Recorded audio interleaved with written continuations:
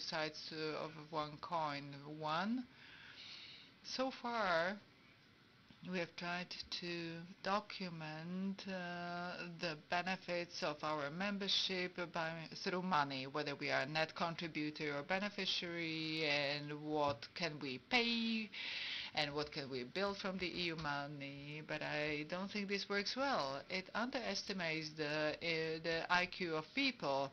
It's like we would think them as of reptiles, uh, like uh, that they should work uh, on uh, uh, on this uh, kind of a reptile brain and on the level of instincts and um, we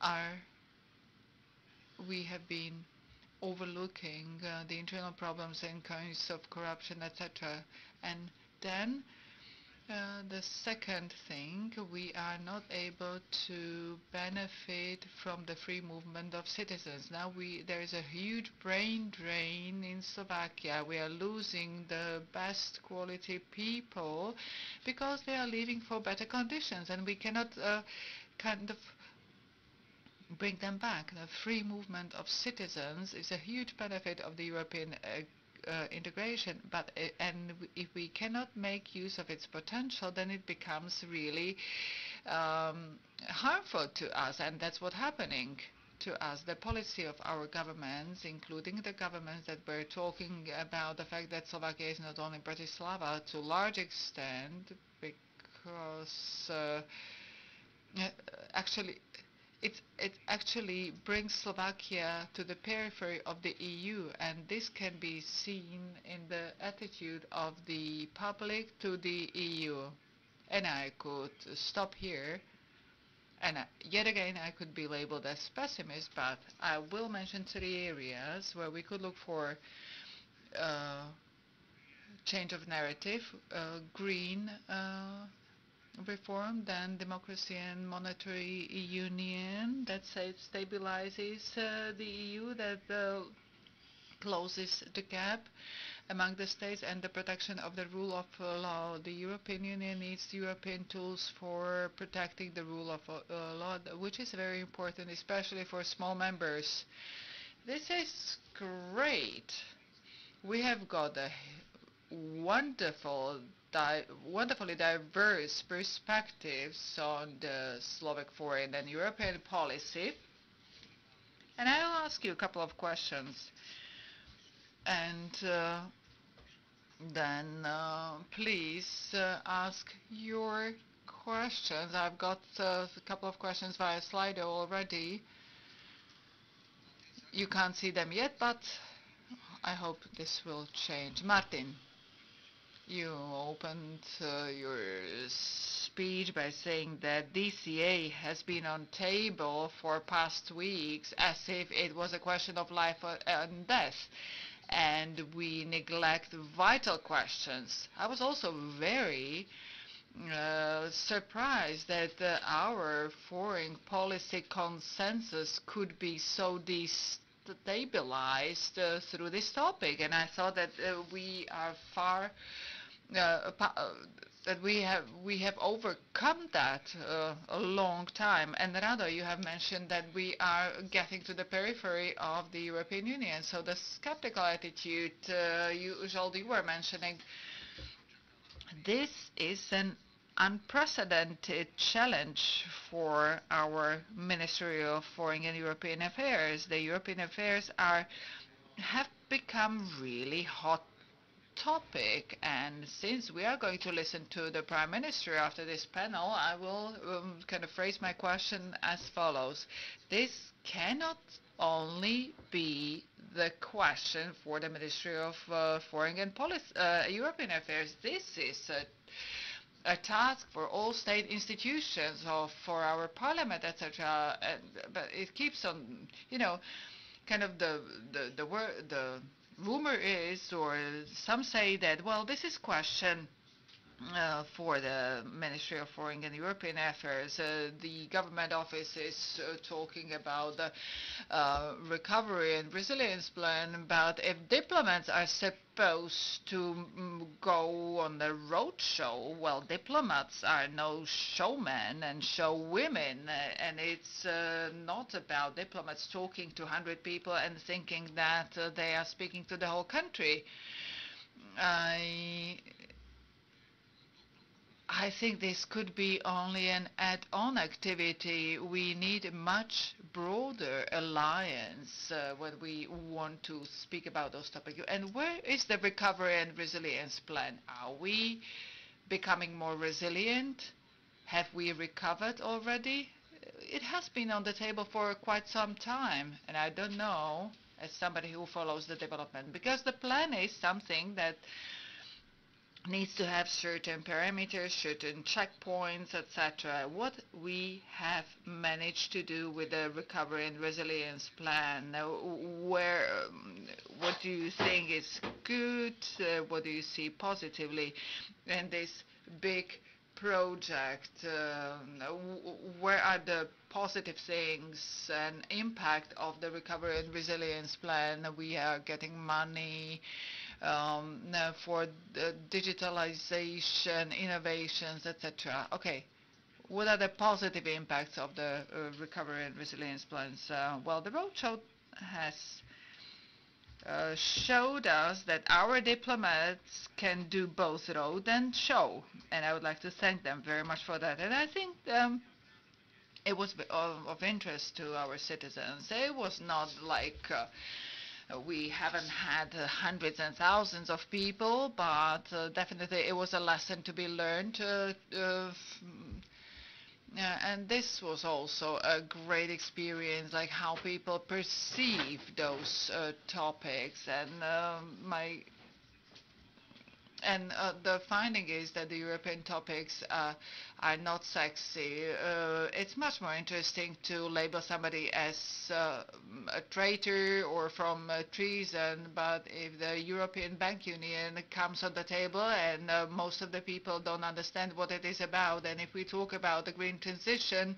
even though some have vague idea, but still they have totally different notions and understanding of this topic, and they def people definitely don't connect it to the recovery and resilience plan or the EU, and we are failing. Um, and uh, uh, you were very right that many who should talk about these topics, including the Slovak uh, members of the parliament, uh, mm, don't um, internalize those topics. And I also need to criticize myself when I was a member of the Slovak National uh, Council. We really didn't pay uh, enough attention to those topics, uh, maybe sometimes somewhere up to 70%. And, and then another problem if we achieve something positive and we get extra EU money, we actually had not um, thought would uh, do. Like back uh, in 2020, though, during those four days and four nights, then there is this process that should use this money for the benefit of the citizens, then the process is really clumsy. So there is no golden bullet. There is no simple question, uh, answer to your question, uh, to answer. Restructuring of healthcare system, judiciary reform. Uh, well, the, there are certain review.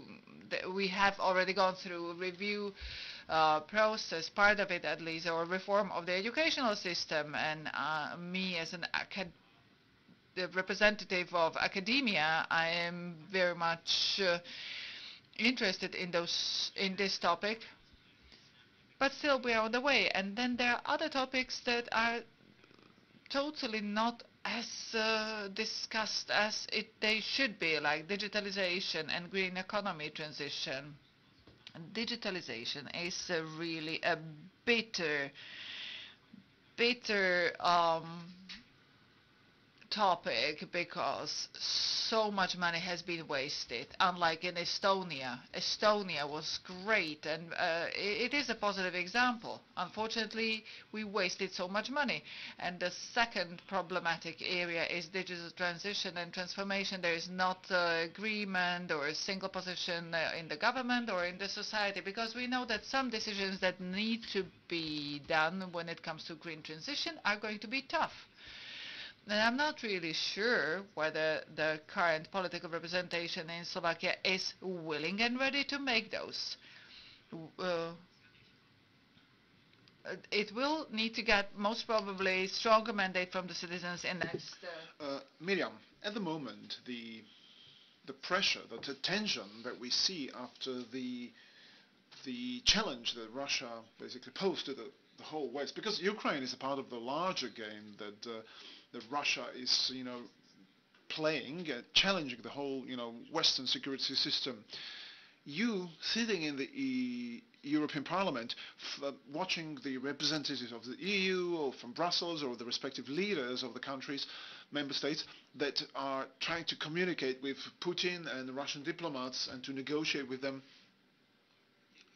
Where do you see the strengths and weaknesses of the European foreign policy or is there anything like that? Because a number of people cast doubt upon this, that the Russian Federation now wants to negotiate with uh, the United States and it wants to negotiate with a few selected member states, but it seems it is not really uh, negotiating with the EU as such. EU seems to be aside, or some people say that. So what do you think are the strengths and weaknesses of something we call the European foreign policy? Thank you. That's a difficult one. Uh, the weaknesses are basically I've already mentioned in my first opening speech. You know, our foreign policy hasn't been following principles and values for many years. It wasn't based on these values where on which it was supposed to be based, and uh, we were closing our eyes from that for many years for many years, our foreign, foreign policy wasn't unified, it wasn't single. And yes, foreign policy still, to a great degree, or to major part, is in the you know is is, is led and, and conducted by the member states individually, not together. And it is sad that we haven't realized until now that in the geopolitical global world, we need to have a single voice. We need to uh, have shared interests, you know, our partial interests as member states, maybe the larger member states that historically played more important or leading roles, the partial interests of these countries are becoming tiny in this large global game which is being played at the moment on the globe, on the planet Earth.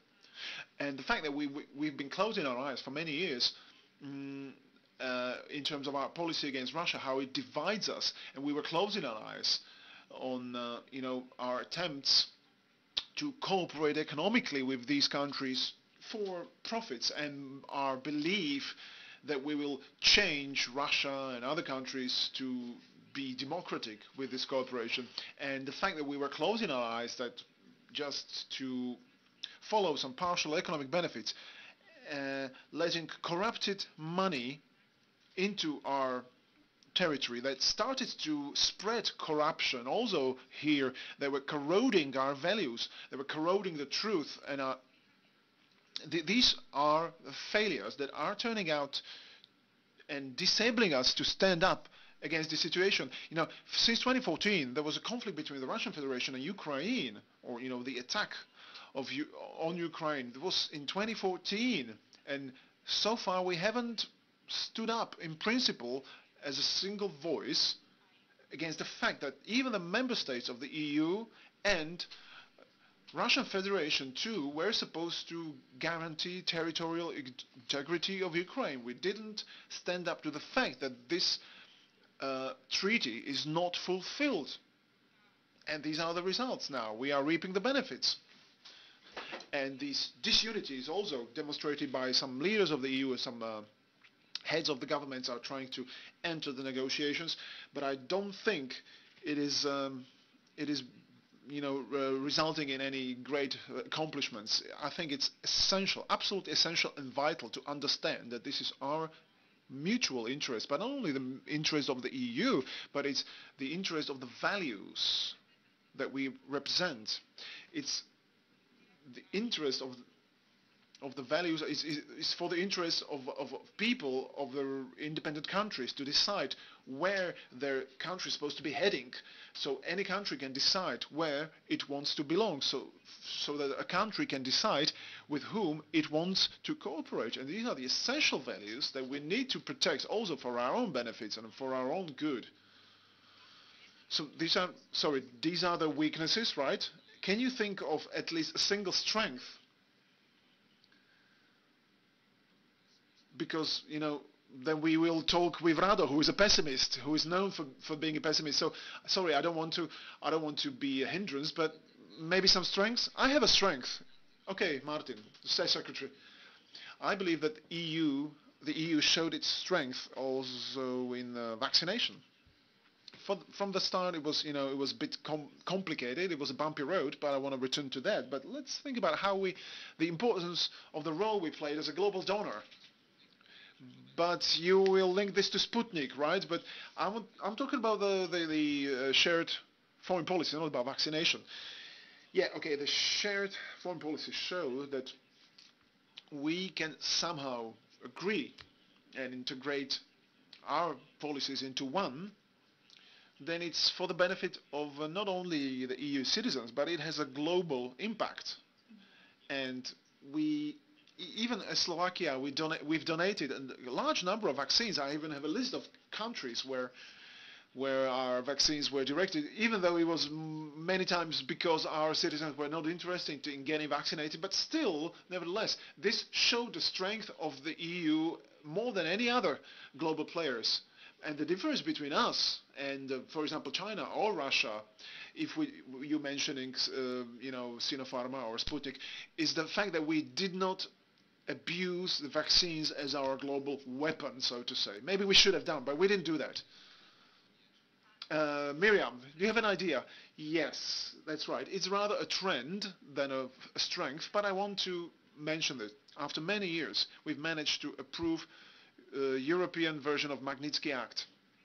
So in principle, the protection of uh, human rights abroad, which often are, you know, undermined as a result of our indirect result of our cooperation with uh, uh, third countries. And uh, I'd like to thank Minister Korčok, Minister of uh, Slovak Minister of Foreign Affairs. Uh, that corruption becomes one of the reasons for sanctions within the scope of this European version of Magnitsky Act, and other things are potential still. But I'm very happy that we are working on it. The first is the Anti-Coercion Act. Uh, a legal piece of legislation which is supposed to protect our single market from negative uh, third-party influences and due diligence, which is supposed to protect our retail chains so that uh, there are no products um, in our market which are manufactured uh, as a result of a gross uh, breach of human rights or child labor, etc., etc. So I believe this trend, if we follow it, will help us return back to our values. Uh, Radovan, you mentioned that European Union is going through a, series of crises, you know, it always somehow overcomes it, etc., etc. And many people who follow the development of the EU say that every single crisis somehow strengthens the EU in the end. Are you convinced that the, the corona crisis and now the Russian challenge will strengthen the European Union? Well, I wouldn't certainly agree that every crisis strengthens the EU. I think every crisis that you are able to manage may strengthen you because it prepares you for managing of the future similar crisis. I believe the corona crisis has strengthened the EU, however, but it undermined what is essential for its operation, that stability of the member states inside, internally. Because even though it strengthened the EU, well, if I was a German, I could be thinking whether it wouldn't be better for my country, you know, uh, for you know, uh, pr procuring the vaccines for itself. If being a Slovak, I have no doubt that it would be much worse. It also we've uh, broken the long-term taboo that European budget cannot be financed by a shared debt, and that we cannot have a budget which is able to react to crises which have asymmetric influence or impact on the member states.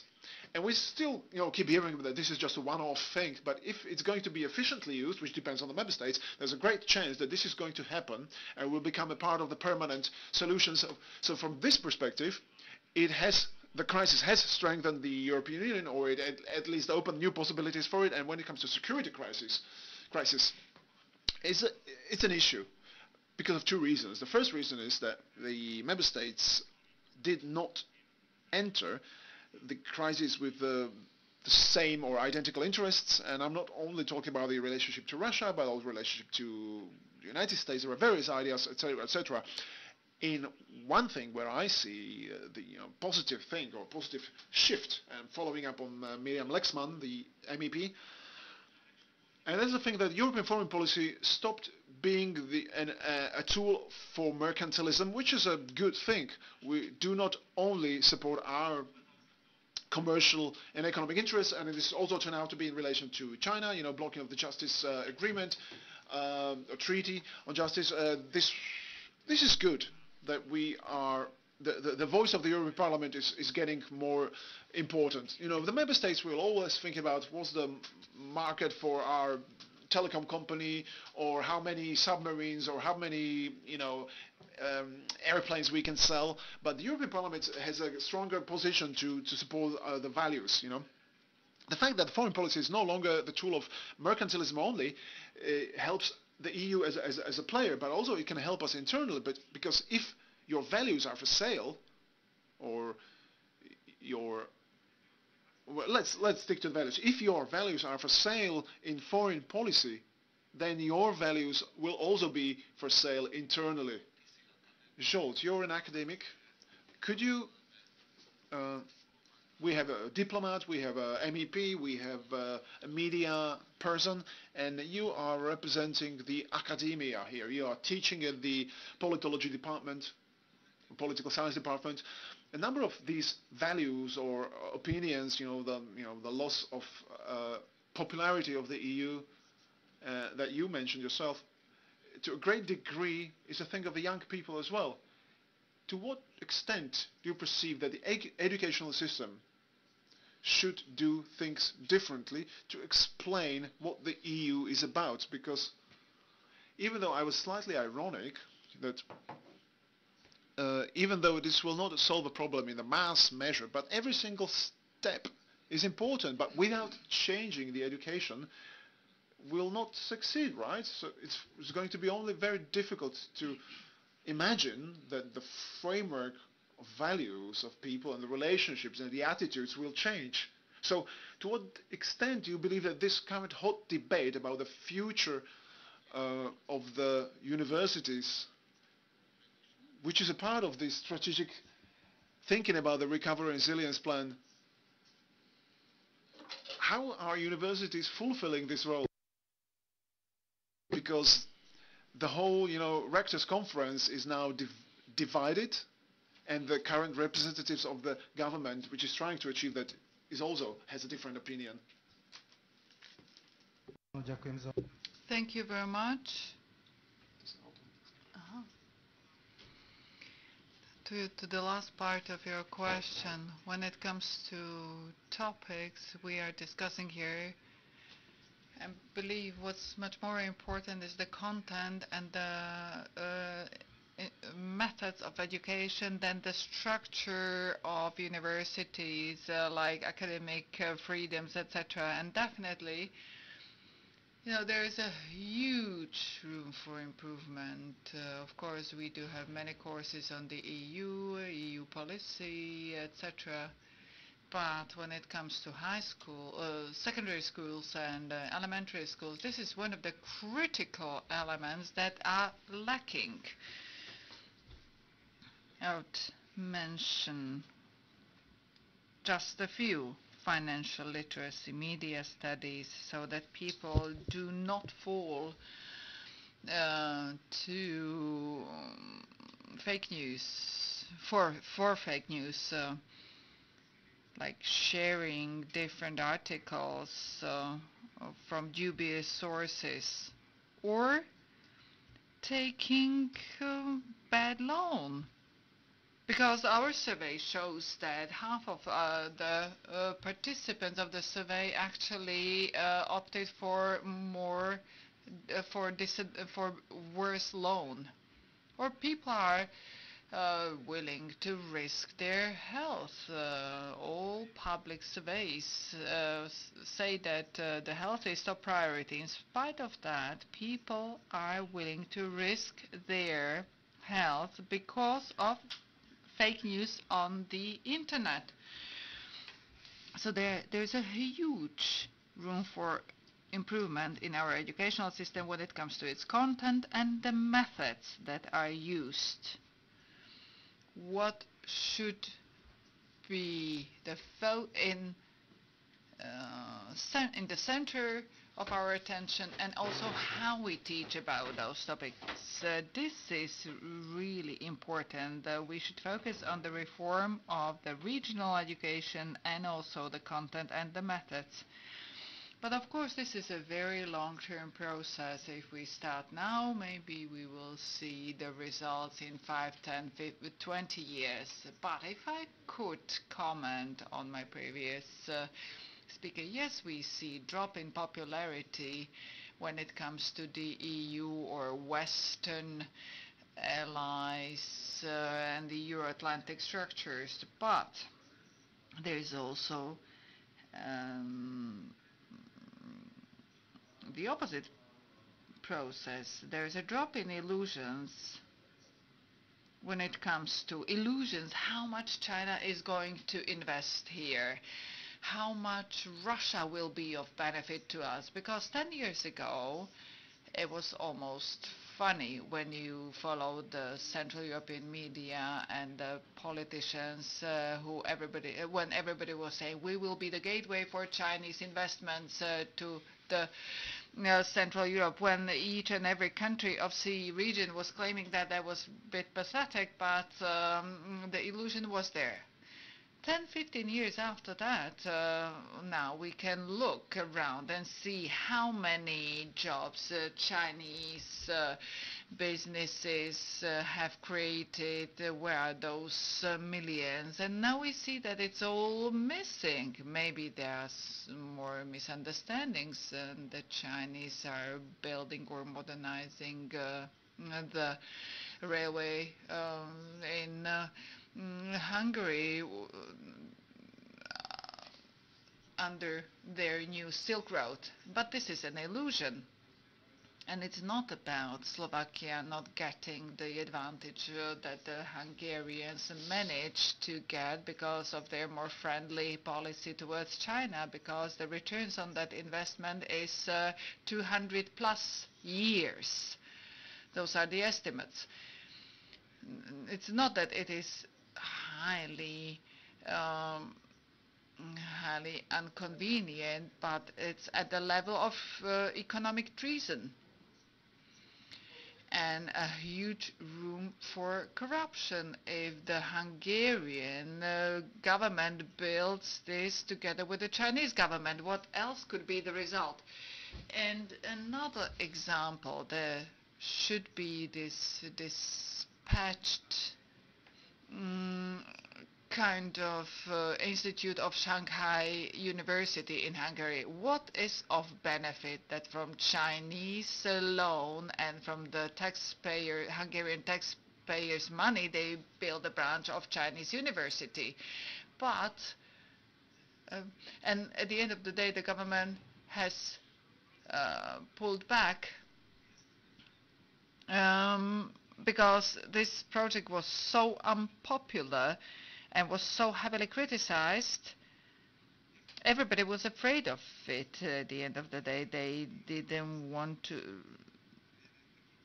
they didn't want to invest annual budget for Hungarian universities into this one project. And uh, then countries are going to eventually realize, not only in CE region, but uh, across the EU, we cannot leave the Russian companies, namely Gazprom, to control majority of the the gas stocks, uh, the gas. Uh, uh, yes, uh, um, on short-term run, the Russians uh, really um, complicated things, but uh, eventually it will only lead to further diversification. And um, the economic benefits from uh, from um, cooperation with the Eastern um, autocratic regimes uh, are scarce uh, and even less so uh, material uh, benefits.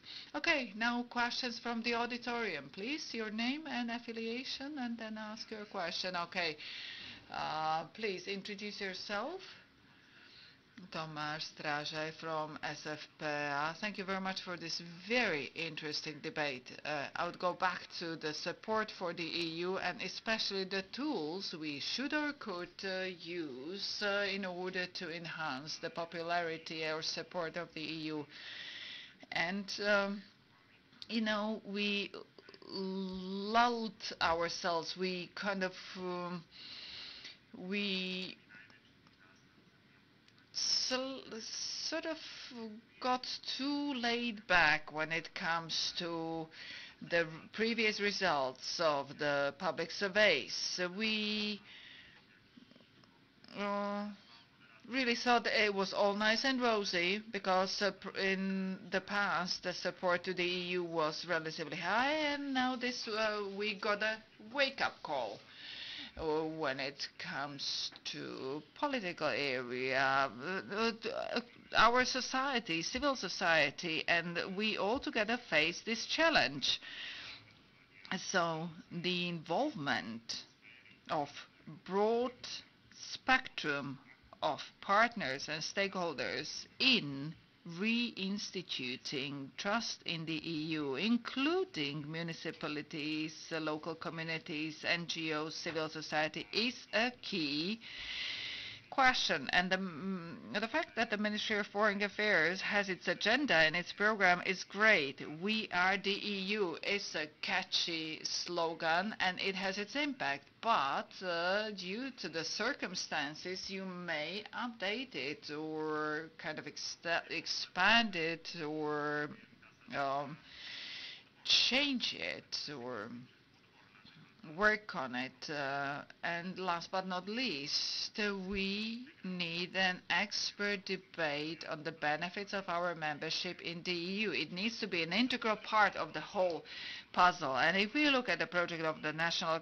uh, Convent implemented by the Ministry of Foreign Affairs together with uh, other stakeholders, unfortunately there is no continuity because this project just appears and then vanishes and then it reappears. It has a different administrator every now and then. So now, Mr. Klus, I would like to really uh, reach out to you and let's think together how this project that focuses on expert discussion on the EU and recommendations in different areas of uh, EU policy, etc., how to make a an ongoing, efficient uh, um, tool that will be a part of the social, uh, national debate on the EU that should result in increased support to the EU and also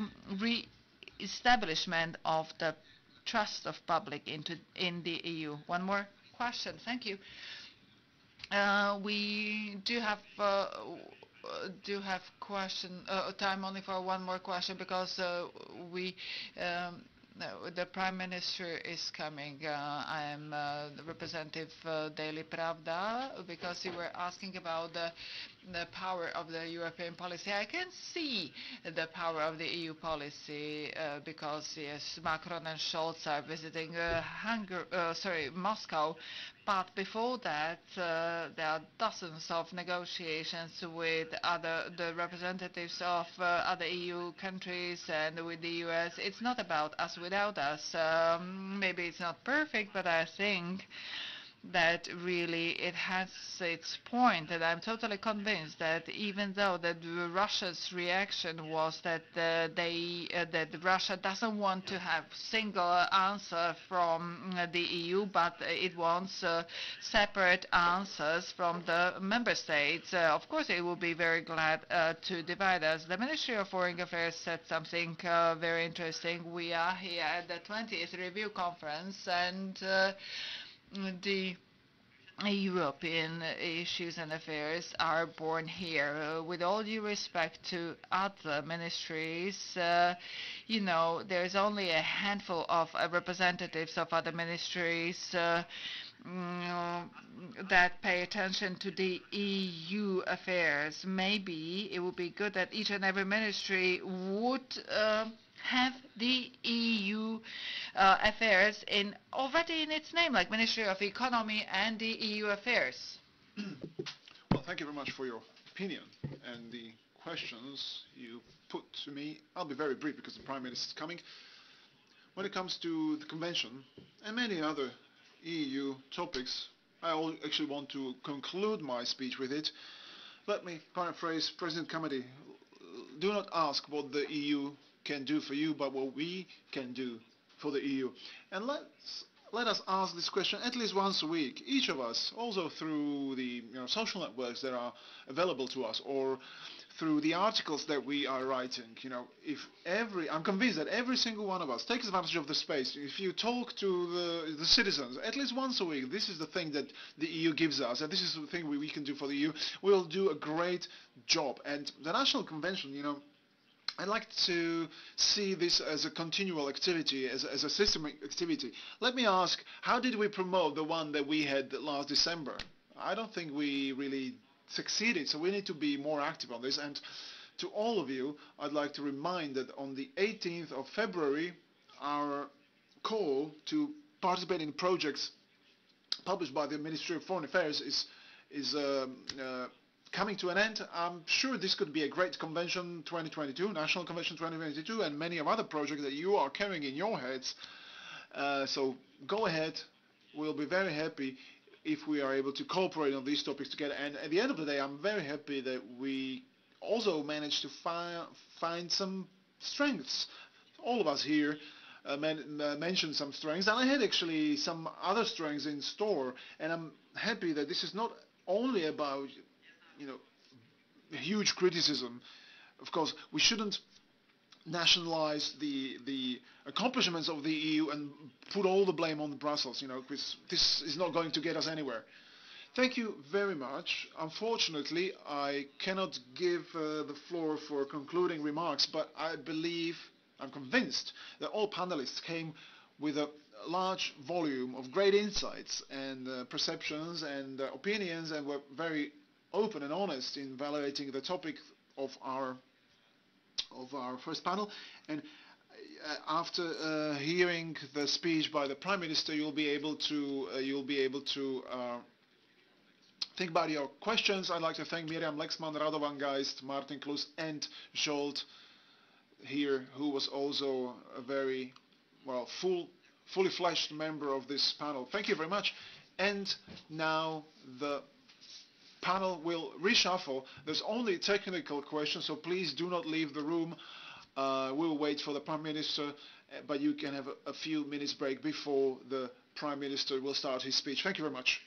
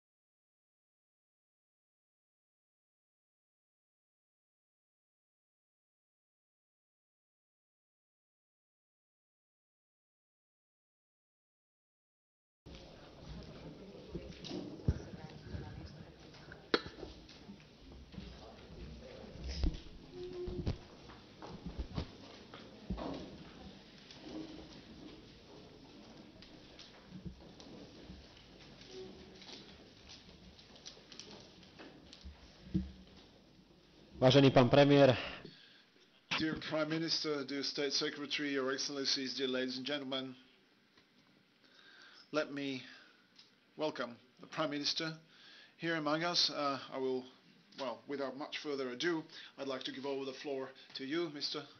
Heger, Prime Minister.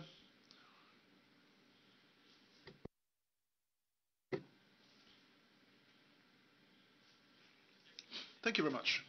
Dear ladies and gentlemen, I'm honored and I'm happy that I can talk to you today at this forum and also with great pride in, this, in these demanding days demanding days, I uh, can tell you that Slovakia is a democratic country. We are a country respecting human rights. We are a country that is a responsible partner and ally. We have clear anchoring in NATO and the, United, uh, and the, uh, the European Union, and we are a fully fledged member of both. I think it's quite obvious that we are stating this in our documents, but not only in our documents, also we proudly endorse this with our actions. Our government, in its uh, foreign policy direction, is not does not want to cast any doubt on this. We are quite uh, we are quite convinced about the inevitability of our alliance. Now is the time when it's very necessary to talk about the importance and relevance of what alliance actually means, the word alliance. You know, just talked about the collective defense as an example. It is exactly in these days when we all can realize very well and very easily how strong and relevant and important collective defense is and what it is what what is its role for the safety security of countries and members uh, uh, citizens of these countries who are members of this collective defense. What does an ally mean as a word? There were years when we lived for many years in safety and peace. We only recall and remember the times of war during the bank holidays and official holidays and maybe we forgot even though we were mentioning very often that freedom and peace are never to be taken for granted but we still nevertheless forgot what it actually means to be an ally of someone. It's not only about taking it's also about giving. It's not only about advantages and benefits but it's also about commitments because this is an essence of correct and responsible relationships. However, in Slovakia, we are experiencing in recent months strong attacks just against our essential basic values and principles. We can say that these attacks are, they've been a long-term phenomenon. However, in recent months, they have intensified dramatically. We perceive these attacks uh, from the parts of the so-called disinformation scene, as we call them, but also from the ranks of extremists. And as I said, in the most recent months, unfortunately, these uh, attacks have uh, intensified. And just the, exactly the discussion about the DCA was the litmus paper uh, that helped us to uncover many things that were not quite clear, and it's quite sad that the, this, this extreme, the extremist scene and the disinformation scene has now new allies. You know, former leading politicians of this country have joined their ranks. You know, people who, in their times, were endorsing the, uh, you know, membership to the core of the EU, and these very people are becoming the leaders of this disinformation scene. They want to return us back to the period of the late 90s of the Prime Minister Mečiar, where when we were an unacceptable partner to the West, basically the black hole, to quote um, Madeleine Albright. So let me ask you the question, do we want to return there? Do we want to return there? And I, I'm quite convinced that at this forum, and every single one who recalls the times of the Velvet Revolution, and it's very quick and prompt and clear, no, we do not want to return there. Slovakia has seen 30, more than 30 years of uh, period of freedom, period of building of democracy, period of you know realizing what democracy actually means. Yes, today, after more than 30 years of this development, of almost 30 years of independent Slovakia, we see that this is no easy road. This path sometimes takes us, sometimes takes us to crossroads, and uh, perhaps we wouldn't even hope that the crossroads where we are standing today, we wouldn't even expect that we would get here. Nevertheless, here we are, and it turns, it shows a clear fact: democracy, freedom, and peace are not to be taken for granted. They always stand and fall with people who trust in these principles and values, who endorse these principles and values, who are never silent and who clearly declare this with their words and actions. And our government clearly endorses this. Just like I said, we are under various attacks. We are a target in a hybrid war. It comes with uh, uh, perhaps some historical, mm, maybe not roots, maybe roots is not the right word, but nevertheless we see that the governments of the Slovak Republic, the previous governments of this country have underestimated these situations. We were taking our membership in the EU and membership in NATO for granted. It is quite possible that we didn't appreciate it sufficiently, that we didn't explain and we didn't talk to our citizens how important and how essential this is for us as a country, as a nation.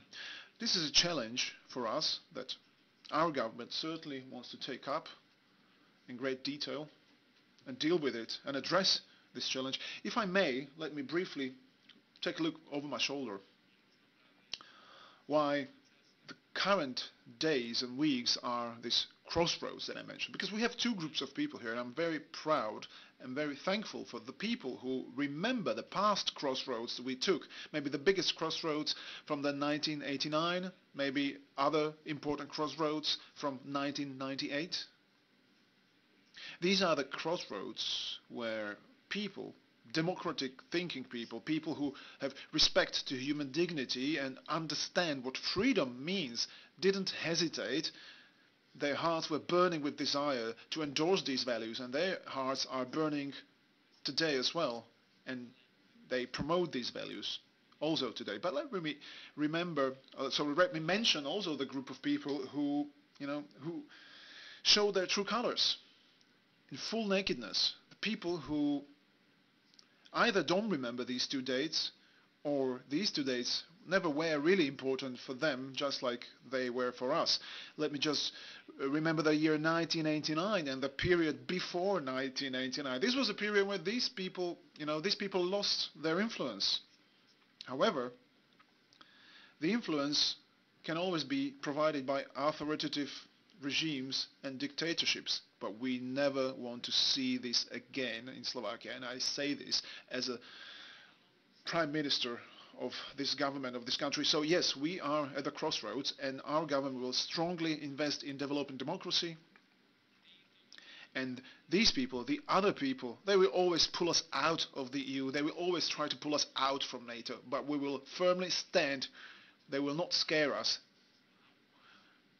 They will not scare us just like they didn't scare us when we were deciding about the cooperation defense defense cooperation agreement with our allies.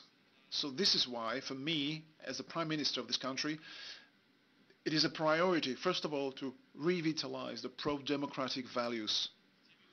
I want to build this revitalization on inclusion, so putting together, combining the pro-democratic forces and mobilization of these forces across the civic society, starting with the young people, continuing with the, the NGOs, artists, academia, politicians, leaders who are standing firmly behind these values. The next, the upcoming years in Slovakia, the nearest future, will be about democracy, about freedom, about the rule of law, about human rights and values. Also, I want to build this defense on courage. We will not retreat to these alternative scenarios for Slovakia that put our security in danger, put the security and democracy in danger. It is important that we as the government increase the credibility and trust in the state as such, trust in the rule of law, fair government and a fair country that serves to its citizens. And it can't be done in any other way than by raising awareness, investing into, in education, and exactly by conducting various discussions and extending the, the space uh, in education to include the values and to include teaching about the periods when the, we had to fight for democracy in Slovakia. So, so every single one of us had in their DNA an understanding of what was happening in Slovakia, how we won and achieved our democracy, and that it is the key principle and value without which we do not want to and we cannot live here today. Also, we want to strengthen capaci the capacities for fighting disinformation. It means completing the center of hybrid threats and units at the respective ministries in relation to this activity. We will intensify our intelligence activity to uh, uncover hybrid operations. We will strengthen the cooperation with our partners across the EU and NATO, but also with Ukraine, gladly. And of course, we will support the strategic compass of the EU, because shared evaluation and review of threats and challenges to our security environment makes us stronger together. And to conclude this, let me explain that we want to address the challenges of the future, not the challenges of, of the past. We want to uh, master the green transformation. There is a great opportunity in it, new jobs, new investments, perspective for the young people who we believe will not be leaving this country for, for good, but that they will return and invest in their own country, in their own homes. Also, this is about the support of free undertaking, space for new startups, new stars that Slovakia that represent Slovakia globally. There's not there, there, are quite a few, but we want to have more of them, more of these successful startups, and also the recovery and resilience plan, which is a plan and an instrument to recover and increase resilience of this country. Ladies and gentlemen, let me conclude this by remembering the person who supported many of these values and endorsed many of these values with his life. He was one of the symbols of building of this democratic state and good, good image of Slovakia abroad.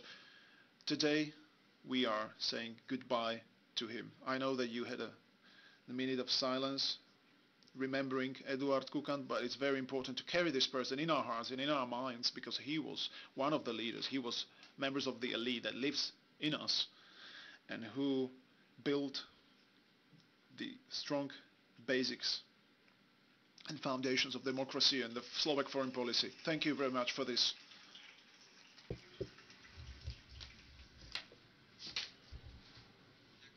Thank you very much, Prime Minister, for your very open and well-structured address where you touched upon the Slovak foreign policy issues that uh, resonate in you. Before asking a couple of questions to you, I'd like to adequately welcome the Minister of Defense, Jaroslav Naď, who together with Ivan Korčok proved more than his human bravery uh, in the past weeks.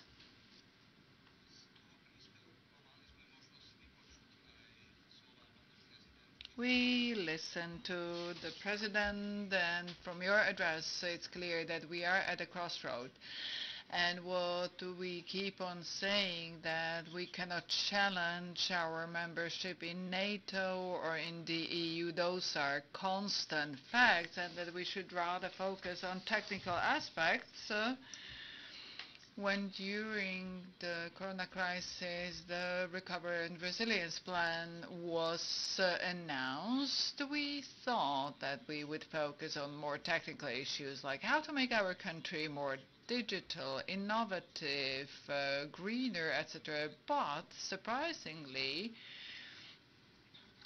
um, many questions and topics uh, have been put on the table that totally destabilized uh, the discourse and also the results of the survey cannot uh, be overlooked and we definitely should not ignore the results. The last week was a wake-up call, definitely, because what happened in the parliament was something unprecedented in its form and content. Has there been ever a moment that uh, the Defense Cooperation Agreement would not be approved? Well, I don't think it was a wake, wake up call. It was rather a climax. Because as I keep on following the fake news, far right, and unfortunately the former top political representatives, their acts have been alluding to this climax, but they were like they have they were covered. Or but uh, at the end of the day, they just uh, went open and uh, very um, ruthlessly.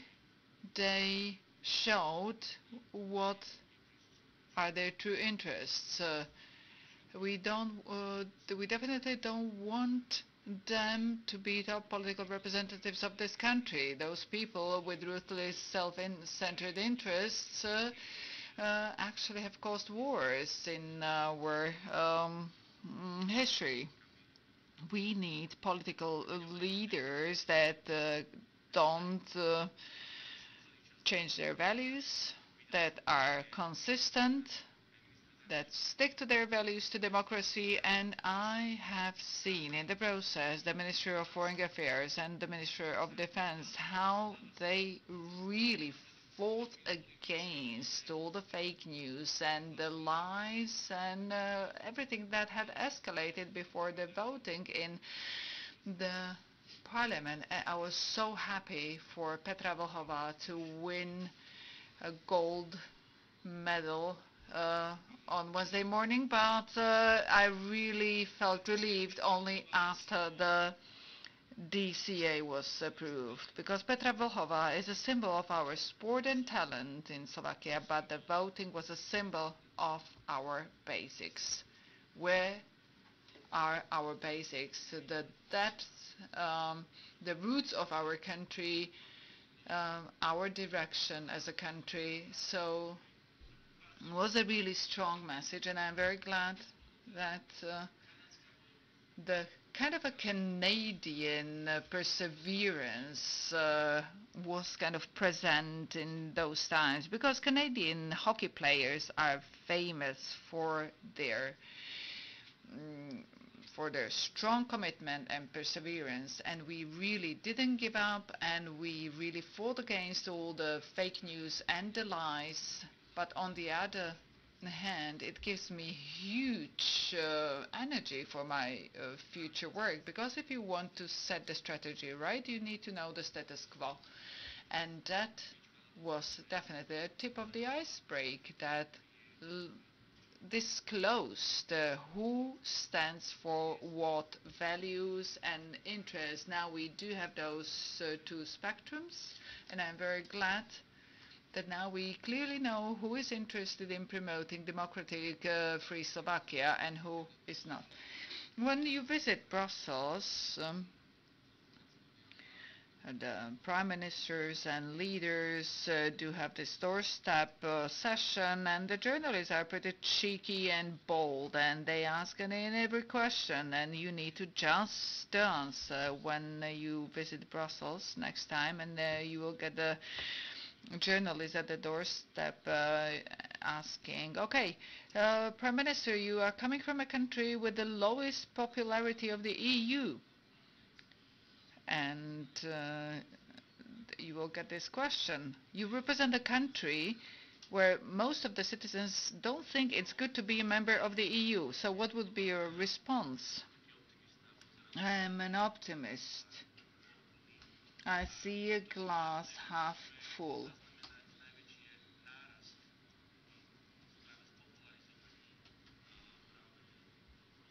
I am glad that we can observe the highest intensity of communication about the EU issues and uh, Yes, this is a reflection of the fact that for many years we uh, were uh, not paying enough attention to this uh, topic, but the upcoming two years will really focus on talks about democracy, values, and about the, our direction. This uh, should be the main political topic, so that we yet again um, build the basic understanding of where we belong in the young population as well so that it is inherent in all of us uh, uh, so it is totally natural to all of us uh, so if this question comes uh, then um, then I will be glad. Uh, don't worry be happy. Uh, but we need to really realize that happiness is not here for granted, uh, but um, mm, we need to just work on it and get used to it. Okay, you have mentioned that uh, the fight against the fake news and hybrid war will become a priority in the second part of your term. We know that um, various ministries are uh, opening departments uh, fighting against the hybrid threats, but we see in Globsec trends that Slovakia, from all of the, of the countries of the CE region, is the most prone country for accepting different fake news and uh, um, kind of uh, lies. Uh, so this is um, kind of uh, situation, status quo, and we have the highest the pro-Russian affinity from the region. Are you ready to hire more professionals uh, to fight this uh, phenomenon because uh, just to say that okay we need to do something about it without having uh, manpower for that experts, uh, not politicians, uh, then we won't achieve uh, much. And what do you think should be the role of the educational structure? Yes, we are ready and we need to uh, tap to the professional potential and also to other countries that could help us and we can learn from. Uh, education is the basics and now we are in the final stage of the reform of the curriculum for elementary uh, education and I think we need to revisit uh, this reform and we need to really um, give more attention to history and related topics to pay more attention to key moments of the Slovak history and expand this those topics to such an extent that students totally know what we are talking about. Uh, it, so it's it's sort of like gets into our genes, our system. Because if anybody and so that if anybody comes and challenges EU topics or other topics, then uh, mm, it wouldn't work because uh, with the if you understand things it's difficult to challenge you and to uh, kind of uh, lead you to um, lies uh, Slovakia is uh, Slovak uh, society is shaken. We have gone through pandemic crisis followed by economic crisis of unprecedented scope and then energy crisis hit and it's still around and it raises doubts. And uh, immediately after that it was followed uh, after the security crisis. This is a huge pressure on each and every human being. So no wonder those uh, doubts are here. Um, and this is really uh, maneuvering space for anybody who wants to destabilize the system and the people and their beliefs. And that's where we need to invest much more into preventing this uh, fake news uh, elements to, from flourishing and we need to present the truth to the people and uh, bring about the information that is important uh, to the people and also stability that is so much needed in uh, the life of each and every one of us. We have resources, we have human skills, we have boldness. It won't be easy, but it will be manageable. Slovakia has taken over its presidency in Visegrad 4 countries from Hungary this summer, and at the same time, the Czech Republic will be presiding the European Union. So Czech Republic and Slovakia will be a, a frequent subject of discussion, of discourse, European discourse. But by the summer, we should be able to present our area about the European Union when it comes to the conference on the future of Europe. Is this going to be a document where we are going to say or express what kind of European Union we want to see and if there was supposed to be some some some uh, small line, a note, uh, which says Eduard Heger wishes that the EU is three dots. What would you add there? Well, yeah, I do look forward to this, and I also do look forward to the Slavkovsky Stit format, Slavkov format, uh, which also includes Austria, and uh,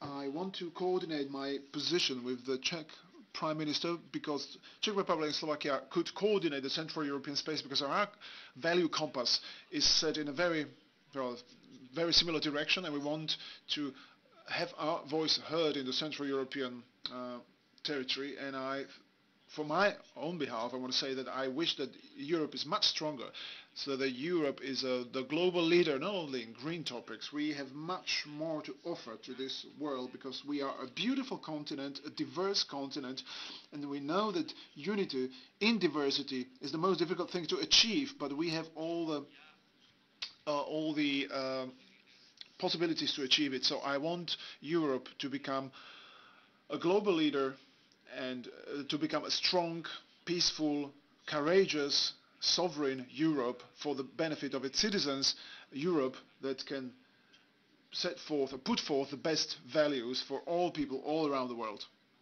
The last question before Madam Magda Vášáryová wanted to talk to me, uh, mentioning something about culture, that we could perhaps ask you about the culture. Uh, let me ask a spiritual question, the last one on my behalf, the Pope, even though if he visits uh, Slovakia, they're always in good mood because they feel they they visit um, an exceptional country, an exceptional territory. John Paul II was famous for his relationship to Slovakia. He said, realize that you have a special place in the architecture of Europe. Something like this, he said. I'm paraphrasing. And the Pope Francis, last year, besides having us in heart, he said that Slovakia is like a beautiful poem. Why do you think that for the popes, they, why do you think the popes have such a strong emotional reaction to Slovakia? I think this is caused by the mentality of our nation, of our country. We are a country that can, that lets uh, visitors experience acceptance acceptance, you know, something that everybody likes, and we are very specific in this, but where we need to be stronger is, you know, self-confidence. Self-confidence. You know, becoming aware of ourselves. And this makes me return to education. There's no self-confidence and self-awareness if I don't know my history, if I don't know my roots, if I don't know the importance of the, the respective milestones our, my country went through and this, I believe, is the reason why not only the popes, but everyone feels good in Slovakia. And I'm convinced that we will develop this and we will build on this and on these foundations. And uh, because this is a gift also for, the, for Europe, because when we are sitting behind the table with the leaders of other countries, we see what the respective countries are particular about. And Central Europe is known for its flexibility, inventiveness, you know, ability to adjust, but also on the other hand, we need, I believe, add more uh, responsibility. Not only declared responsibility, but experienced responsibility when it comes to uh, the rules, regulations, our uh, alliance, we know we have this in ourselves, but we need to develop this and we need to build on these foundations. This will be further enrichment for the European uh, European space. This is the 20th review conference of Slovak foreign policy. The first one was in 1999, and we've seen quite a few prime ministers, no offense, of course, and uh, Magda Vášária was standing at the birth of Slovak Foreign Policy Association, who was always convincing us, sometimes in 1993, that we need such a non-governmental organization that would cultivate Slovak foreign policy and uh, foreign policy awareness and understanding of our role in the world. So to conclude this, I'd like to give Ms. Vášária the privilege of asking her question as the as the chairwoman of the oldest non-governmental organization in Slovakia, which is called Živena. Thank you. Thank you very much, Mr. Demeš, for the introduction. Co-founder of Slovak Foreign Policy Association. Dear Prime Minister, in your speech, you were the only one in the past several months to mention artists. You used the word artists. And before you arrived here in the panel, we heard about the need for the new narrative of the Slovakia, modern European Slovakia, Slovakia which will leave behind its romantic 19th century roots, etc. But you know, officials cannot do that, Prime Minister. Officials cannot do that. Politicians cannot achieve this. The new narrative of a modern Slovakia can only be created by artists, by people of creation, people of culture, people from culture, artists, and especially writers. Culture, unfortunately, is lost from all the plans. The Ministry of Culture is getting rid of its responsibilities, of its essential institutions. It's getting rid of it. I wanted to appeal to you, please, if we really want to accomplish this change, and we do need to accomplish this change, we cannot do this without creative people, the people of imagination. This is the only thing I wanted to tell you. Thank you very much. Thank you very much. Thank you. I totally agree with you. I've mentioned, I mentioned artists intentionally because you, you said it better than I did. You know, creativity, imagination is something that supports any superb or above average results and we want to achieve above average results. I totally agree with you and on my behalf I can tell you that well first of all I grew up in the in, in cultural environment. My, both parents were active in culture for many years and I believe that I'm very strongly influenced by that and uh, this certainly is an area that is yes not it is not talked enough it's not talked about enough uh, we, we don't see enough culture in our plans yes but it is again about the civic society culture is the trigger of activization of citizens and their interest in the society they live in not only in the uh, public issues and public matters but uh, about everything uh, related to public space and culture can do it independently and in a, an attractive manner. So this is an area where our government wants to invest and I'll be very happy if anyone who's interested helps us with it. Thank you very much. Thank you very much as well. This uh, means the end of the discussion with the Prime Minister. I'd like to ask the whole audience in the in the room here of uh, of the Ministry of uh, Foreign European Affairs. I'd like to thank the Prime Minister of the Slovak, the government of the Slovak Republic, uh, on uh, my behalf and on behalf of those in this room and on behalf of those who are watching us uh, on the screen. And I'm happy that number of international diplomats could listen not only to the Madam President but also to you, Prime Minister. Prime Minister, let me wish you sufficient volume of antibodies against COVID, but also antibodies against the human evil that you sometimes need to compensate a great deal of optimism for the second half of the government whose tenure co continues and of uh, and uh, thank you very much and it was very interesting to be here to talk to you and listen to your comment Madam Vášáryová so let me part with you with um, with the slogan that we have in the uh, the motto we have at the office of the government, we are building on uh, experience. We are taking advantage of our strengths and we never give up. Thank you very much. Have a great day.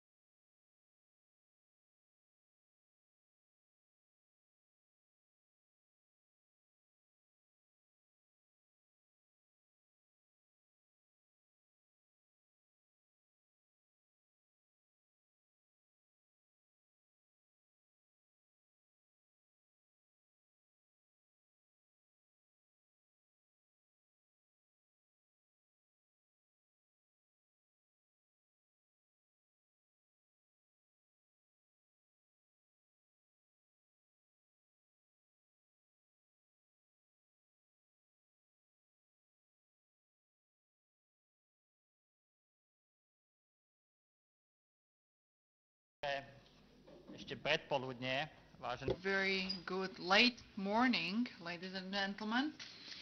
Dear Deputy Minister, I'd like to welcome you all to our next panel or introductory session to the next panel that we will try to cover with Jaroslav Naď, the Ministry of Defense, who really deserves our respect for the courage and boldness he has um, demonstrated in uh, recent uh, weeks when uh, in the public discourse we can hear all those labels as traitors and treason, etc., directed towards him and other representatives, and uh, we are in very, very difficult times, uh, and we need to face this fact. Um, exactly as uh, the Madam President and the Prime Minister labeled the situation. I am Andrej Matišák from Daily Pravda. And um, firstly, we would like to talk, uh, or sorry, later on we will talk about the changes in the global security environment. And uh, we have already heard um, the um, tribute to Mr. Kukan, former Minister uh, Kukan, uh, the politician. Uh, he was so unique and exceptional. It was very uh, inspirational personality, uh, really with uh, strong values, and I would like to express uh, my and our uh, condolences to his family and uh, close ones. Minister, um, I will just jump straight into the topic, and uh, we have just got the news that Russia is pulling part of its uh, forces, uh, uh, military forces from uh, the borderline with Ukraine. So it gives us feeble hope at the beginning of this conference, we were talking about what if we get a different type of news that something has happened at the border of Ukraine. Everybody is watching the situation closely. Minister, your first reaction to this piece of news? Um, are you more hopeful that the situation may not result in the um, armed conflict. Thank you very much uh, for your introductory words and um, for um, opening of this discussion. First and foremost, I want to greet Eduard up there. This is a huge loss for Slovakia as such, but that's life, I guess. Eduard, all the best to you up there and I want to mention something I haven't heard um, so far. I want to um, really uh, greet uh, Ivan Korčok. Ivan, if you are following this conference, uh, cordial greetings to you. You were a great partner and companion in our fight. Uh, there couldn't be a better person uh, um, to fight with me, and the same uh, Miriam Ma- uh, Mayer, uh, my colleague from my ministry. Really, this was um, fantastic to fight together. Okay, so of course this piece of news you were referring to is a good piece of news, but uh, we need to put things into context. If uh, those words uh, are going to be confirmed that this unreasonable or unjustified uh, um, gathering of more than 170,000 soldiers together with uh, fighting and technology and then uh, military forces at the borderline. Uh, that is a clear-cut kind of a signal of a planned military attack. If this is not materializing and those uh, numbers are going to drop uh, in the upcoming days, then this is a good news. We all wish for peace. We all wish for de-escalation of uh, tension because the conflict that is in the air, uh, the conflict in, um, in Ukraine would be um, harmful to everybody in the world. Uh, but I'm a very um, sort of like cautious optimist, uh, so to say. Uh, so we need to follow what is happening, going to happen next. Okay, Slovakia is um, EU member state, uh, NATO um, ally or member. And how do you see the European dimension of diplomacy? Because in the first panel, uh, the discussion focused on the strengths and weaknesses of the uh, European policy, and the panelists uh, really could not identify the strengths. So, from your perspective, here and now, what is the role of Europe in this very tense situation from the uh, foreign uh, policy perspective? I want to disagree with you when Slovakia um, when you said that Slovakia is not a direct um, part of this, uh, those events. Uh, no, we are neighbors to Ukraine and we are members to NATO.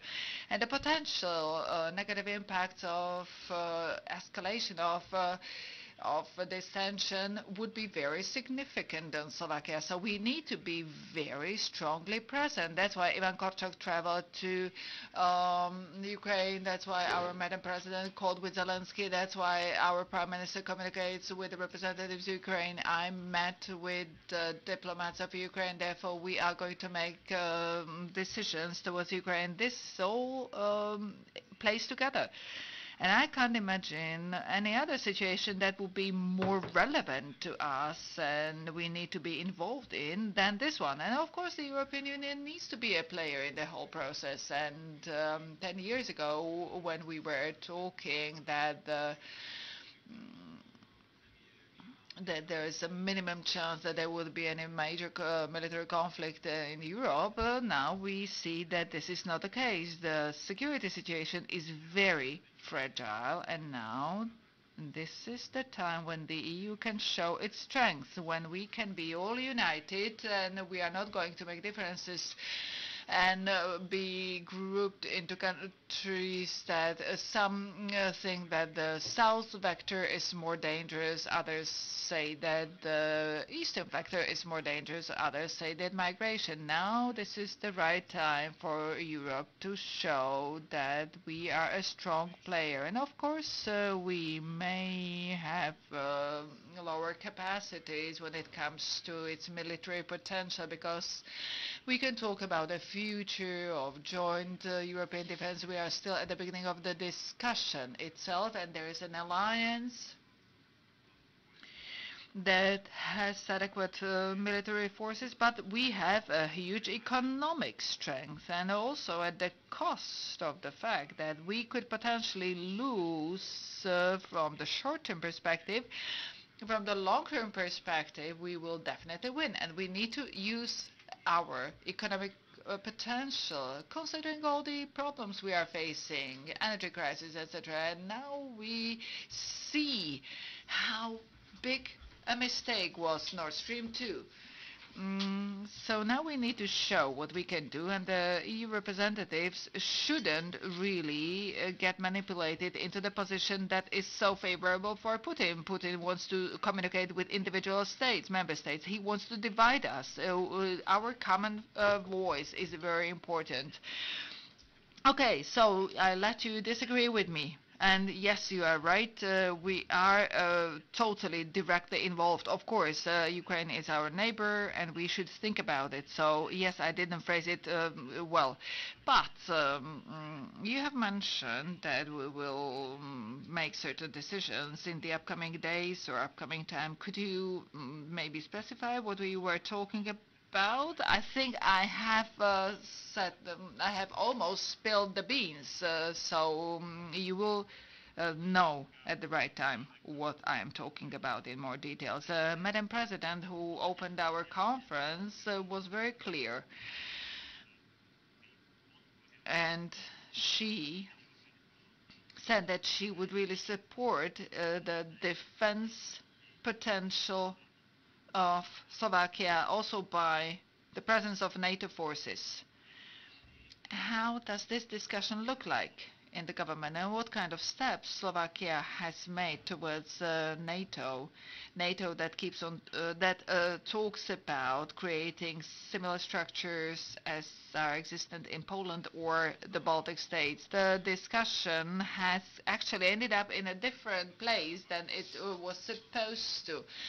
Mm, due to circumstances. Uh, first, uh, the communication about DCA was combined with the discussion on strengthening our, uh, the, uh, the strength at the eastern border, then the, mm, uh, the political discussion between uh, certain political parties and some political parties that used to represent um, that they, we are strongly anchored in NATO went um, to different um, uh, different uh, arena and I'm very disappointed by that. And uh, on the top of that, uh, the misinterpretation of pre-planned military maneuvers, you know, we have been talking about it for two years ago, and this was misused for the sake of uh, of the um, uh, of this uh, situation. But the cyber strike uh, military uh, drill uh, involves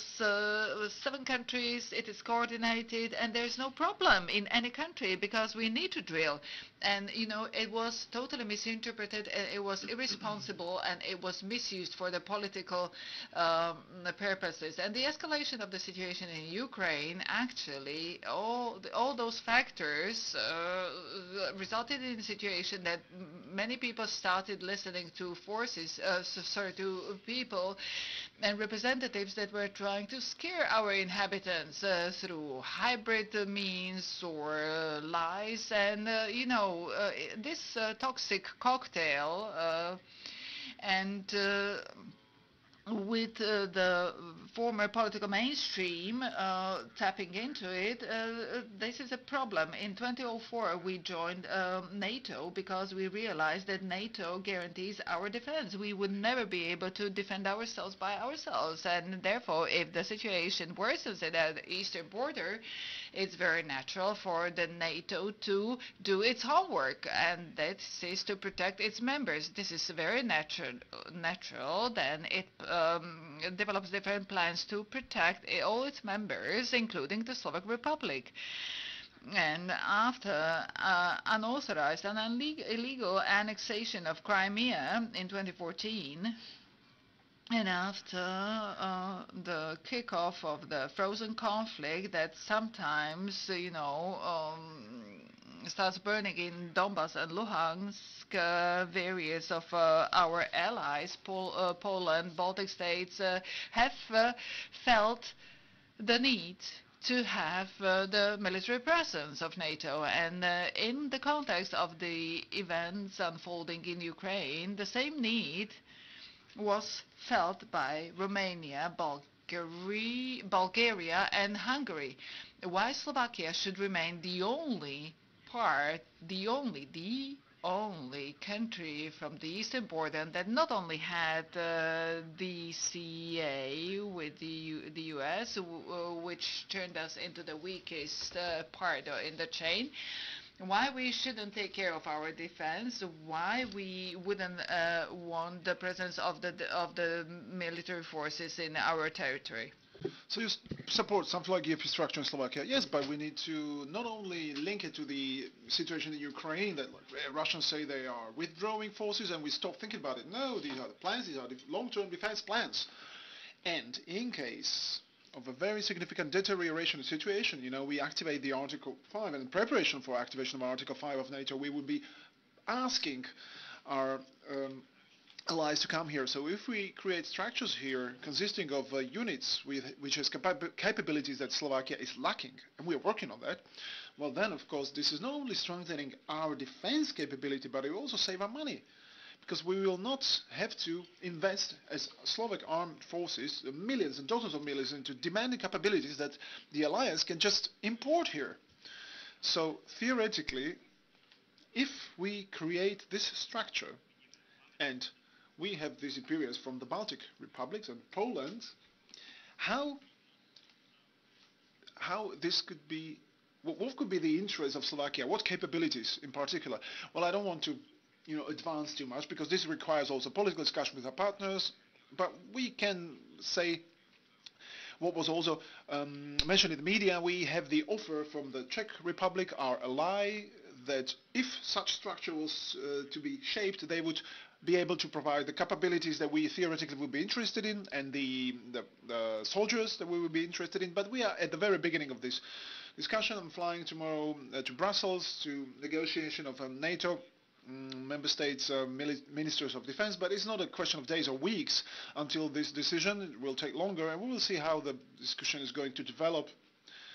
Uh, be that as it may, I would not turn this into a scarecrow. We are a member of NATO. We are proud and fully fledged NATO member. And if our allies are arriving here, we would be thankful and proud for that and not to scare the population with total nonsense, which sometimes is on the border of um, you know mental health. You know, we keep hearing the stories about rapes of Slovak, raping of Slovak women in relation to DCA, which is absurd. This is not responsible at all. Minister, talking about the direction we should be taking, it was mentioned by the President, Madam President, and the, the Prime Minister. Uh, I'm talking about the hybrid threat. On the other hand, the, the President and also Prime Minister partially mentioned the the thing that we should not polarize the society. There still is a part of the population who are, well, maybe sometimes confused, but it doesn't mean that they are, you know, pro-Russian agents, to exaggerate this a little, or they have no, some political agenda, you know. They somehow perceive the information that are in uh, great abundance, and sometimes people have problems, you know, with processing information.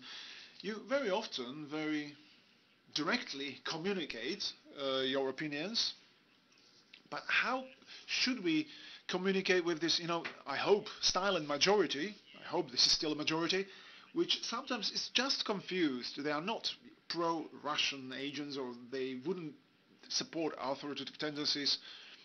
Yeah, I am absolutely confident this is a silent majority and it's okay and they are oriented and I perceive this fact and I'm happy that if the extremists managed to achieve something and people who started to abuse the defense policy to you know political mongering and hate mongering that they mobilize the actual silent majority you know huge number of positive and supportive messages I've received, a huge, incredible number, you know.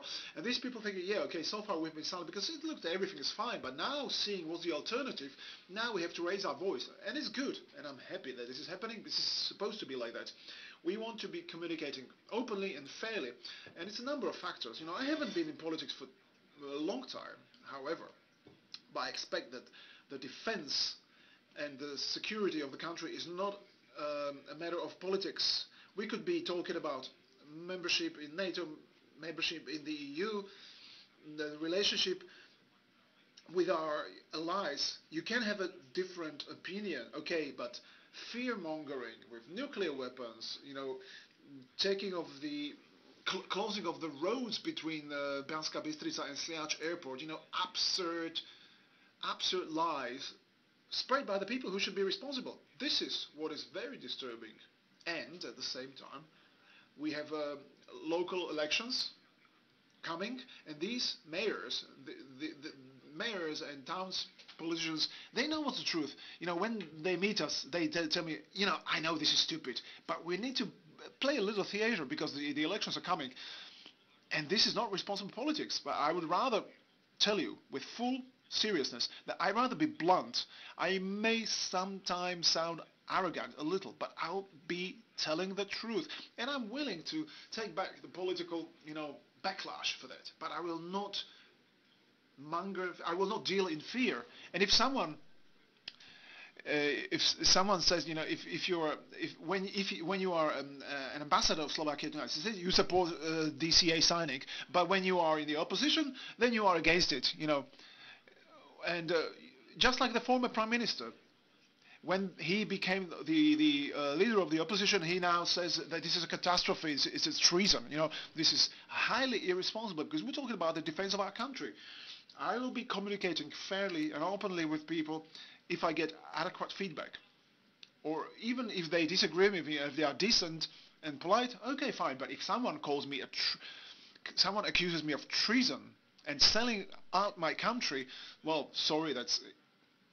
And if it's, uh, and if we say that you know a, a big hole requires a rough patch, then I'm all for that. Well, of course, the communication's different for everyone, but I hope you're right that Minister, that perhaps the silent majority has woken up. Let's hope that in a few months, maybe, we will see also the, the public opinion polls that it is turning a little because we've had a few quite disturbing uh, and threatening results of public opinion public opinion polls in terms of how the Slovak population perceives who's the who's causing the problems in Ukraine because most people say it is USA and NATO and not Russia, even though uh, the truth is pr- pretty obvious. But we have the survey on the EU saying that the smallest portion of the population historically perceives the, the benefits of EU membership. So this is also related to hybrid threats that you mentioned and the president mentioned and the prime minister mentioned. There's a is there any plan for combating hybrid threats on the table? And could you perhaps tell us what for you means combating hybrid threats and what's the goal of this combat? Well, it's going to be an action plan for sure. Hopefully it's going to be a combat. You know, the fact is that we are truly preparing a document which has been interministerial comments procedure. It wasn't easy, but in the upcoming weeks uh, we would like to um, submit this material to the government negotiation. It talks about 62 steps that needs to be performed at the nationwide level, it's government level. So it's not only the Ministry of Defense, but it goes above the ministries. So I hope this is going to be approved by the government. It's going to be one of the most important documents in this sphere, but not the only one, because a number of other ministries are preparing materials for cyber defense, etc., etc. So it makes me glad, and then uh, also the support that was clearly declared by the Prime Minister makes me glad, because this is a very important topic. Just need to read the, the published reports by, the, by our intelligence authorities and trust you, you, can trust me when I read these non-public reports, I'm shocked by what is happening. What is happening in this country? You know, really, we need to be we need to be very, very careful. Democracy is a great thing, and no one has ever came up with a better concept. But someone actually betrays their country and uh, and uh, uh, lawlessness. They replace with they, they they confuse it with democracy. So we need to strengthen our strategic communication. We need to strengthen our democracy, and we need to think about what is freedom of speech and what is uh, spreading of false alarms. But if Kotleba and Mazurek are saying that that, the, that there's going to be a concentration camp for non-vaccinated people in the military space of Lešť, well, this is not freedom of speech. This is this is fear mongering. You know, telling people that if they are not get, if they don't get vaccinated, they will be in concentration camp. This is a targeted, concentrated, willful, deliberate attack, which has nothing to do with supporting uh, our, our, our nation, our democracy and our state, but it's actually promoting the interests of other powers. Well, this panel is titled as Change of um, Global Security Environment, and I'm sure we could be talking about this topic for long, long, long hours. But what do you think are the major elements of this change of global environment and how the armed forces of Slovak Republic are preparing for it? Know, these elements of change are numerous. We could be talking about China. Uh, well, okay, what is most worrisome for Slovakia? What concerns Slovakia the most is obviously the situation in Ukraine. There's no doubt about that. When we talk about hybrid um, uh, operations, I'm convinced that a number of these hybrid operations which are taking place in Slovakia are taking place to influence public opinion in relation to what is happening in Ukraine. That's a fact. You know, and let's not pretend that strengthening of the influence of China globally is not concerning us. It, it is.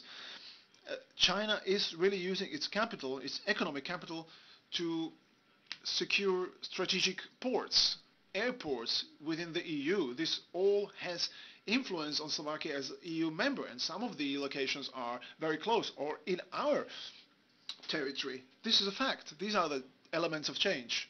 And also the um, unpredictability of, uh, of steps. There are a number of conflict zones around the world. Uh, Americans focus more on India-Pacific area. They want the EU to take over more military responsibility. We are gradually succeeding to increase um, defense budgets. We were at 1.63, now we are at 1.8 billion, and uh, I believe, well, I'm a realist, I don't think we will not achieve uh, 2%, so 1.63%, now it's 1.83%, so we will hopefully get close to 2% and we will modernize the military not only in terms of capabilities technical capabilities and infrastructure, which is extremely important and was neglected, but also in terms of preparedness and resilience to new threats, cybersecurity, a number of other things, you know, intelligence, intelligence capabilities, a number of things that we live in this ministry on a daily basis. And I can tell you that I'm, I'm actually quite happy in uh, terms of what, inf- uh, what information we are collecting, what the military intelligence is doing. You know, apart from the past, let me knock on the doors. There are no affairs in relation to mili- uh, military intelligence. We are sharing relevant information, which clearly uh, reflects something that we are calling hybrid threats to Slovakia. So we have also a question from Slido, and there's a question about NATO. Sometimes it seems that NATO is not unified. Isn't this also a reason for low trust of the citizens?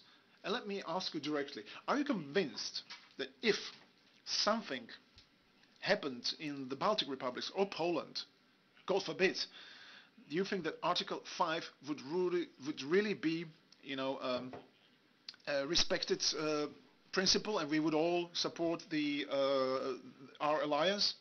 I'm totally convinced about that because I used to work um, in NATO. This is a holy grail. This is totally unquestionable. This is what uh, the alliance is based on. In, it was established in 49 and in 30, 73 years of its existence, it has managed to secure the fact that um, uh, nobody has ever dared to attack any of its members. So that's why it is the most successful uh, defense alliance. And yes, we do have uh, defense plans of alliance, and everybody keeps on saying that in case of an attack, everybody else is going to react, all the other members. And I really didn't understand the question that uh, about uh, the alliance not being unified. And yes, um, sometimes there are discussions, but it all it adopts it uh, all its decisions in single voice, and there is stability, and I do believe that um, it will agree on its new strategic concept uh, in Madrid in its in the upcoming summit. And if somebody is misusing uh, statements taken out of context, uh, for instance, of President Macron about uh, clinical death, etc., this is absolutely not fair. And You know, that's why uh, the Warsaw Pact collapsed because its member states didn't want uh, it to exist. Uh, but and we shall not forget that the Warsaw Pact attacked uh, one of its members. So uh, this was a very important factor. Mr. Strážay.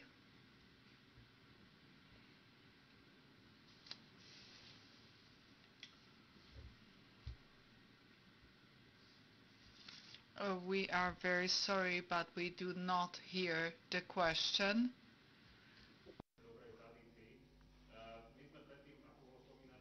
The interpreters apologize. The speaker is not using microphone. Thank you.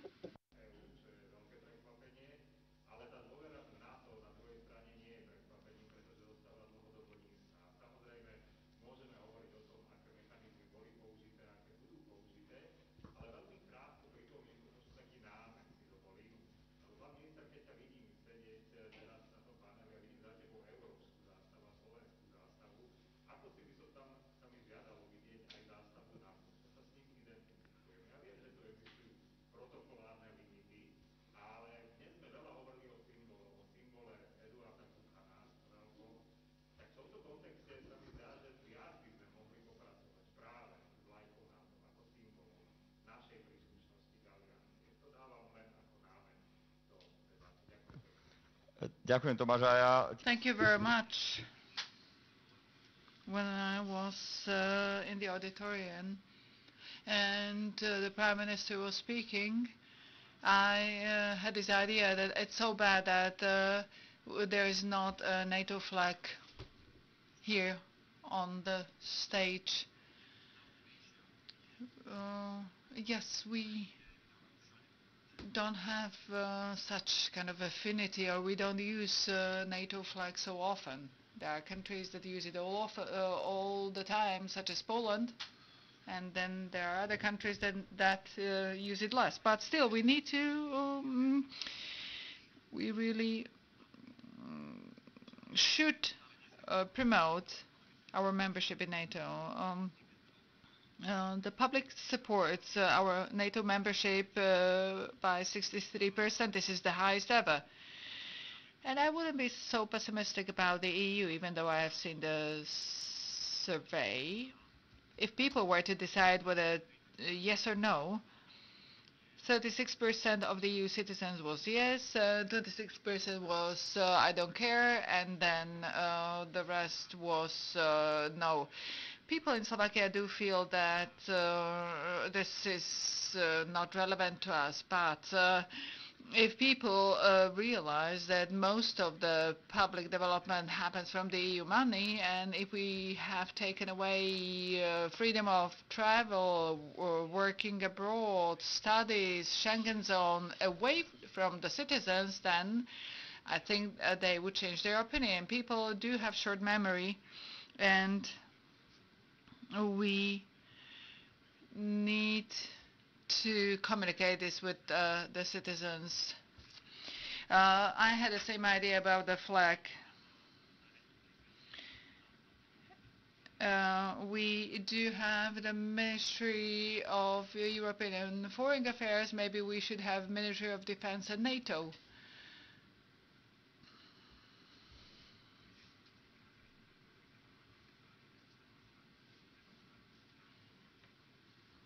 I would uh, like to redirect our discussion to national arena. The defense uh, ministry uh, has submitted a new concept of defense uh, and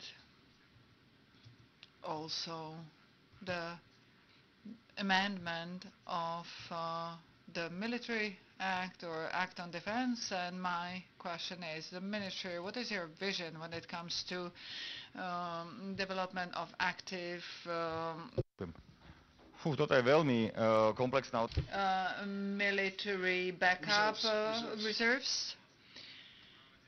okay we need to uh, break this question by the mandatory military service uh, by or uh, abandoning this concept we have less people uh, who would be actively ready and prepared for active defense of uh, of our country. Uh, we have very limited reserves, so we can only get a couple of dozens of people annually. In the Czech Republic, they have a easier system. They have a uh, structure the system in such a way that uh, uh, this who will become a member of active military reserves uh, uh, needed uh, would need to have uh, military history or uh, would have needed to be a former soldier. And we should follow the um, sh- should follow the Czech road, the Czech pathway. The system is being subject to change, and I'm glad you have mentioned it because this is one of the important aspects uh, that uh, I really give priority to as a minister. And the second uh, aspect, when talking about reserves, military reserves, this has to do with mobilization. This is potentially unwanted phenomenon.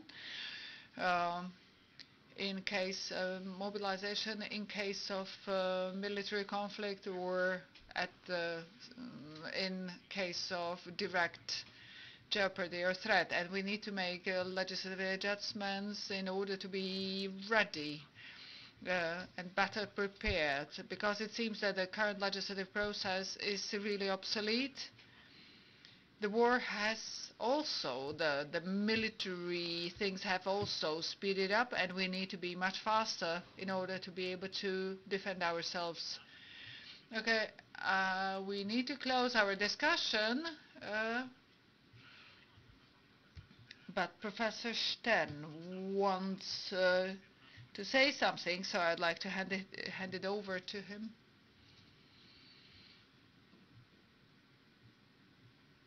I don't have a question. I would just like to follow up on Tomasz Strážay's comment. I have an experience that if the basic information on NATO gets to the kids, if the Ministry of Education sort of includes it into the curriculum, um, and the children then talk about what they uh, were learning, uh, Mm, and then they come home and they discuss with their parents and grandparents about uh, the subject. Then it brings really benefits. It is very useful, and I totally agree with you. And uh, just recently, we approved that the government uh, document the concept uh, uh, on defense about the perception of defense on the national level, social level, and there are particular tasks uh, regarding uh, readiness, uh, military readiness and defense readiness to become part of the curriculum. And this will be this will go far beyond what is happening now that we visit students of elementary and high schools and universities and we discuss uh, matters of reliance, but it will be much more systemic and comprehensive. I totally agree with you, and we are really making uh, specific steps, and we definitely need to do things uh, in this arena. I used, I used to teach. And in 2000, I was in a group of uh, young uh, teachers who were trying uh, to really uh, increase uh, the number of topics related to NATO in the curricula. However, not much has changed. Um, uh, there are many questions, uh, but unfortunately we need to close our discussion because the minister needs to leave. A very happy minister that you you found time, carved out time for this conference, and uh, thank you for your attention. Good luck.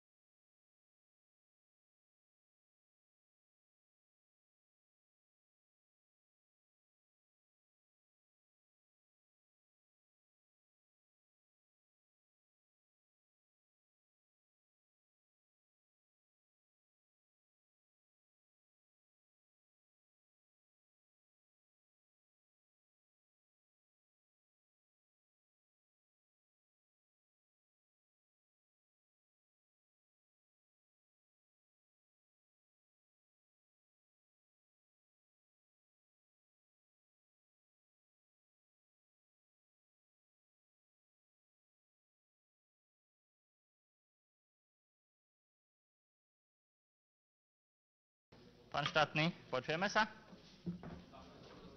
Zmrzli sme?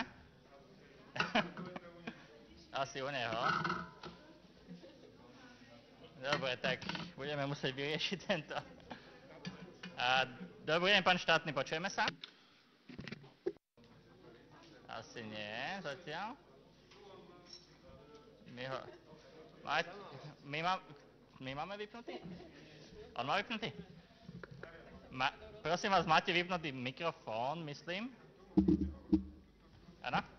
Tu je? Dobre.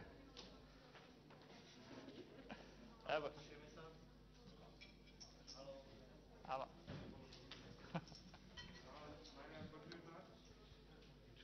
To vypína.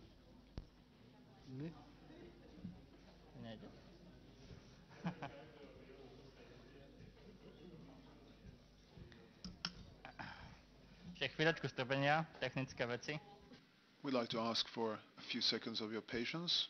We need to deal with some technical issues.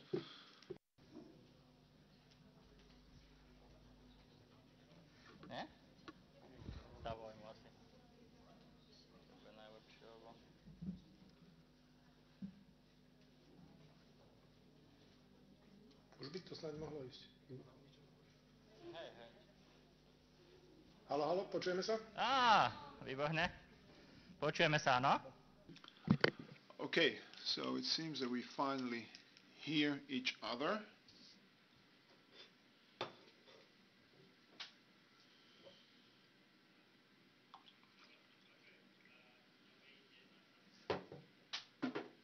Good afternoon, State Secretary.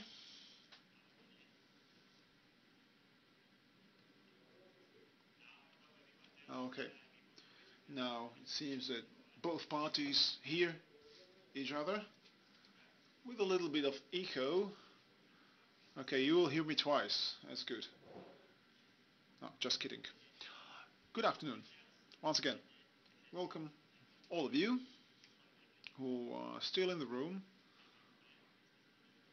We know how this happens. After the politicians leave, the room gets a bit emptier, but the turnout is still good.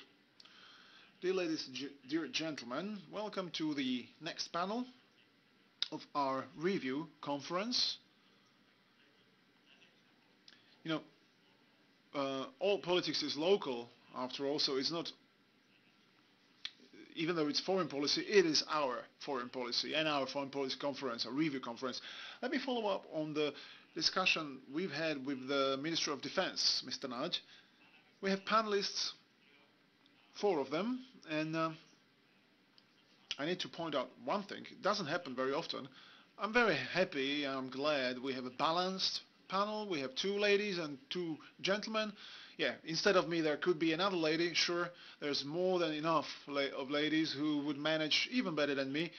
Nevertheless, this topic is uh, very important for me to emphasize because this is what we also need in foreign policy. So let me welcome online uh, the State Secretary, uh, Ma- Marian Majer, the State Secretary of the Ministry of Defense, who unfortunately has a positive COVID test.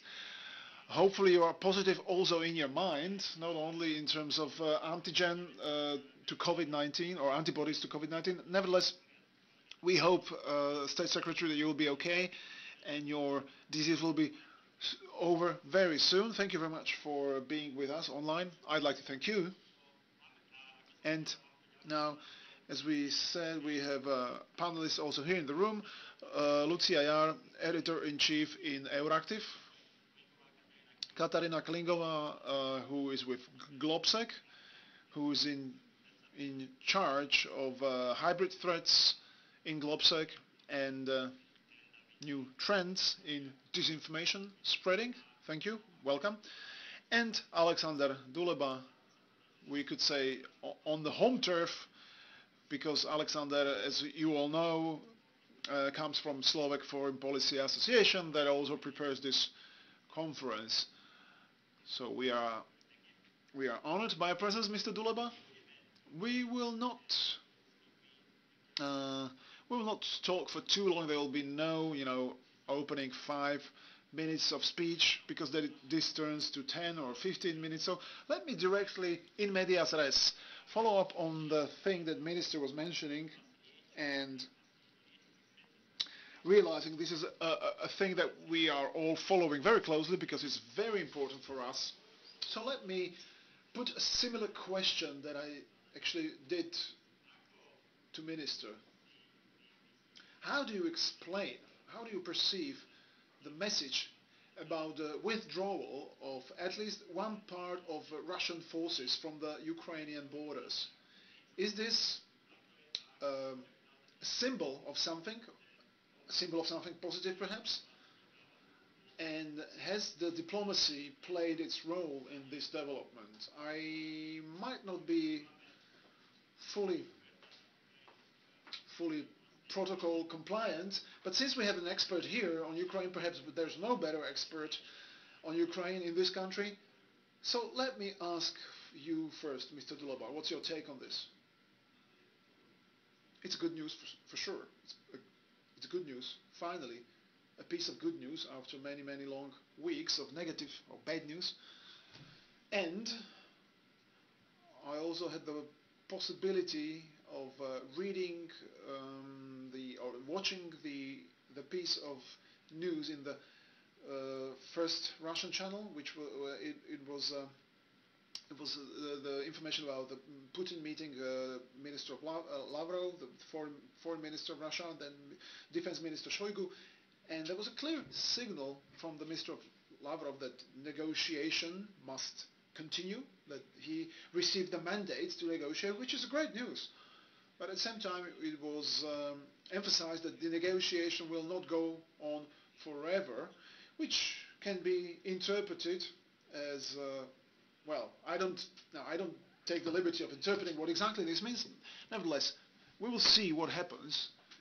I mean, uh, we, I'm afraid that this is going to be, you know, in the State Duma, there is the proposal of uh, declaration of independence of both these separatist republic.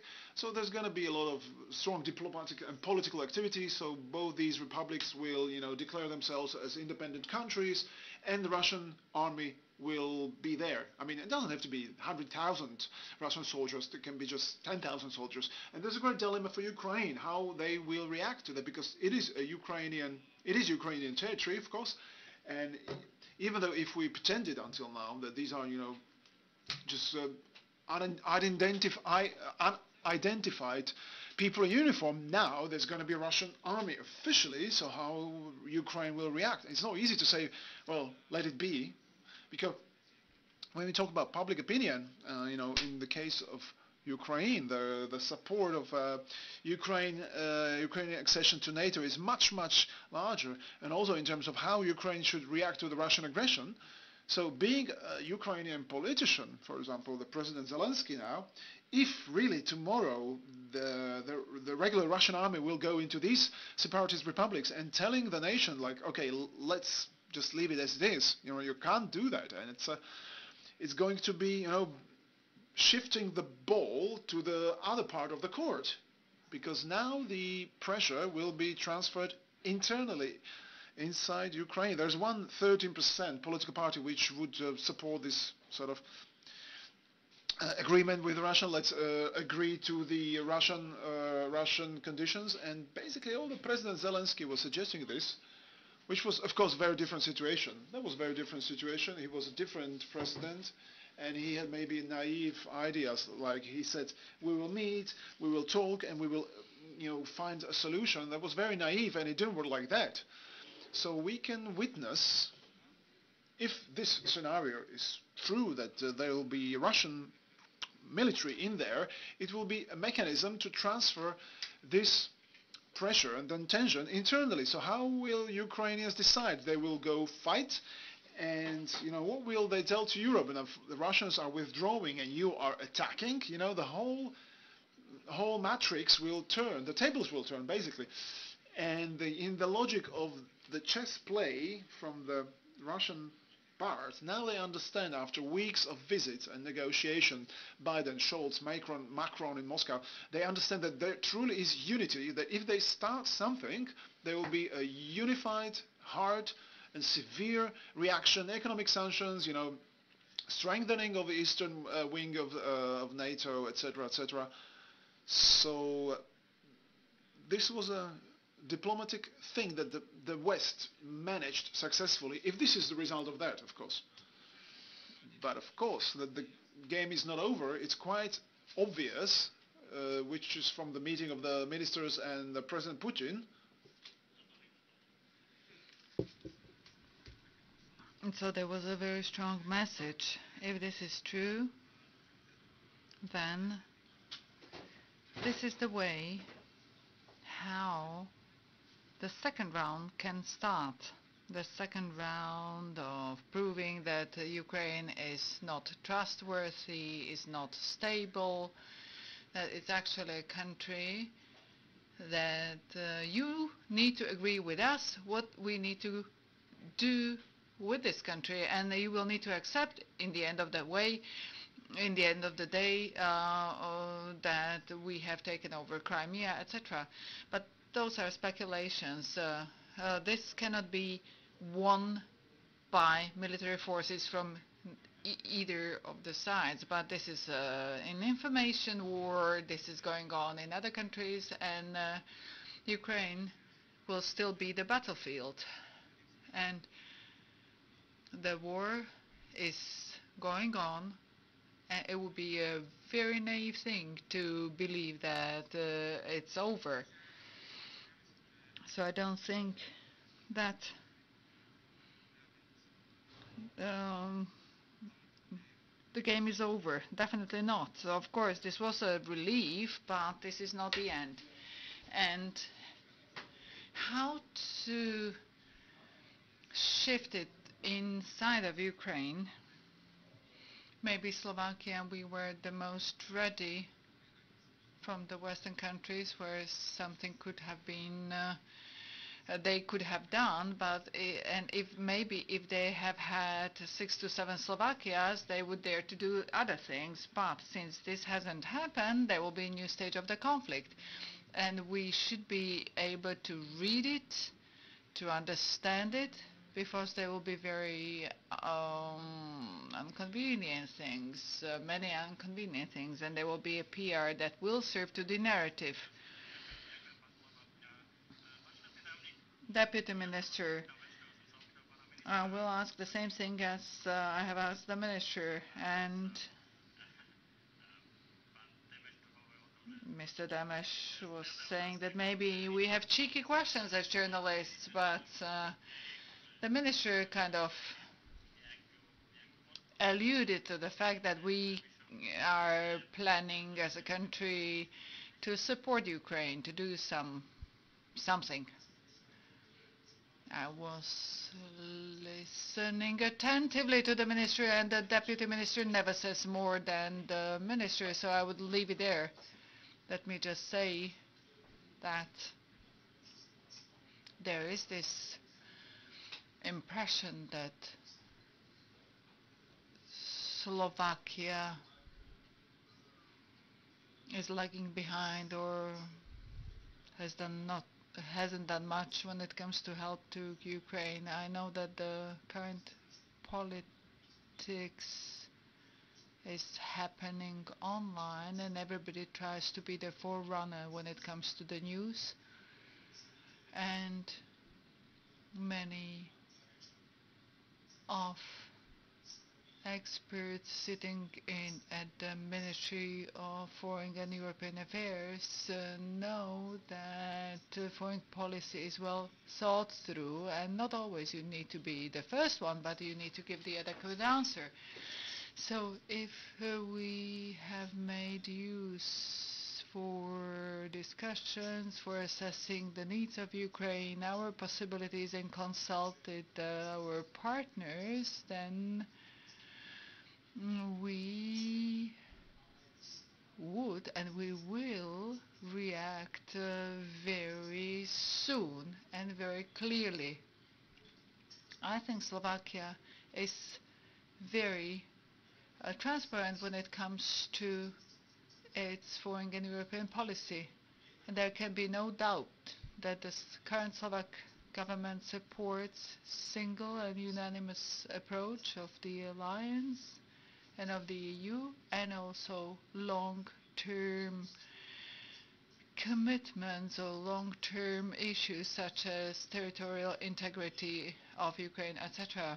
And so it's not only about the assistance, even though there have been, uh, even though the symbols are really important, we do perceive it, and we believe that the Slovak government will uh, act responsibly and is already acting responsibly. An add-on question.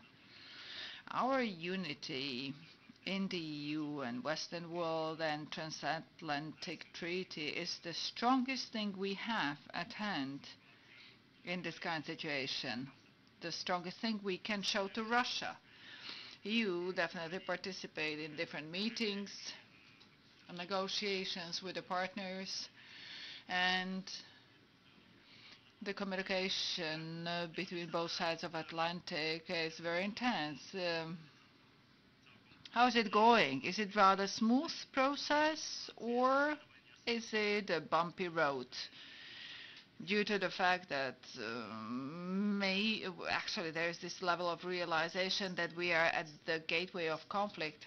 Well, without painting the picture in pink, I really believe that all the countries intensively realize how serious is the situation. I remember uh, the times of the crisis of uh, Crimea annexation.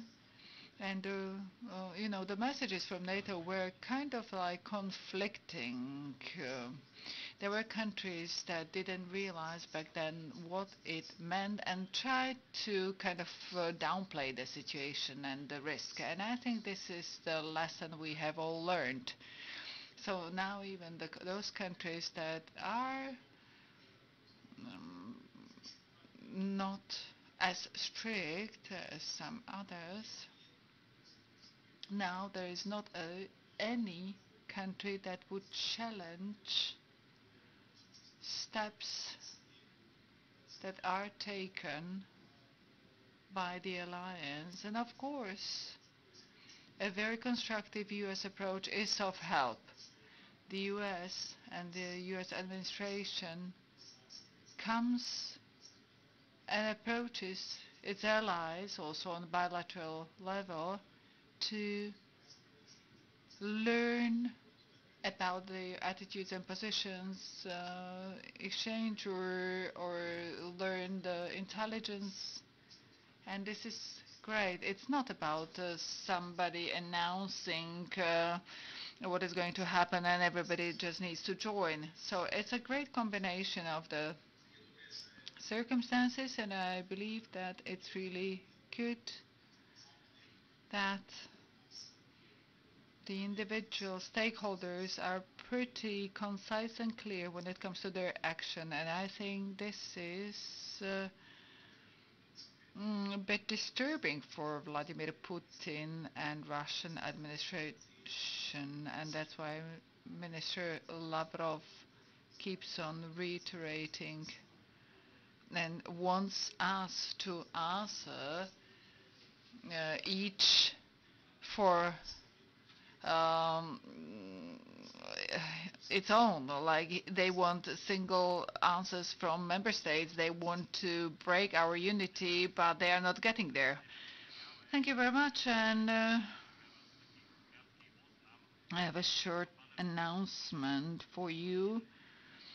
We have invited the representative of one of the opposition parties to our panel, but unfortunately, uh, uh, due to workload and time constraints, uh, he couldn't participate, uh, just uh, to be on the fair side. And unfortunately, the uh, Speaker of the National Parliament won't be able to make his presentation, but maybe this will give us more time for discussion.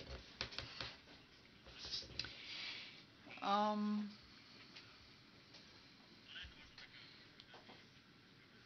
Now, I have a question for Ms. uh, Klingová. Uh, Ukraine is our neighbor. We have border with it, and Ukraine is a big state. It's definitely not a small country. What does Ukraine mean for the EU? We should get back to 2014 and what happened back then. This didn't have to do with the fact that Ukraine wanted to join NATO or something alike, but we're talking about the association agreement. And since we are talking about the EU and strategic compass and similar things, we need to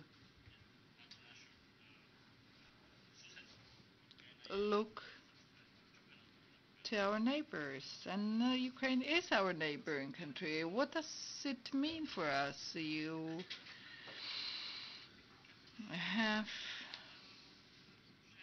mentioned that Ukraine is a huge state, but it's not the only huge state at our borders. Next would be Turkey and other countries. So,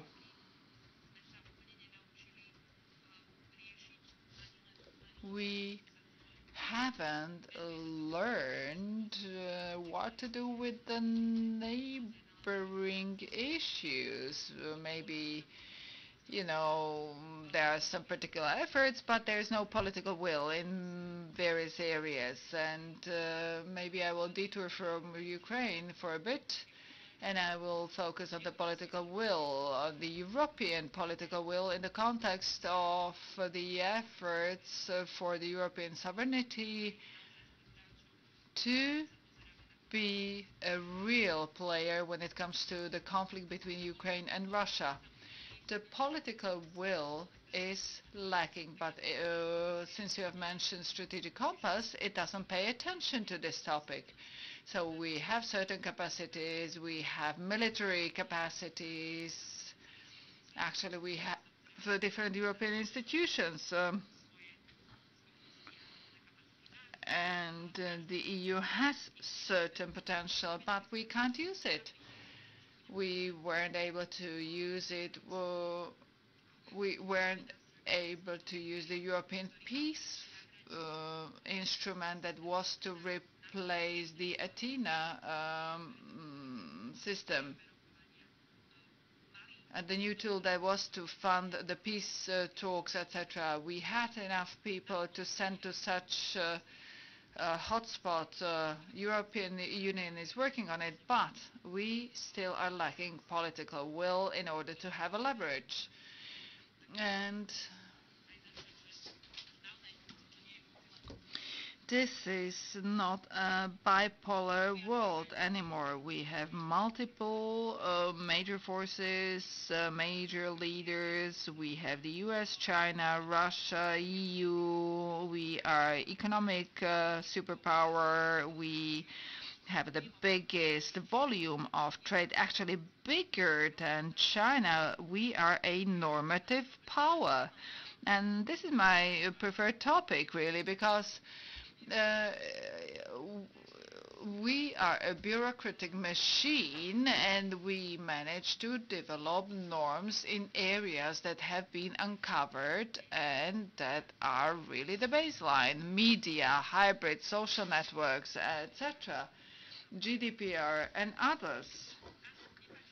Yes, we don't like them, uh, but uh, we are getting to the international level and actually to the global level and other countries are getting inspiration from us. Uh, so yes, we are superpower and we need to learn how to protect our soft force. Uh, because, uh, okay, I was saying that this is not a bipolar world anymore, but multipolar world and our power is also measured by our defense capacity and uh, the efforts to to to take on the, the hard power are growing. And now I'm getting to this point that uh, there is um, weakness in the defense capacity of the European Union, and uh, we feel it here in Slovakia because the EU, whether it wants it or not, maybe also due to external uh, influences, maybe also due to the US, uh, the EU wants to have functional and efficient defense. It needs it. There are structures. We are building it. We are developing it, but we are still lacking political will. And also, mm, I believe that here the premises of the Ministry of uh, European and Foreign Affairs and the Ministry of Defense, I am not in the talks uh, directly, but I still believe that all those structures that uh, that the EU is trying to develop in the area of defense, we are not paying enough attention and uh, because they are still not working well, but we shouldn't forget about it because uh, NATO partners want it from us, uh, US wants it uh, from us, uh, and we need to have partnership. You can, you, we need to have an eye-to-eye type of partnership, uh, not uh, really unequal, because otherwise we won't be able to work in this uh, environment, and then we need to be able to actively work in those conflicts as at the Russian-Ukrainian border. Amen. Ms. Klingová, you deal mainly with hybrid threats and the issue of spreading disinformation and related areas. Can we say, from your, you know, based on your research, um, to what degree in this disinformation scene at this moment, but also in the long term, the there's the importance of uh, the topic of the relations between Russia and Ukraine, Russia versus NATO, Russia, EU. How important this topic is at this disinformation scene, and how does the scene actually approach these topics, and how this impacts the Slovak public opinion. The relations between Russia NATO, Russia, EU, or the geopolitical orientation of the respective countries, whether it's Slovakia or other EU countries in our region, are a primary, one of the primary objectives or primary narratives of this disinformation scene. All various actors that are spreading uh, conspiracy theories or disinformation. We don't observe this only for for the moment, but we've been observing this for years. You know, I've been working for Globsec, um, for the also worked for the Center of Democracy and Resilience. Our center was established in 2015 because it was exactly at that period of time with the annexation of Crimea and the conflict in Ukraine, we saw overnight how some online websites started to, you know, deal with the geopolitical questions, they started to spread conspiracy theories uh, about why Slovakia should leave the NATO, should leave the EU. They started to spread various disinformation about the Brussels narrative, you know, conspiracy theories about Slovakia, uh, will, uh, Slovakia serving as a territory for nuclear weapons or for movement of the allied forces is a preparation for um, occupation of Slovakia by NATO forces, etc., etc. These are narratives which are mm, the objective uh, of uh, actors spreading disinformation. Unfortunately, as the Prime Minister said, or the President, Madam President, or the Minister of Defense all mentioned that recently we've seen a great increase in intensity and a large number of political actors are taking over these narratives and they help spreading these conspiracies. That's why it is very important to have the debates just like today, debates with you know ordinary people and citizens to show them what really is behind these PR games and populist discourse of not only our politicians, but as Mr. Duleba pointed out, Russia is, well, maybe withdrawing its units for now from the Ukrainian border, but the next round of the PA game starts, and it will take months. And the the the, the conflict itself, you know, was preceded by almost two-year information operation where a number of pro-Russian actors or the media machinery of Kremlin was spreading huge volume of um, disinformation and about Ukraine, about its representatives. So this is a long-term process and we need to be able to react efficiently to any informative operations spreading not only in Slovakia, not only about Slovakia, but also about NATO, the EU, at home and abroad. I don't want to be provocative for no reason. Let me just uh, say that I want to make sure we learn our lesson and I will also ask this question to the State Secretary who is directly involved. Ms. Klingová, you said that these things have been taking for have been taking years and I guess all of us here have encountered them in one form or another. It reached its uh, climax uh, in the DCA uh, debate, but I will we will probably continue also afterwards. Looking back at our shoulder, over our shoulder, uh, it's not about you know empty criticism. It's about learning a lesson. Was there anything in uh, strategic communication that could have been done better or that could have been done differently? Obviously, there were factors that no one expected to materialize, just like the general prosecutor and his role. Nevertheless, we could have known that it will, you know, that this will raise some eyebrows. So was there something we could have done differently? Well, of course, we've analyzed the strategic uh, communication of the Slovak Republic in 2019, and we found out that already at that time there were mm, very few, I think only three uh, public authorities dedicated to uh, strategic communication. Of course, in relation to the elections and the, the, the change of the government, there was obvious change in strategic communication, there was improvement, but we still cannot expect that the strategic communication of the whole country in such in, in, in such um, matters will be taken care of by four or five representatives. This must go across the board. It must be agenda by all central authorities, state authorities, it must be also supported by the you know, regions where these narratives need to be amplified, and this is not happening. Various analyses show that opposition leaders or the, the disinformation scene, they have established a network of Facebook pages, Facebook groups, or websites that very efficiently amplify the narratives. Already in 2017, uh, SNS, the political party of, uh, of Marian Kotleba, had 130 Facebook pages. They've created a whole network across various levels, all across the Slovak territory, which helped them very quickly and efficiently amplify their, their various disinformation narratives. So we are missing this. We are missing uh, a coordinated effort and coordinated strategic communication at the state level, which needs to be linked, interlinked, where the respective uh, central public authorities will be sharing, supporting the uh, the you know the, the narratives. Of course, we don't expect the respective ministries to amplify some you know, messages, uh, but they need to find their own narratives within their respective agendas that fulfill the building of democratic society, protection of democratic processes in Slovakia, and that support strengthening of the message that we are NATO, we are the EU, that we are the West, right?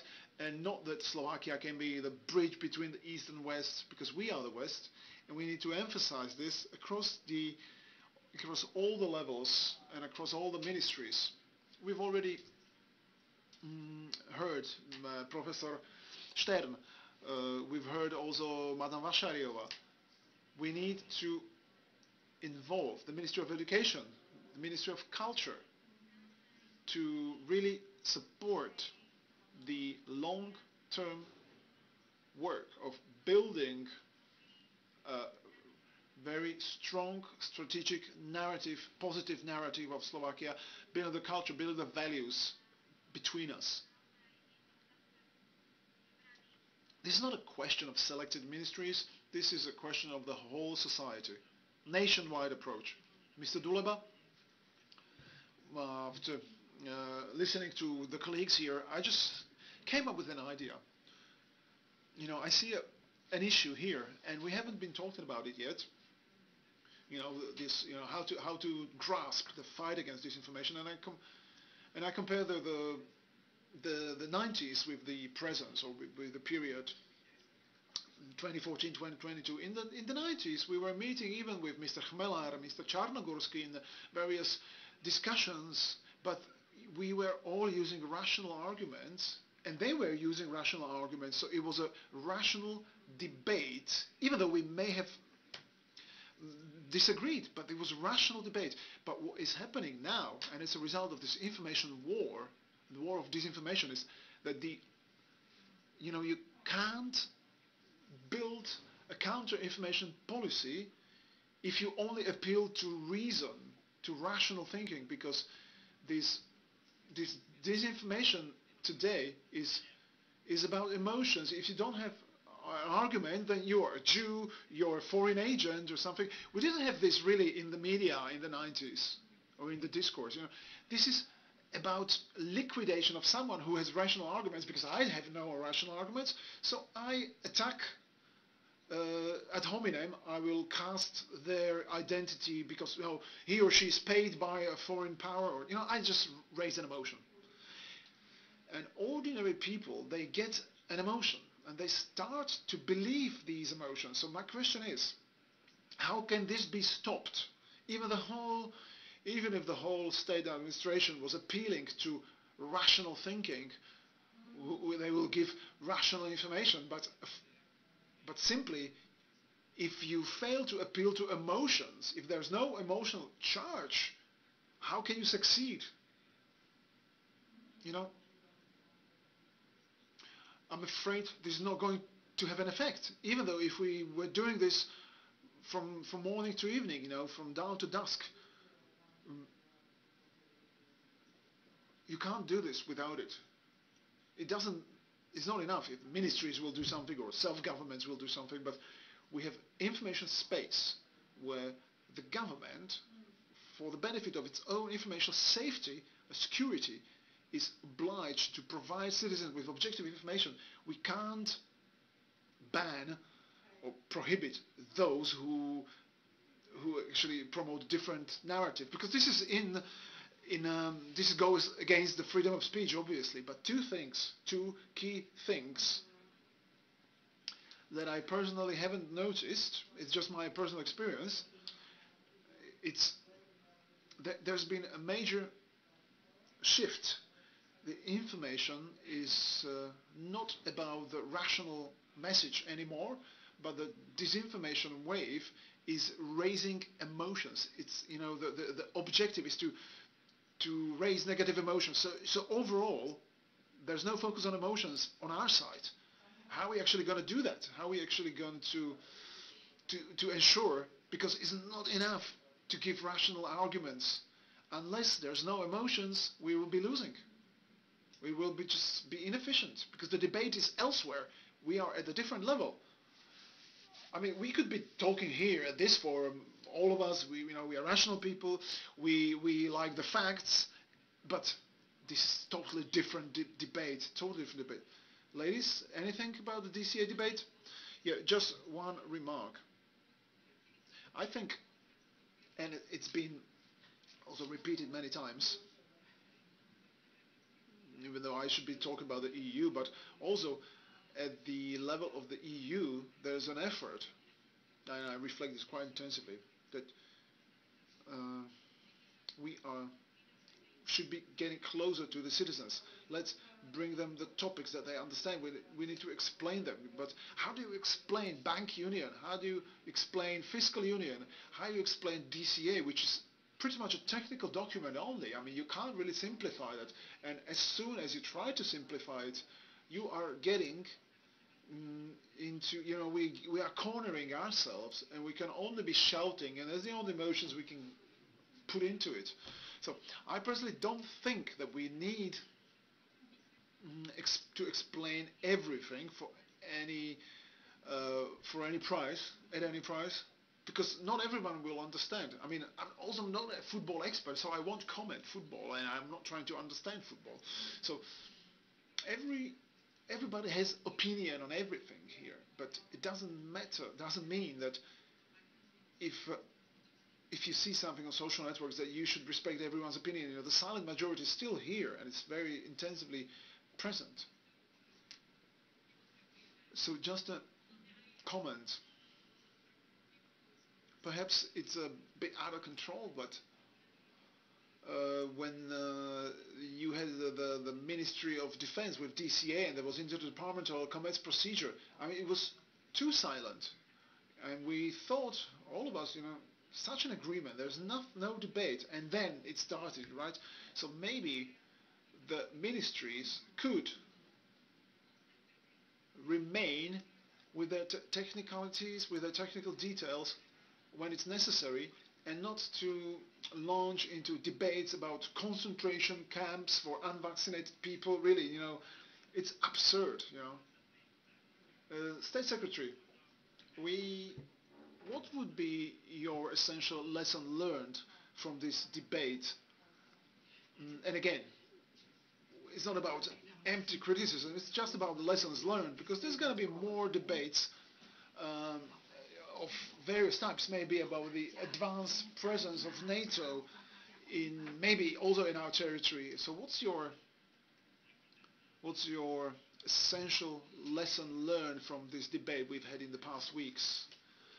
Well, the colleagues have said a number of very important observations and it's all true. You know, the essential lesson we learned, and I learned personally, is that the, there's no foreign politics and, and security consensus for the country. This is the lesson we've learned.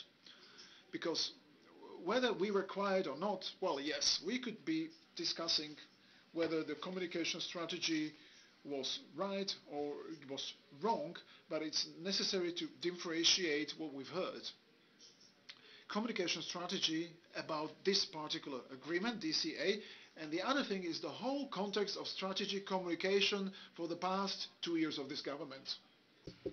And I totally agree here that we are not going to save something, uh, a, single thing, if we have underestimated something uh, during the previous two years. This is just a matter of fact. And uh, what's important and what counts is that the lack of consensus uh, has its consequences, and I can speak on my behalf, but maybe of some of my colleagues, we haven't presumed or expected that some politicians will react the way they did. The fact that uh, Mr. Fico, former prime minister, reacted in this way was not a great surprise, but uh, the fact that the political party, The Voice, uh, has decided to pursue this way, and it was just a matter of communication, not a conviction. That was a surprise to us, and I think this was a mistake for them, and it will bounce back onto them. And but that's their problem. But what it uh, is problem of the overall communication here is that the consensus is lacking, and we need to opt for other communication tools and strategies. Uh, and uh, this is also connected to the fact uh, and to the uh, question how to communicate, how to communicate about topics that are basically boring, that people are not interested in. This kind of a, an agreement is of no interest to most of the public. Maybe this very one was interesting because it was an agreement with uh, the U.S., but uh, we have similar agreements, bilateral agreements with other uh, countries. But how to communicate those uh, uh, facts that are mm, not interesting for the public, and you don't, you just want to communicate facts. If there is no consensus among politicians, uh, it's even more complicated. We have had individual voices, uh, but today politicians have found out, and this is a matter of fact, and this is this doesn't apply only to Slovakia but uh, to many other countries, uh, but that uh, you can capitalize on emotions of your citizens. And they basically don't care what they say. The only thing that matters to them is that they get political support and constituency. And sometimes the politicians actually don't say something they are convinced about just in order to collect supporters.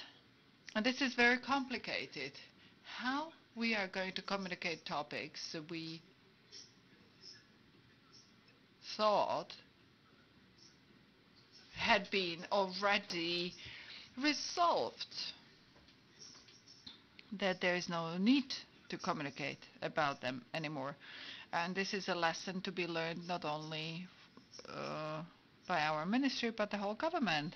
We need to revisit the basics and start communicate the basics to the people. Uh, because now anybody can write anything to Facebook knowing there are no sanctions. And until this situation prevails, we will face the situation of people disseminating lies and misinformation, and we will need to fight it.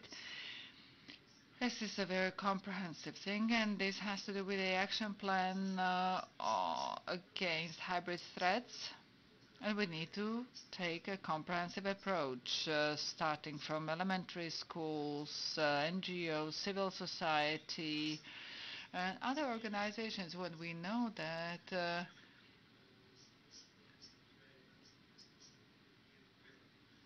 in some cases we know about some organizations that are funded in uh, from murky sources and we need to look into that and uh, we need to realize and we need to really uh, um, pay attention to the media coverage of important topics. I was very uh, uh, disappointed by the fact that how the public television covered the DCA. Mm. Um, they were justifying uh, their attitude by um, argument that they just want to represent diversity of opinions, but this is not the case because you cannot uh, justify dissemination of lies by diversity of opinions because where else you should learn truth, the truth than in the public television or public media, and this is very important. So uh, we need to have a long-term strategy uh, and communication strategy. Also, those are comprehensive questions, and there are no easy answers to them. And we know this um, in the world that yearns for simple answers to complicated questions. And just a short comment. I've had uh, this feeling that there used to be a uh, foreign uh, policy consensus, but it's in a way it's a myth. Most of our the politicians are just uh, ordinary people, and the survey has showed that our affinity to NATO or the uh, EU is very utilitarian and shallow. And I think that the politicians uh, just represent the society and the public. And um, there has been a shallow consensus on uh, certain questions that were of importance. Um, later on I would like to uh, uh, ask uh, the auditorium and, and those who follow us.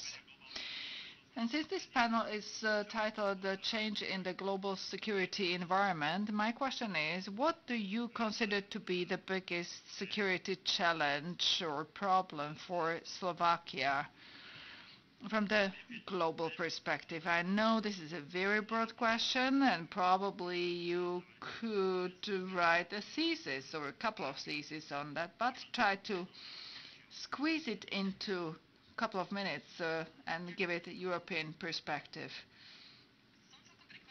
I'm quite surprised that I haven't heard uh, this uh, so far today.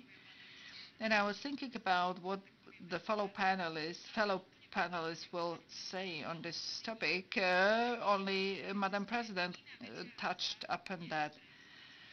And this is that if somebody believes that there is a bigger threat to anybody on this planet but the climate change, then that person is, a, is from a different galaxy.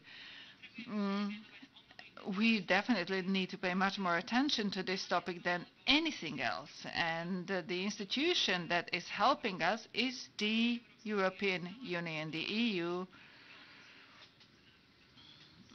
when we realize that it is a symbol of many superpowers, the, the EU is definitely a symbol of fight against the climate crisis. When we look south, and I won't elaborate on that, if uh, temperature rises by 1.5 degree in Saheli, then the only uh, crops it will bring is terrorism or immigration and this rings the bell in the security issue. Ar Arctic region mm, is um, not a hot topic. Those are all topics that we somehow keep on uh, overlooking, but those are pressing issues.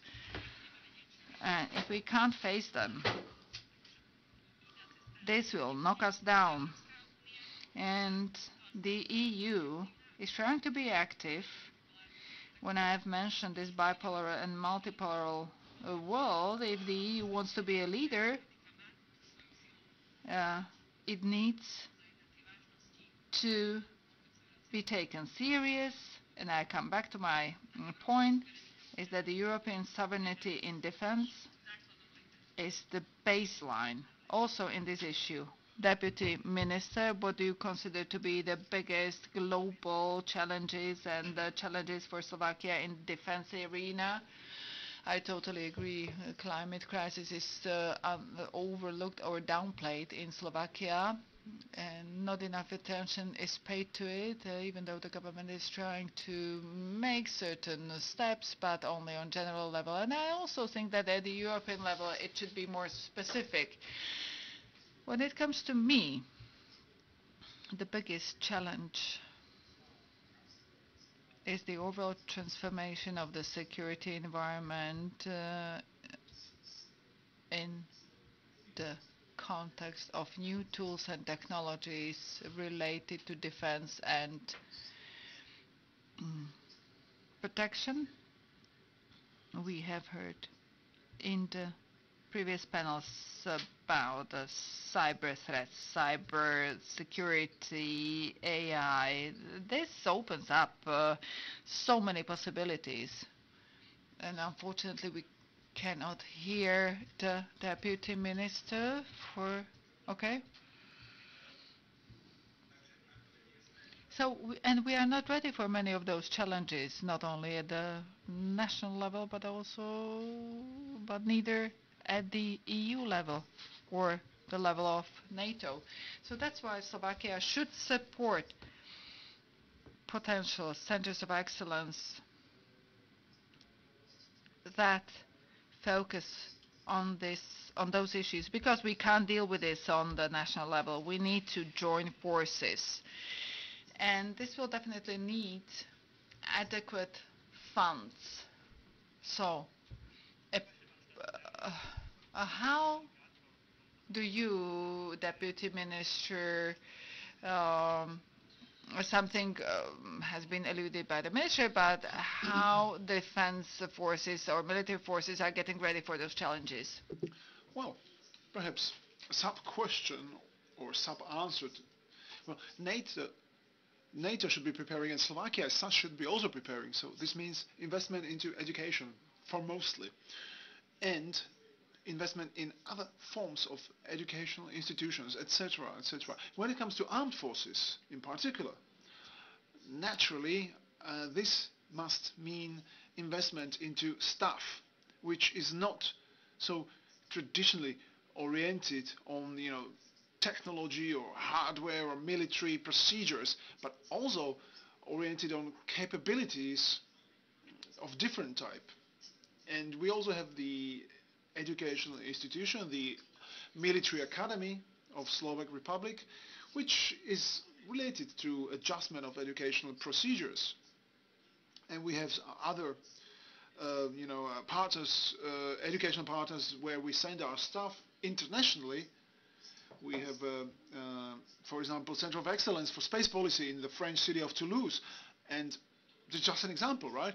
And we discuss whether we should send a person there, whether we should invest in their education, etc., etc. You know, but you know, these are things that might, may not bring effect in one year time or five years time. But I am convinced we need to be thinking much more. We need to think in the horizon of 10 or 15 years, you know, and thinking about the potential threats, but also potential opportunities in that horizon of 15 years, let's say.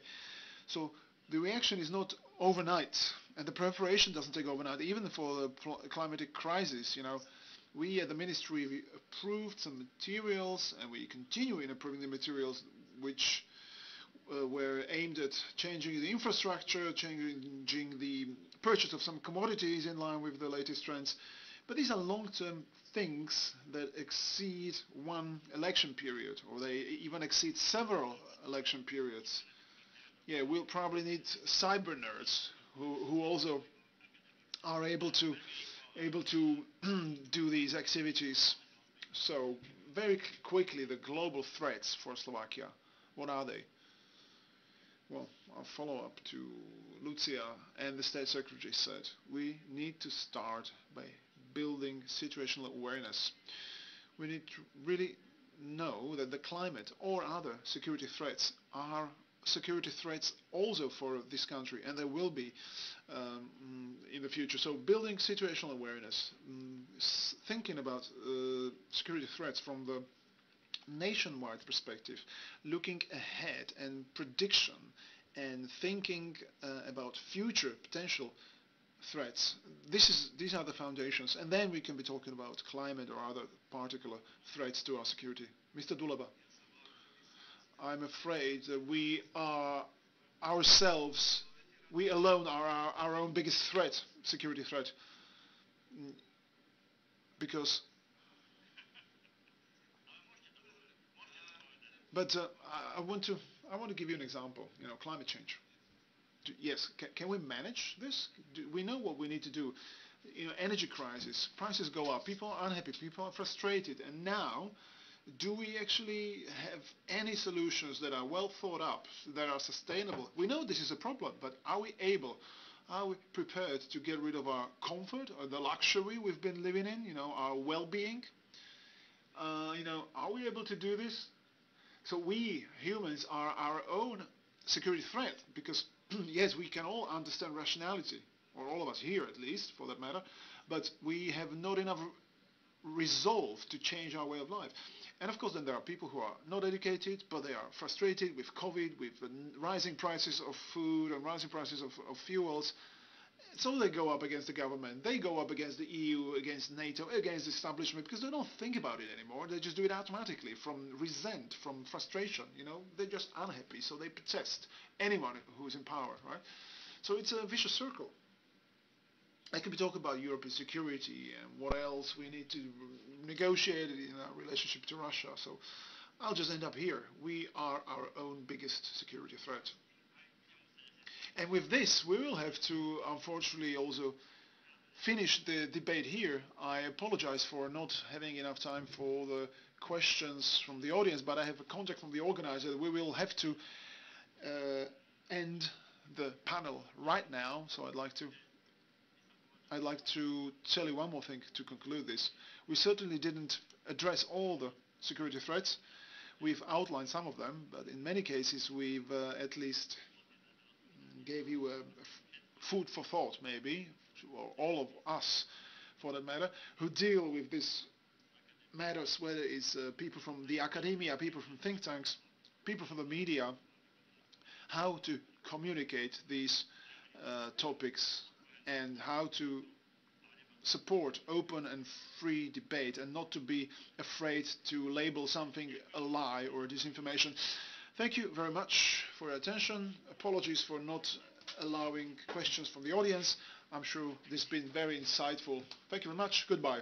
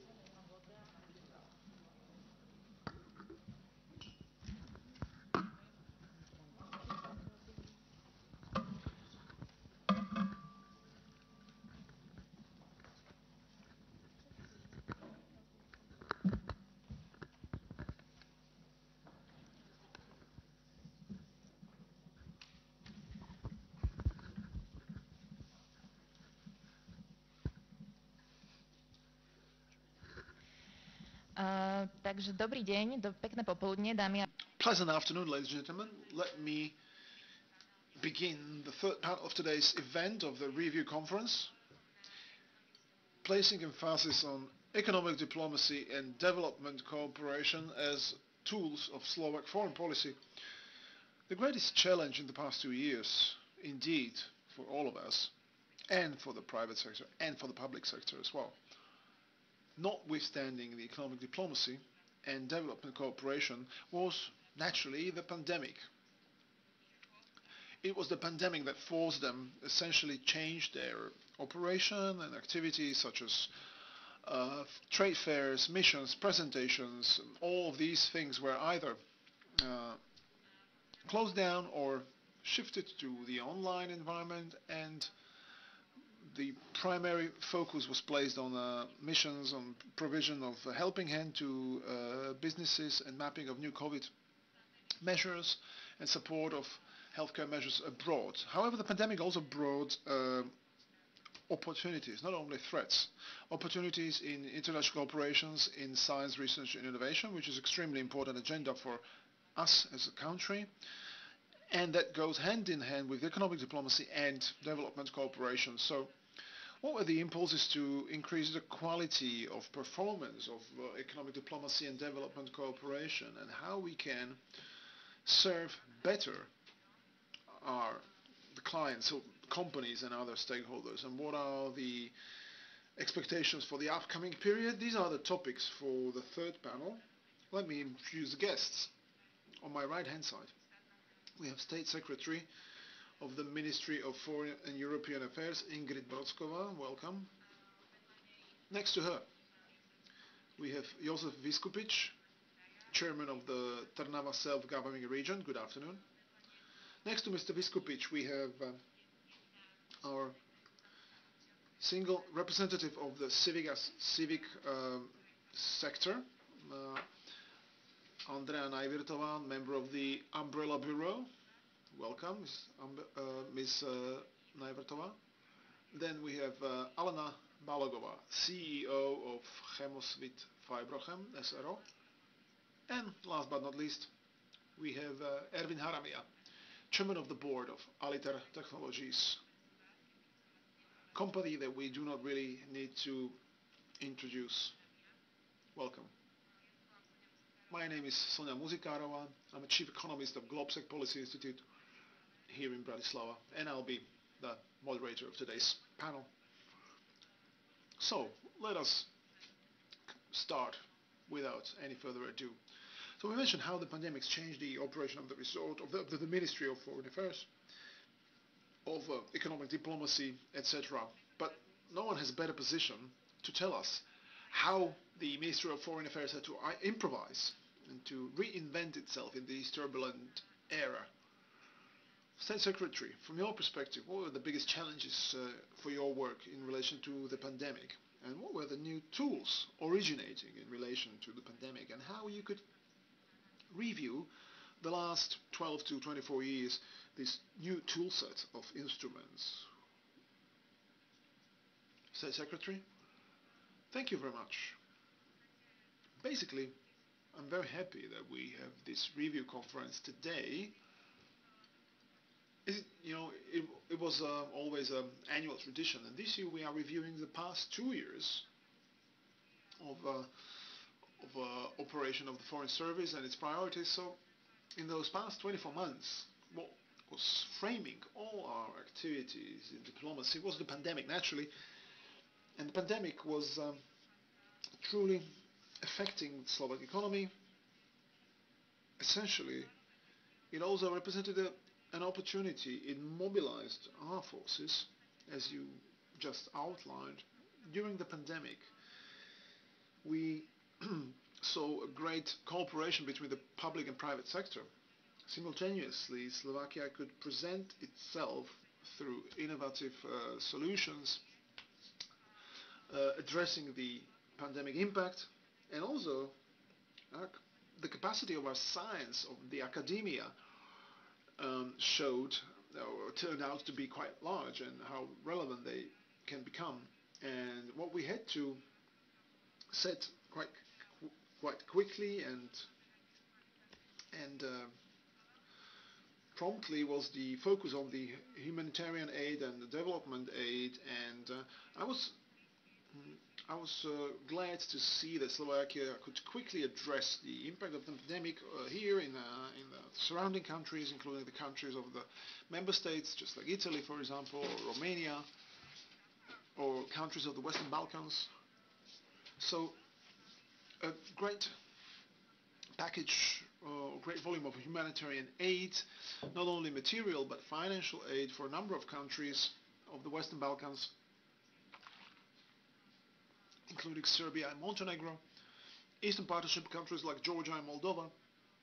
We were involved in a number of international initiatives, just like uh, Global Response Initiative and Team Lead, and we could even help our partnering countries with uh, vaccines, which was already mentioned. We we provided 140,000 vaccines, doses of vaccines uh, to countries like Rwanda, Kenya, uh, Ukraine, Montenegro, Armenia.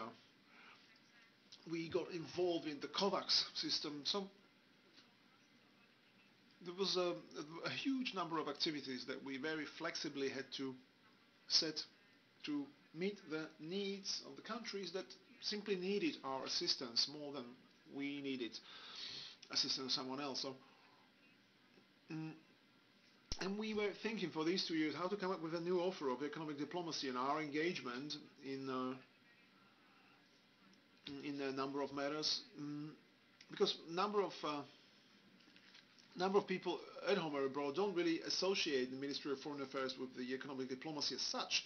So we were thinking about how to create a toolset of new instruments uh, in economic diplomacy, how to contribute to internationalization of SMEs that represent 99% of the economic structure of this country and how to open the door for them to be able to do business abroad, to offer opportunities for them because small, medium-sized enterprises account for 70% of the jobs and uh, 55% of added value. So some of the formats had to be renewed.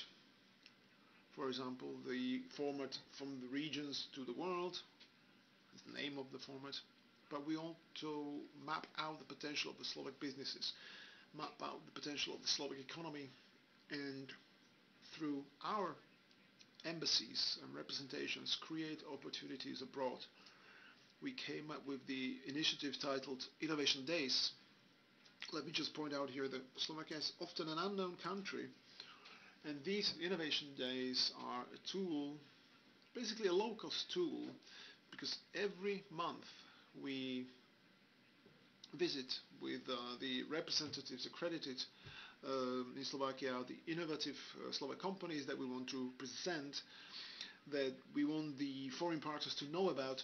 And we also organized last year the Export Forum for Slovak SMEs to be able to talk about their business and how to create a platform, how to help and support internationalization of Slovak SMEs. And in those two years, we reset the the section of the strategic and economic cooperation, so the contact with the business community, and the second pillar was the shaping of policies and monitoring of uh, Slovakia's ranking. So basically it's a mirror of where Slovakia is found in the sectoral policies.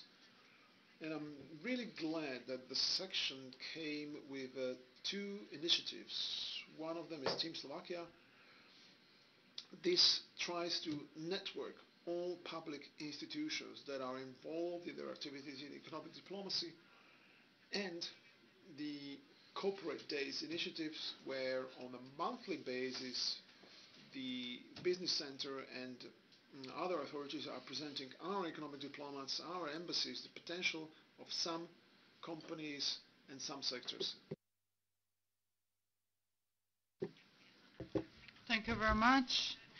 Okay, so this was rather a comprehensive 360 type of perspective, but what really resonated with me was the innovative potential. Slovakia is uh, not the stronghold of automotive industry anymore only, uh, but we have uh, many other things to offer. Slovakia was, uh, or many companies were expanding uh, abroad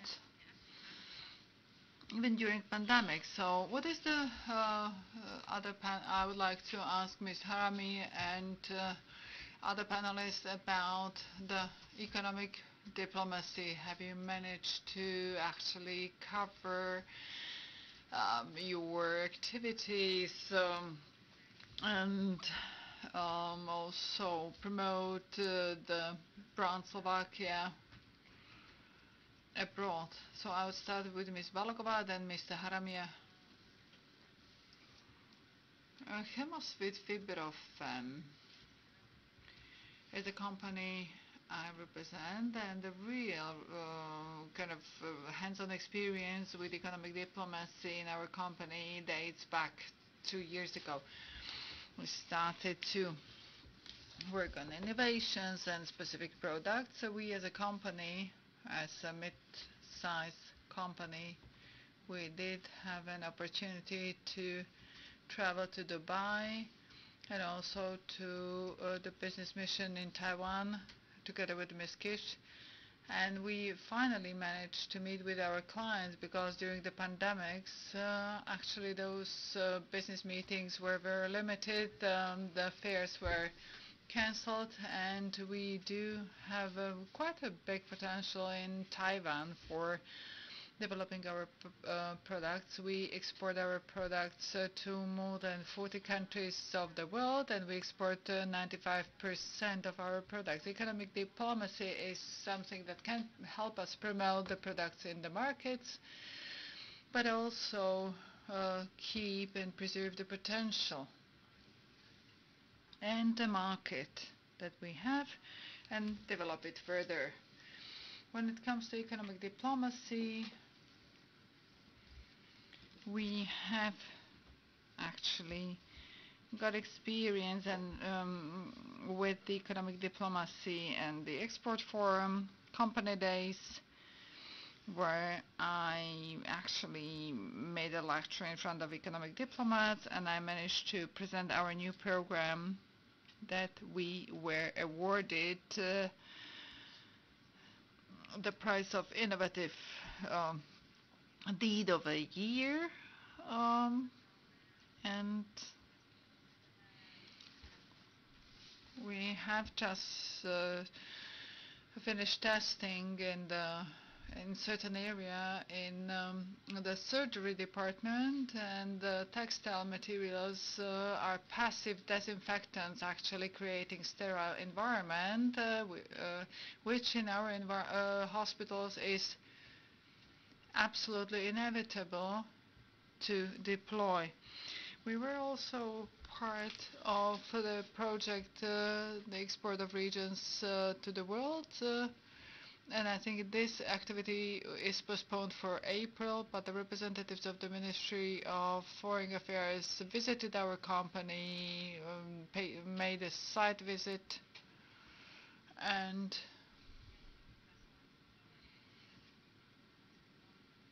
We are very proud of uh, our production and we are very thankful to the Ministry of in, uh, Foreign Affairs and uh, European Affairs to present us in the world. Aliter Technology has had extensive experience with economic diplomacy. Uh, our company is going to celebrate 15th anniversary this year and since we are one of the first IT entities in Slovakia, or the very first that managed to sign a contract with the biggest NATO agency for communication and IT systems, so-called basic ordering agreement, that actually was assisted by that time economic diplomacy um, back then in Belgium with NATO and the EU. So thanks to our experience, and I don't want to um, sort of like uh, underline the importance of certain names here, but in I want to talk to general. So what is the, our experience with economic diplomacy? Briefly speaking, I would like to say that uh, we have positive experience with economic diplomacy, very good, and I do hope that also in the future we will keep on communicating and working together with the representatives of the Ministry of Foreign Affairs in different countries.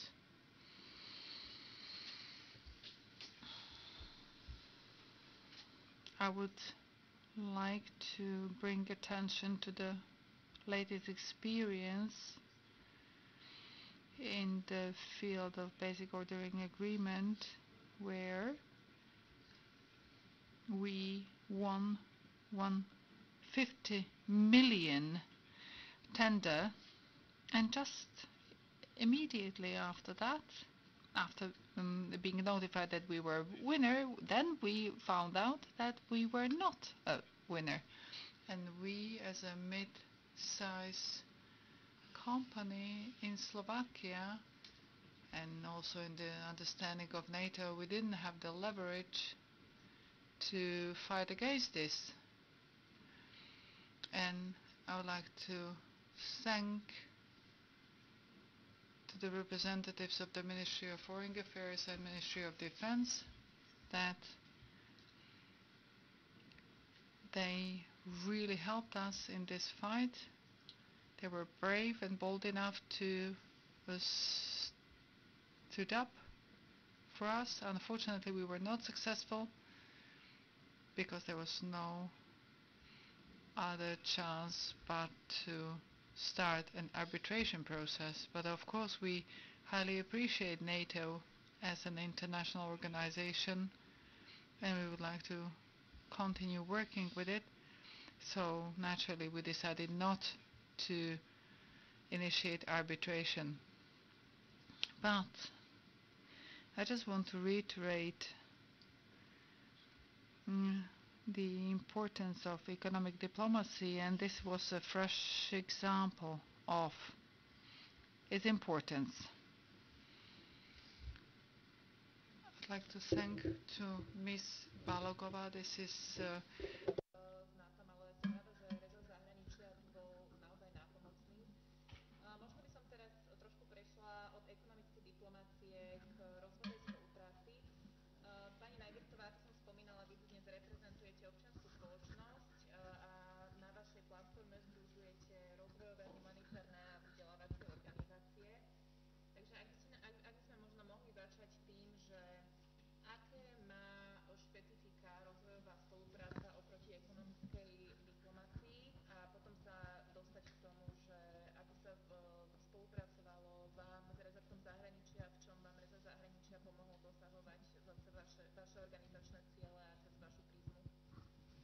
Dobrý deň. Funguje mi mikrofón? Áno, dobre. Um, tak ja dneska prezentujem um, organizáciu Umbrella, ktorá združuje 28 um, prevažne mimovládnych organizácií, um, ktorých poslanie je reagovať pri náhlych prírodných katastrofách, konfliktoch, uh, bojovať s chudobou uh, v, v chudobnejších krajinách, alebo taktiež venovať sa globálnemu vzdelávaniu, čiže zvyšovať aj povedomie o výzvach, ktoré sa týkajú nás všetkých a o ktorých sme dneska tiež už rozprávali, ako napríklad migrácia, klimatická kríza a podobne. Takže v tomto máme ako organizácie veľmi odlišný cieľ, že, že ten, ten náš primárny cieľ je uh, zlepšovať kvalitu života ľudí v krajinách, ktorí nemal, uh, ktoré nemali uh, toľko šťastia možno ako, ako my. A zároveň však by som chcela trošku ísť trošku vysvetliť, lebo, lebo tá rozvojová spolupráca je často vnímaná, že vy, čo tam robíte ďaleko v tých krajinách, však aj my máme dostatok problémov tu na Slovensku, na čo potrebujeme pomáhať niekde inde. Takže pre mňa sú to naozaj dve prepojené nádoby, že, že ten svet sa v posledných rokoch výrazne posunul, že už sa nedá deliť na zahraničie a doma tie globálne výzvy sa týkajú bezprostredne nás, nás všetkých.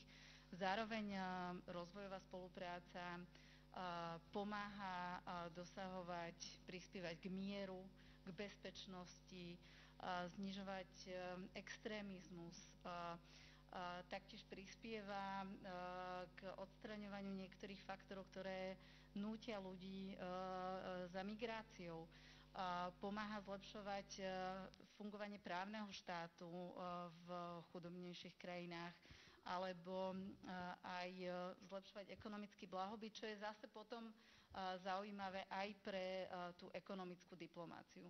Takže ja to vidím ako prepojené a zároveň oddelené, oddelené nádoby. Ako organizácie sa venujeme teda pomoci v krajinách, kde pretrvávajú ekonomická kríza, vojnový konflikt, ktoré boli postihnuté krízou. A do toho prišla teda pandémia, ktorá tieto rozdiely ešte viacej prehlbila. A ako organizácie sme sa venovali zabezpečeniu zdravotnej starostlivosti, prístupu k vode, pokračovaniu vzdelávania, Um, a v tomto vlastne aj zdieľame spoločný cieľ s Ministerstvom zahraničných vecí, ktoré uh, má ako uh, úlohu naplňať aj ten záväzok, ktorý ako Slovensko máme, ako aktér globálneho spoločenstva, prispievať k rozvoju a k cieľom udržateľného rozvoja. S príchodom pandémie musím povedať, že veľmi pozitívne hodnotíme, ako ministerstvo dokázalo rýchlo zareagovať. To, to fungovanie sa nedalo hneď tak preklopiť, že, že, že, že niektoré veci sa dali preklopiť do online, niektoré veci vyžadovali flexibilnejší prístup, takže si veľmi oceňujeme aj tú flexibilitu zo strany Slovenskej agentúry pre medzinárodný rozvoj. A, a taktiež vítame, že bola vyhlásená výzva na, na boj s pandémiou, ktorá bola veľmi rýchlo administrovaná. Takže toto je aj výborný posun do budúcna, ak budeme potrebovať rýchlo reagovať na, na novozniknuté krízy, tak máme vyskúšaný nástroj kde sa dá rýchlejšie zareagovať. To, čo možno trošku ovplyvnila negatív. What the pandemic influenced negatively is that in 2020 there was a planned implementation of a new development tool instrument which was a longer term project a three-year project where of framework agreement where we could go deeper, we could increase the um, impact compared to brief one or two year projects. And unfortunately, this was cancelled. And also some resources which were originally aimed at fighting poverty, fighting structural barriers uh, causing poverty. These were redirected to fight against the pandemic, and these resources will be missing where they are so needed. Thank you. We'll get to that. I'm sure that the State Secretary will have something to say. But before we get there, let me ask Mr. Viskupič. We've heard that the economic diplomacy and development cooperation have uh, synergy effects. So let me ask you, Mr. Viskupič, how do these two domains assist in developing regions? And does the foreign ministry um, does it correctly? You know, these uh, initiatives like Regions to the World, etc., etc. How does that work for you? Well, it's going to be a brief answer. Good afternoon, by the way. Yes, it does help, and it does help quite significantly. Just for those four years, I've been um, chairman of the uh, self-government region, so I've actually experienced four prime ministers, but there's a great degree of stability in the Ministry of Foreign Affairs. and those who are in this room and those who perhaps follow this uh, this um, topic, the performance of foreign service and the, the overall Ministry of Foreign European Affairs has staff which is very very uh, competent and very skilled and I'm representing all eight regions, not only the Trnava self-governing regions here. Let me start with a, a leeway. I'm extremely glad that after this minister took charge, we boosted and advanced, especially the area that you started with. And here I'll follow up on uh, the state secretary where she finished.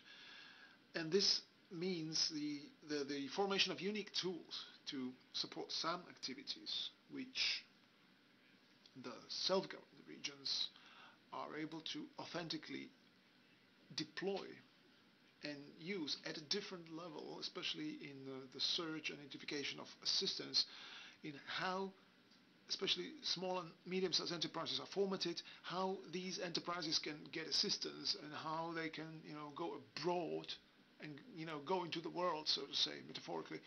You know, this ministry and the minister uh, obviously is focusing on uh, mm, European affairs and foreign affairs, but with our forces we can do a lot of European affairs. We can deal with a lot of European affairs, even as self-government regions. And the point I'm trying to make is that right after this uh, minister took over charge and the state secretary met with us at several appointments and the minister as well, discussing how we can activate and reinvigorate uh, economic diplomacy.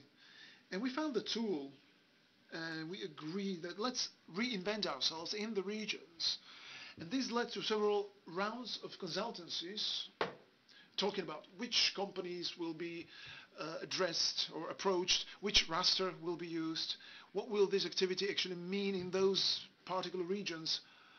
Um, we even uh, set a time frame at the ministry. I think it was uh, two and a half days in every region, for, and to, to link the stakeholders of uh, small and medium-sized enterprises and self-governments, even with the lower level, that means uh, cities, towns, and communities, and the companies active in their very specific environments, in their regions.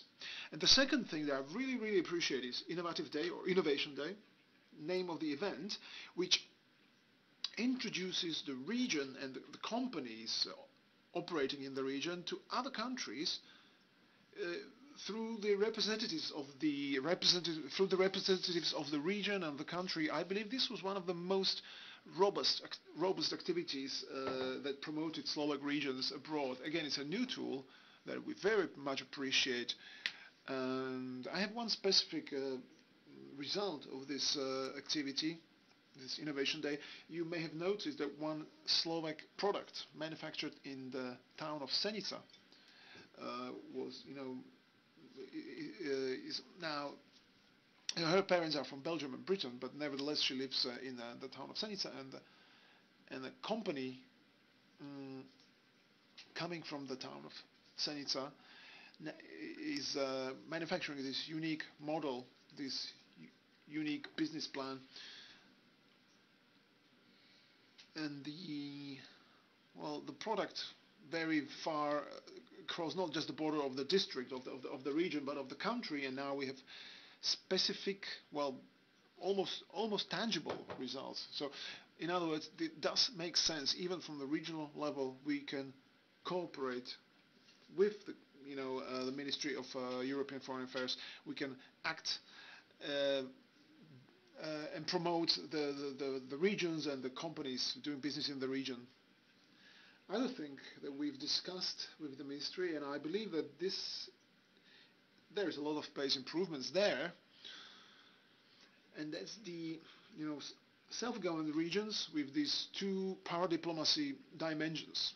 So we are also you know active in our own using our own resources in uh, in Brussels. So we have this European-wide uh, instrument available, and also based on our own forces, the regions have these cross-border um, cooperations or bilateral cooperation with some other regions in other countries. I believe that this initiative S SK8 that is that is um, involving eight self-government regions of the Slovak Republic uh, could give you know some sort of roof overarching the ad hoc cooperation of between these eight regions and I have to say that the ministry has always been very willing to give us a helping hand and I actually think this could become a systematic tool one of these tools in the tool set which would make us more successful as, uh, as, as uh, regions of the V4 uh, countries and when there's a professional and good cooperation in this field I'm sure we could compete even regionally with other you know regions across the whole EU and also globally. Thank you.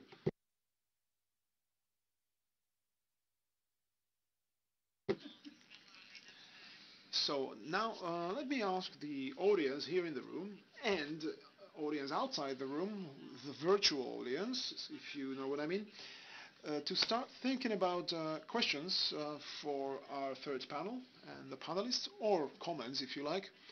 But now, let me return back to you, State Secretary.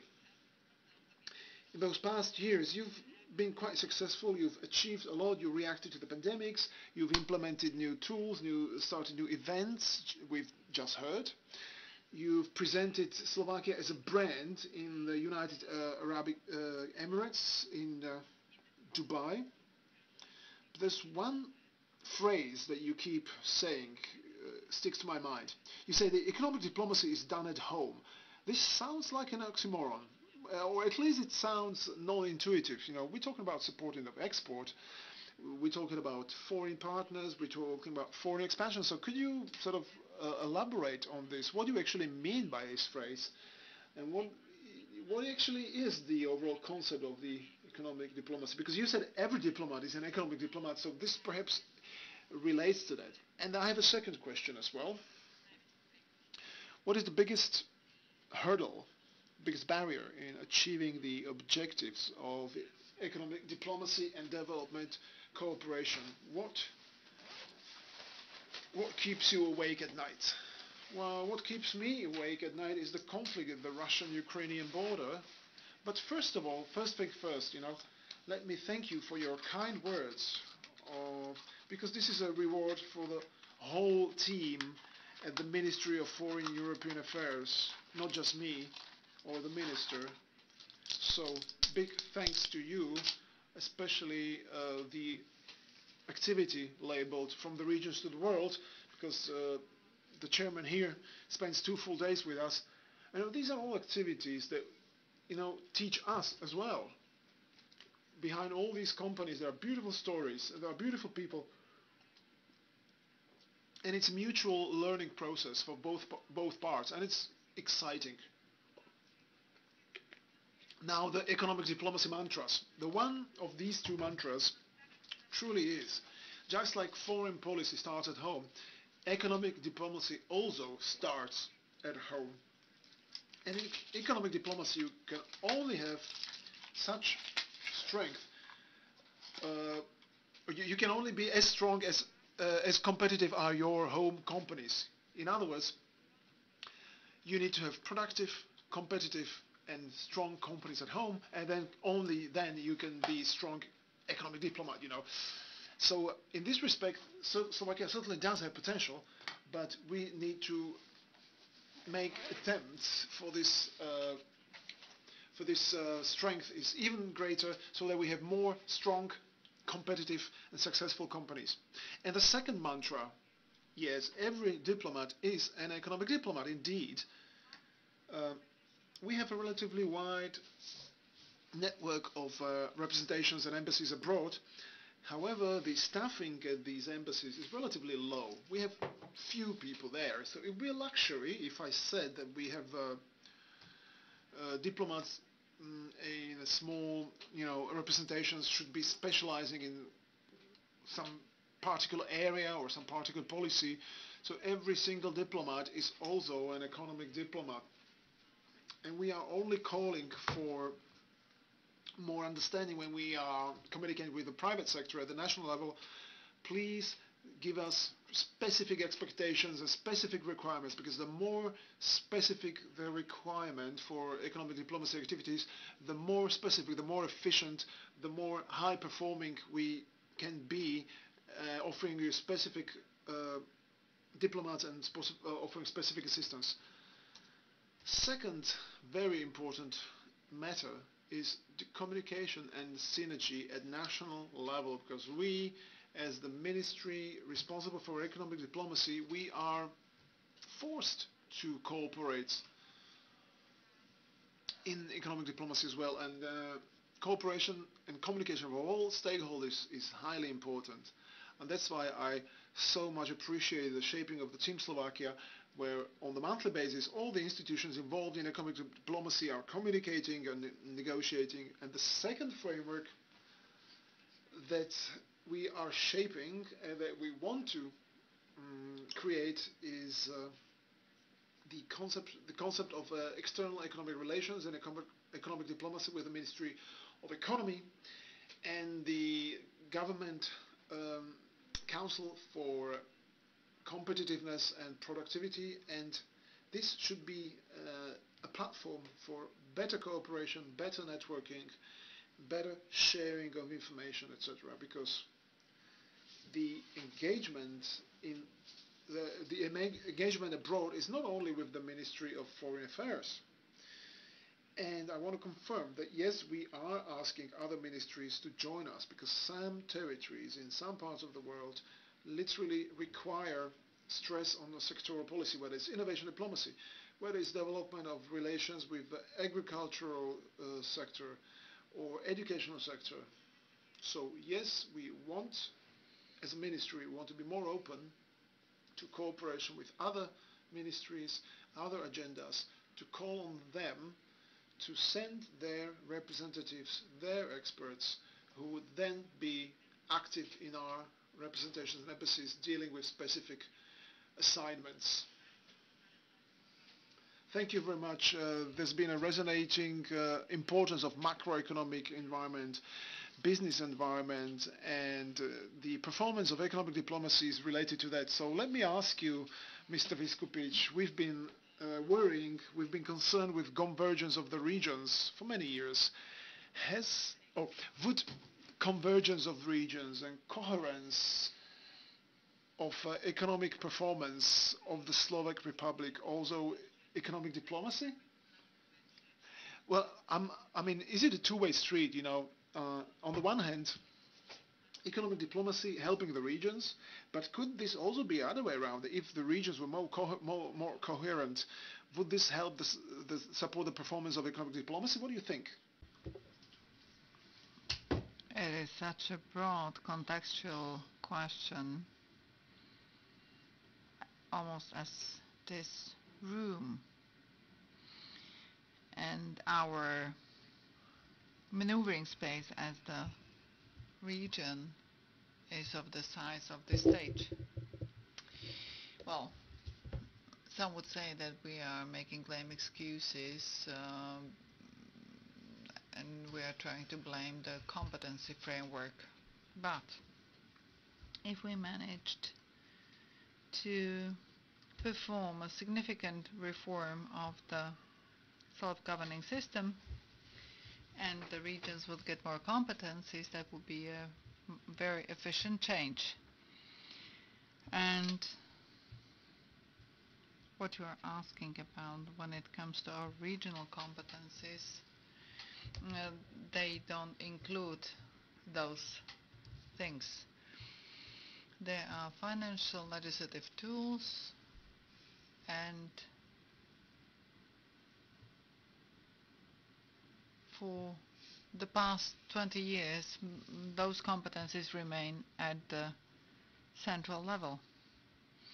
And I actually wanted to thank you that for the first time in the history of the review conference, you have the representation of regions.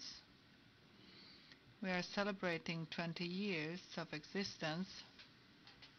In Slovakia, your conference has been around for the past 20 years as well, so the time is high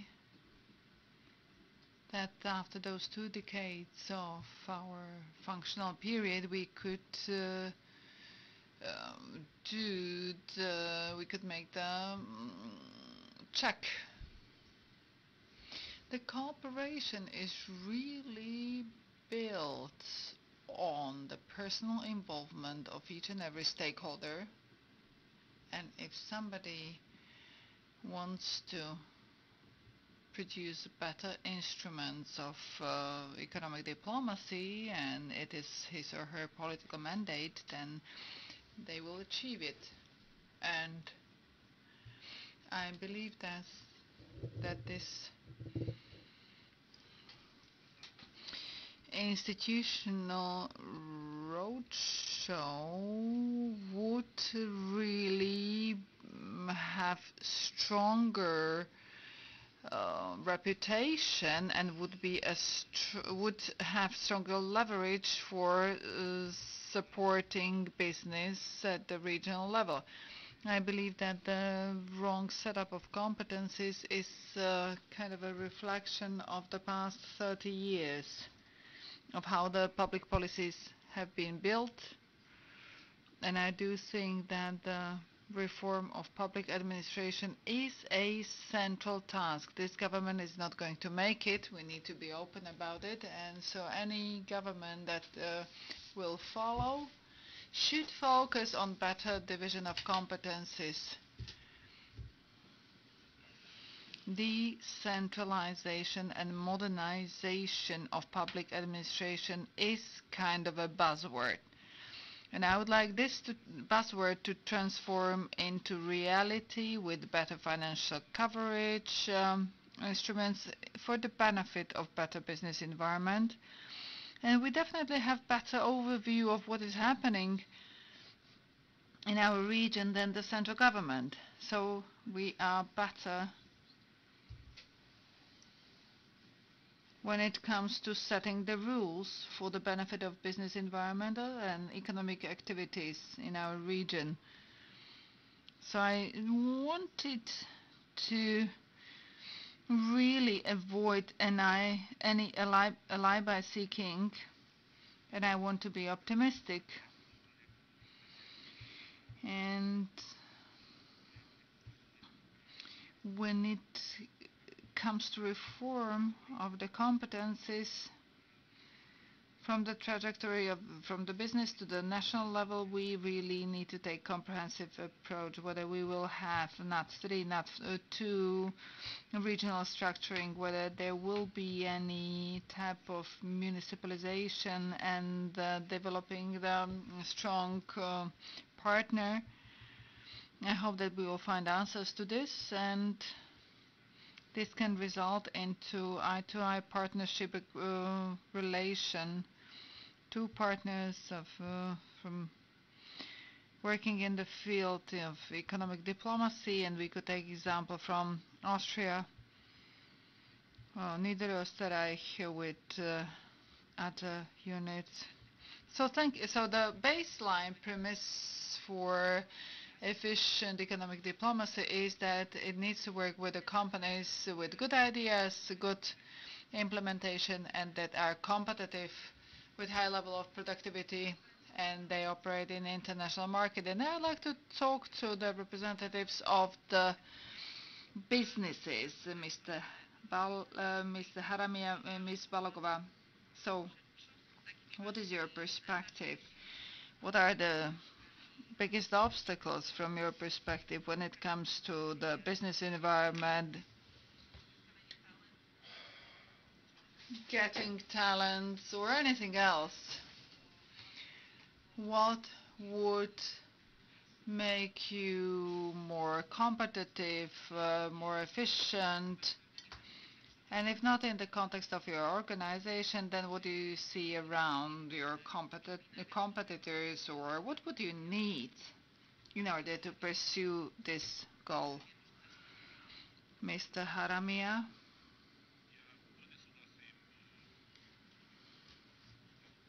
I fully support uh, the words of the State Secretary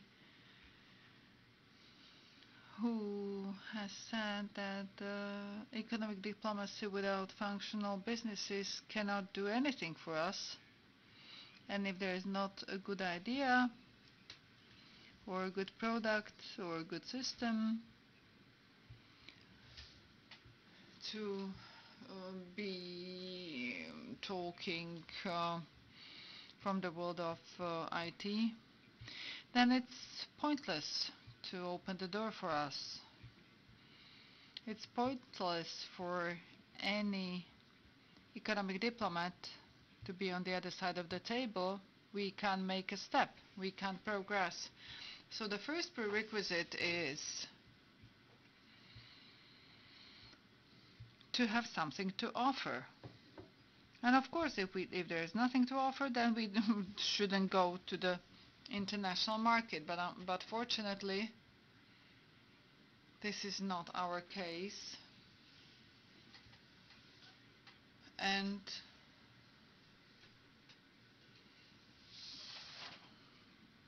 I would like to detour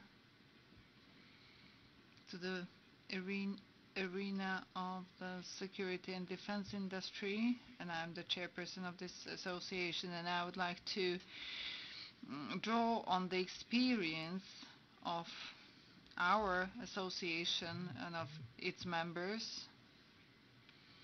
And they often complain and not to be only very positive and praising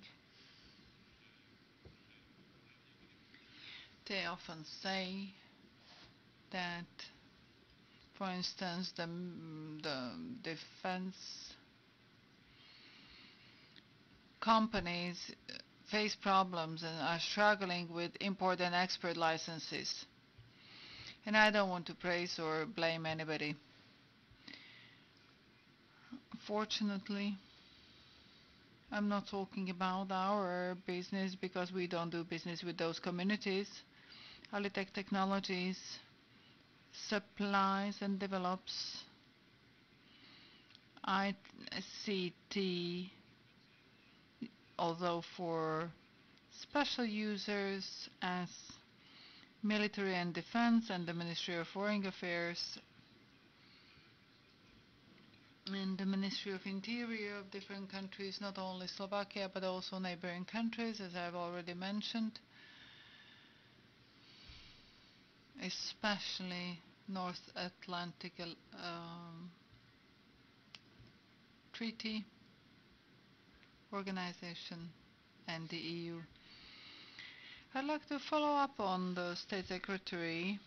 She has mentioned that cross-sectoral cooperation should be enhanced and uh, our experience is that Exim Bank works on its own, Sario works on its own, economic diplomacy mm, uh, sort of like operates on its own, and there is no kind of interconnectivity. Um, you know, we need one point. Starting from the taxes, customs, and anything and everything related to this arena be it from the area of the Ministry of Economy or Ministry of Foreign Affairs. So this is something we should pursue. We should uh, connect uh, the platforms, institutions, because we uh, intensively cooperate with Exim Bank and also economic diplomats and SARIO.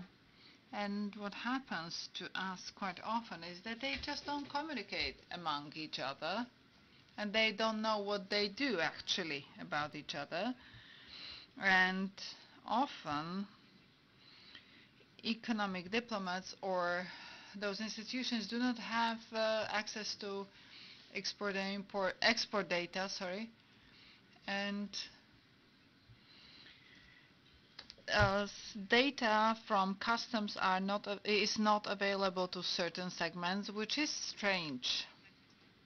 Because if you are supposed to manage export and you should assist in certain markets, or if you are an economic diplomat in Sri Lanka and it, uh, he or she doesn't know that uh, we export three to four containers to Sri Lanka uh, a month, then it's very difficult for him or her to help us to identify a fair uh, or get the contacts to the um, Chamber of Commerce that exists there since we export into many countries and we are trying to find contacts to uh, business chambers. We um, participated in fairs of Shanghai, Uzbekistan, and the ambassador there was of great help there.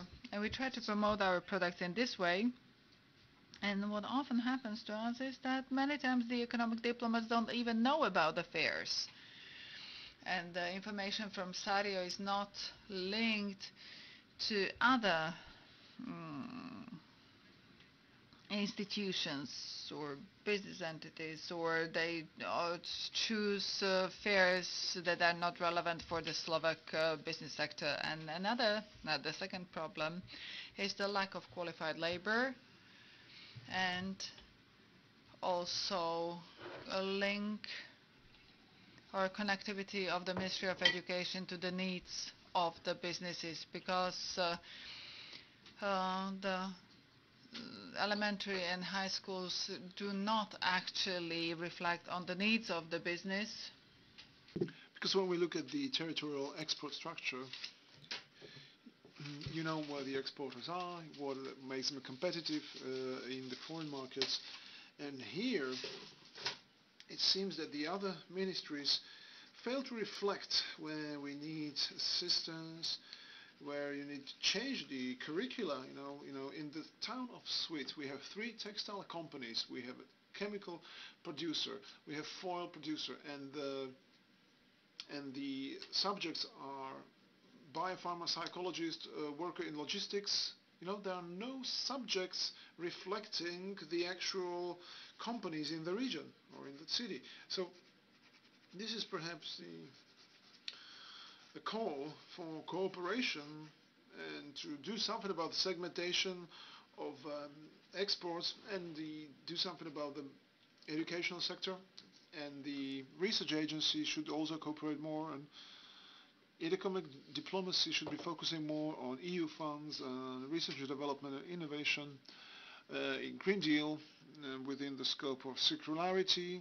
you know, and you should set the economic conditions, the, the, you know, the business missions and economic missions uh, should be set directly through the research agency.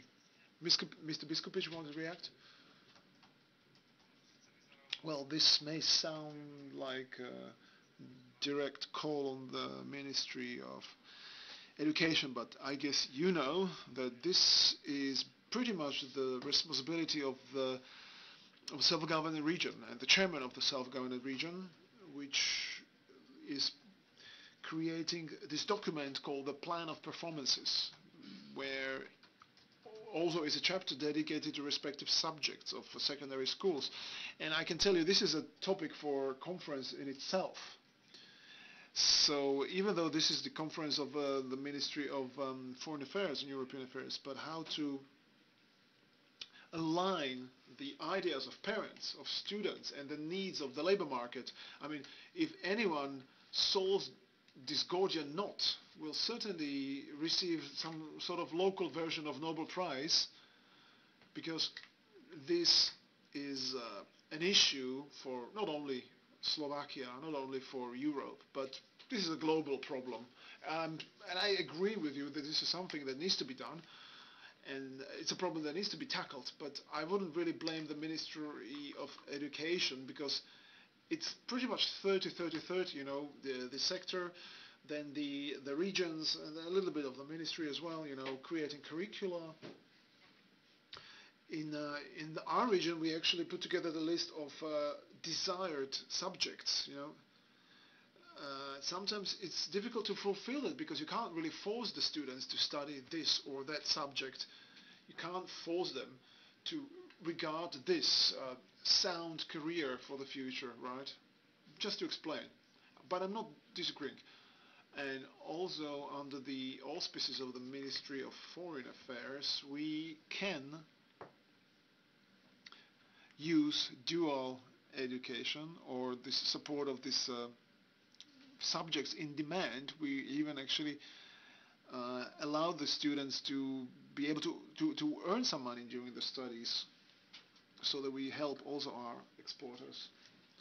Thank you very much, Mr. Viskupič. Now, uh, I'd like to ask Mr. Najvirtová, uh, with the same question, what are the key challenges and barriers that you perceive through the prism of development cooperation in achieving the objectives of your organization? Well, one of the barriers which already has been mentioned is is this status quo of the civic of the civic society. And one can feel this.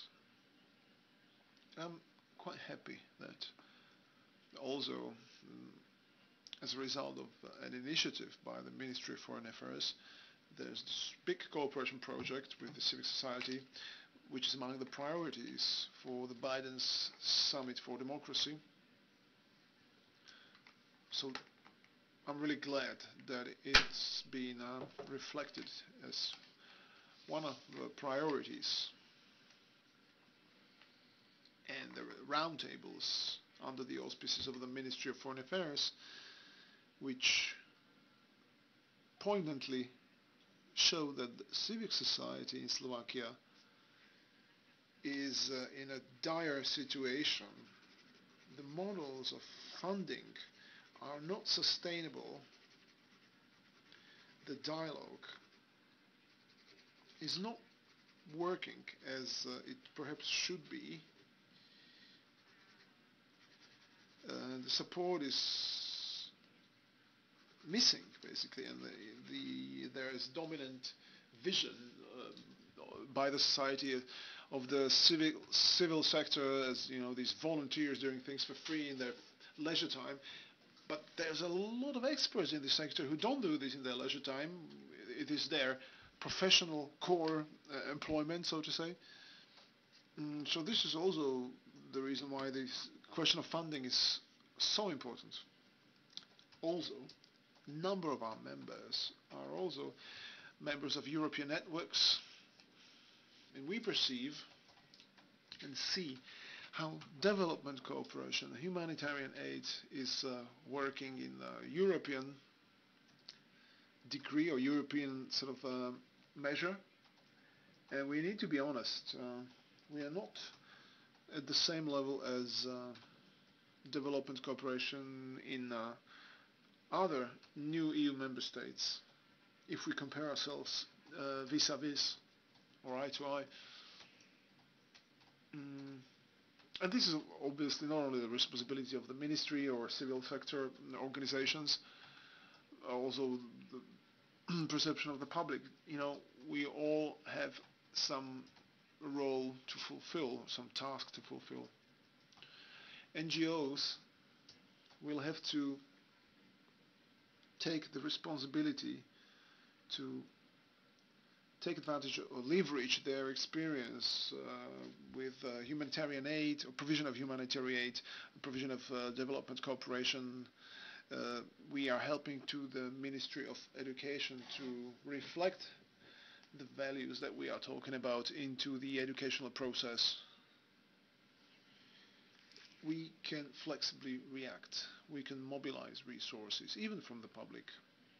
I'm excited and glad that the trend of supporting these cases by the public financially is, is uh, rising. We can support and promote the brand of Slovak aid also abroad. and we are basically a, an instrument of Slovak solidarity around the world. What would help us? Well, there are three areas. First of them is more predictable and long-term financing so that we can all go more in depth, measure the impact of our work and have better arguments why this development cooperation is so important. And it makes me glad that the Slovak Agency for International Development Cooperation is now launching bigger projects, whether it's the delegated cooperation project of the EU in Moldova, or hopefully this year we'll launch this framework cooperation of strategic partnership.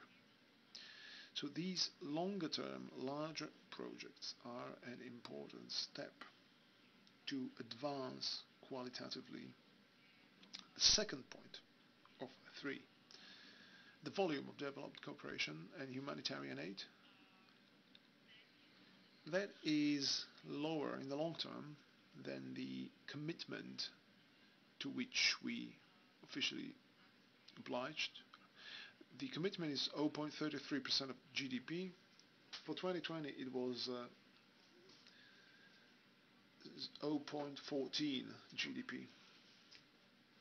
And yes, I uh, realize it's uh, it's not only about this big volume of money, but it's about being able to go in depth and being able to to perform more concentrated interventions because it's a different thing if you perform one 100,000 budget project in a country or you help this country with a half a million budget.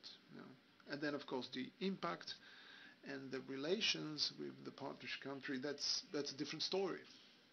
And the third aspect of three, when we compare the tools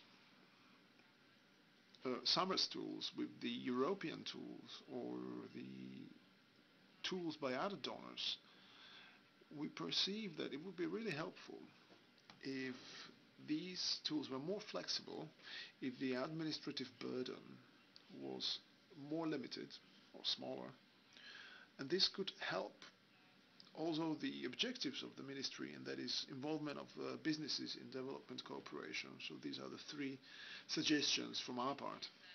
Thank you very much for these specific suggestions. State Secretary was making notes, so taking notes. So I'm sure this will be this will be uh, useful. We have last four minutes of the panel. I don't know. I haven't noticed too many questions in sliders. One of the questions is, where is the minister? So don't worry, Minister will be here soon, but in the meantime, let me ask the uh, audience in the room here. Mr. Matišák, you have a question? Perhaps you will need a microphone.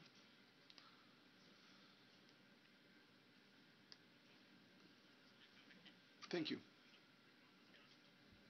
It's a question specifically to the State Secretary, or if anyone wishes to comment, of course, maybe Ms. Neuwirth as well. Would you say that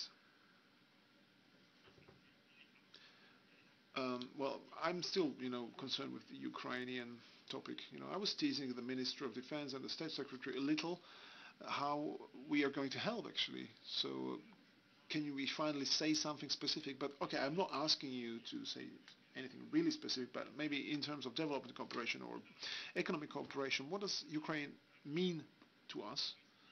How we can help in this sector so that Ukraine is more politically resilient, politically more stable, and therefore more, you know, linked and associated to our Euro-Atlantic or transatlantic uh, uh, area, which I believe is the objective or one of the objectives of our, um, our foreign policy. So, what's your plans for economic diplomacy in Ukraine?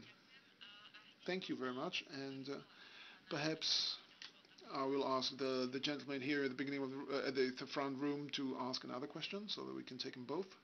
Thank you. My name is Burash. I'm the advisor to the Prime Minister of the Slovak Republic for cross-border cooperation in Ukraine.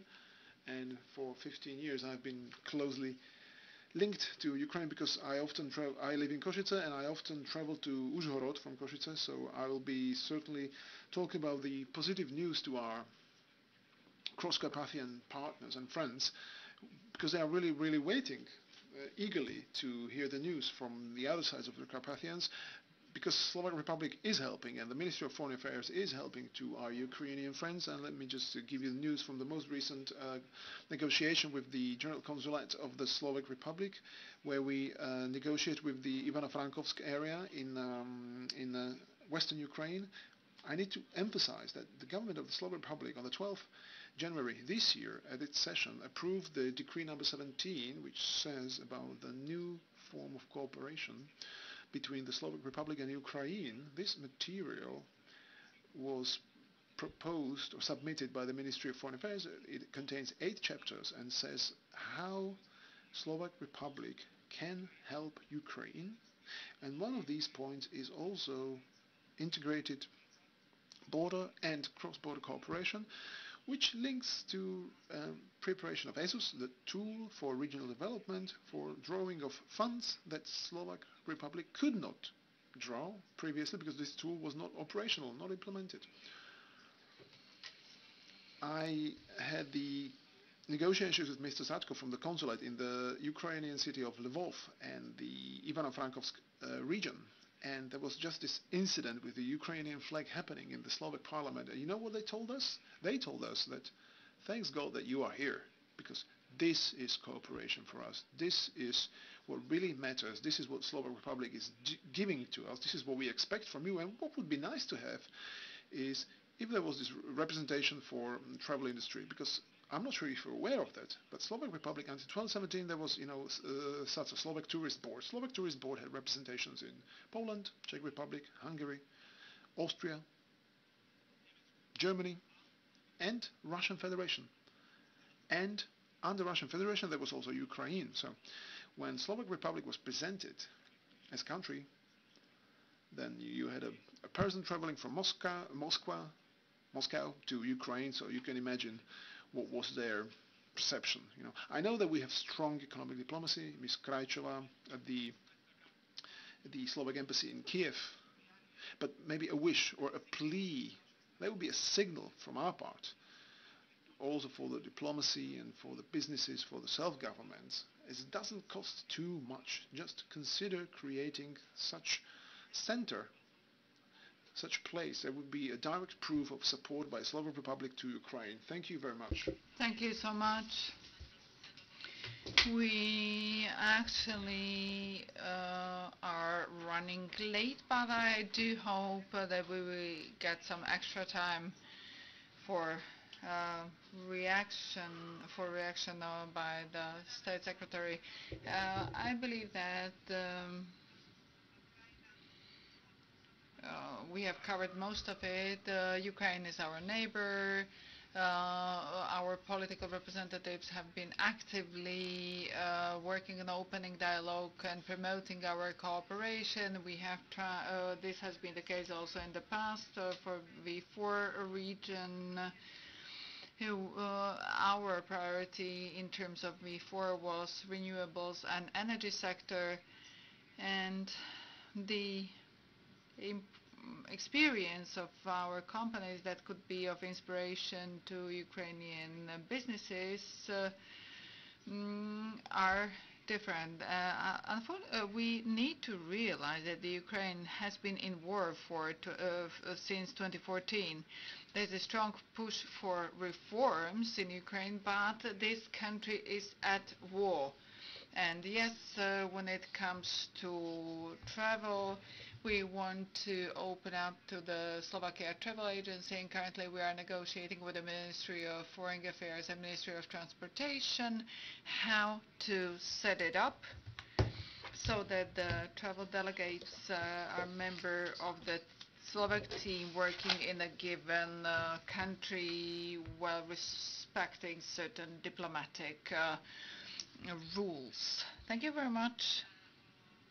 And I don't think there is uh, time for any closing remarks. I would like to thank the panelists uh, for very inspirational debate and the uh, auditorium for their questions, and I'm very much looking forward to the next year of the review conference. Thank you very much.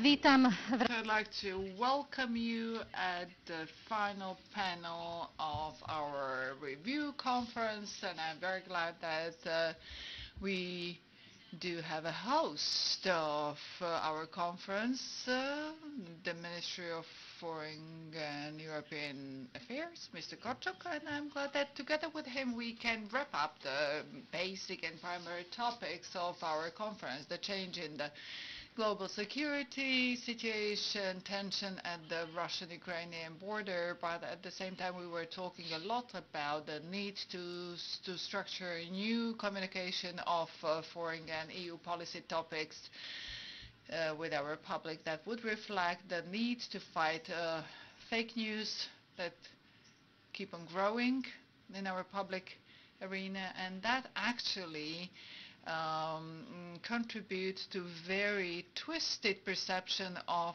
our foreign and European policy. Minister, I would like to ask you for an opening or introductory speech or notes. Uh, well, we are not starting really good here, but uh, very good afternoon, ladies and gentlemen. Before I address you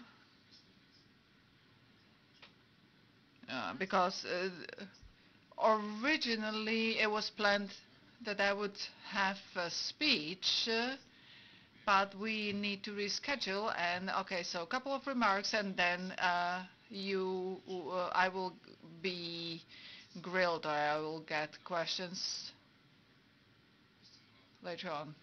Before I focus on the foreign and European policy, let me share another piece of sad news. After last week's uh, death of Mr. Kukan, former Minister of Foreign Affairs, we unfortunately are facing another sad piece of news. Uh, Mr. Radoslav Boháč, uh, diplomat, uh, has uh, passed away today. We have known him for years. Uh, Rado has, um, or rather devoted all of uh, his life to diplomacy and he died uh, performing diplomacy at OECD in Vienna and let me ask you to or let uh, me express uh, our condolences to uh, his wife and let me ask you please to stand up.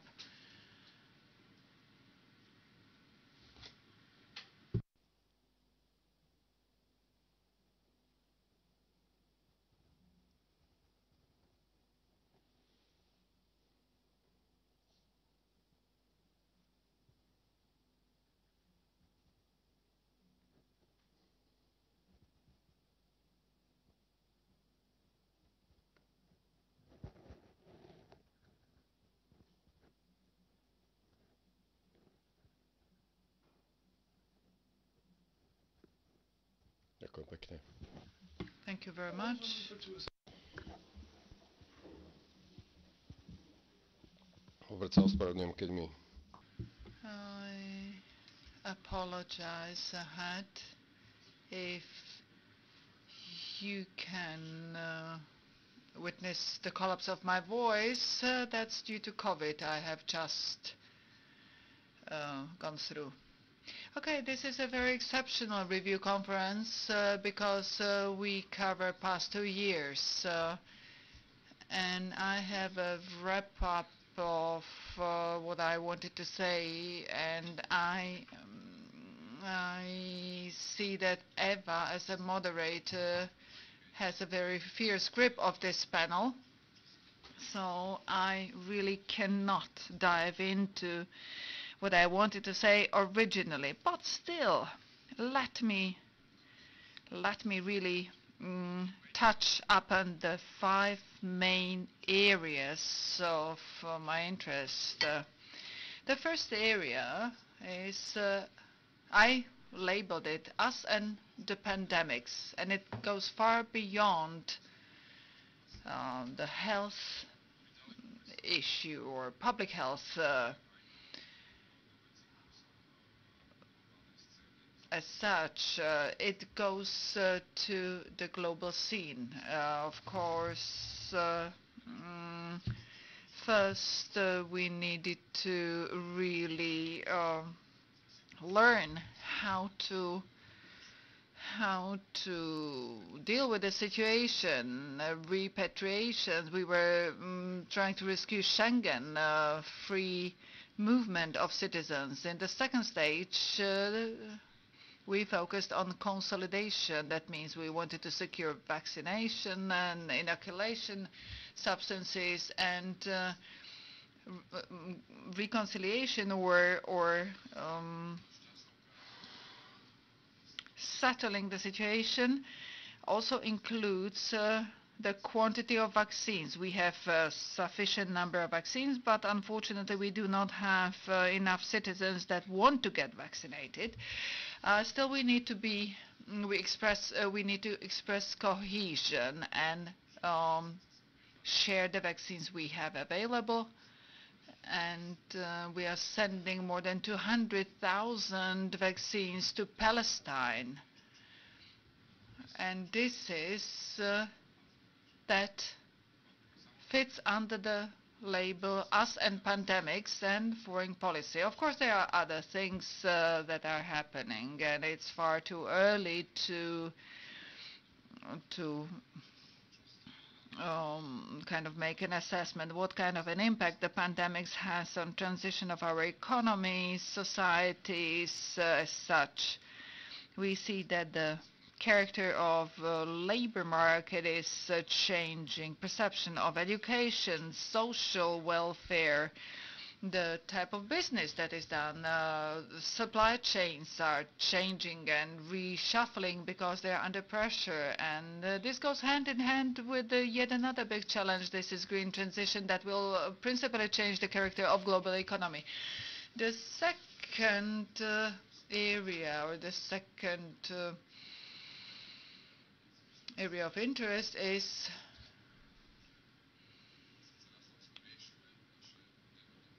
the fact that we are amidst the big megatrends.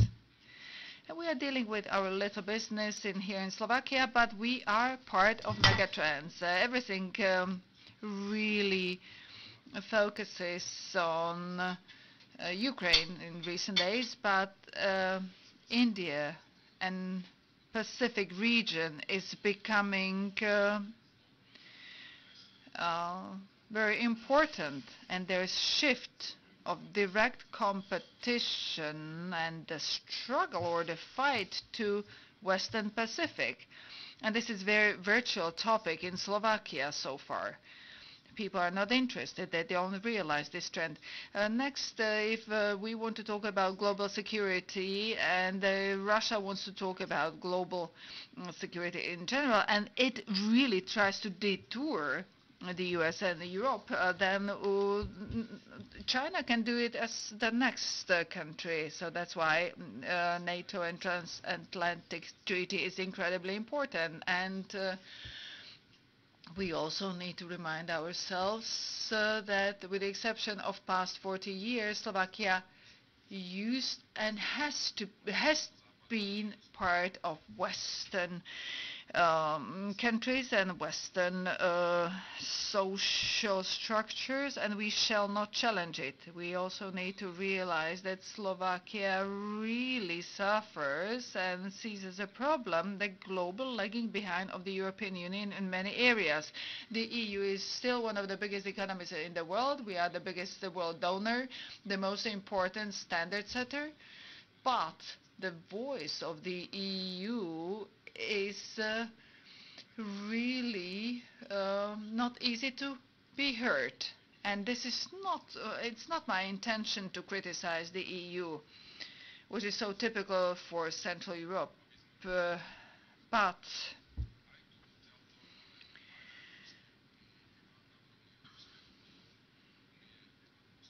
we need to move towards consolidation of the EU. We need to settle with many unfinished things that uh, are legacy from previous times, and we need to look throughout our conference into what needs to be done in the future.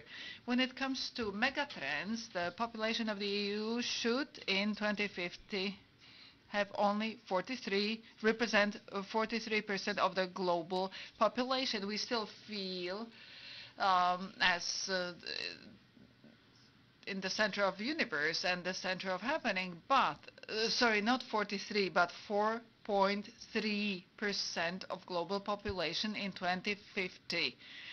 From the perspective of the global GDP, uh, where when we were on the first place, uh, first rank in 1990s, we will fall down to the fourth place, representing 11.3% EU share on the global GDP. We need to see all those facts and trends also in Slovakia, and we should really uh, stop mystifying uh, the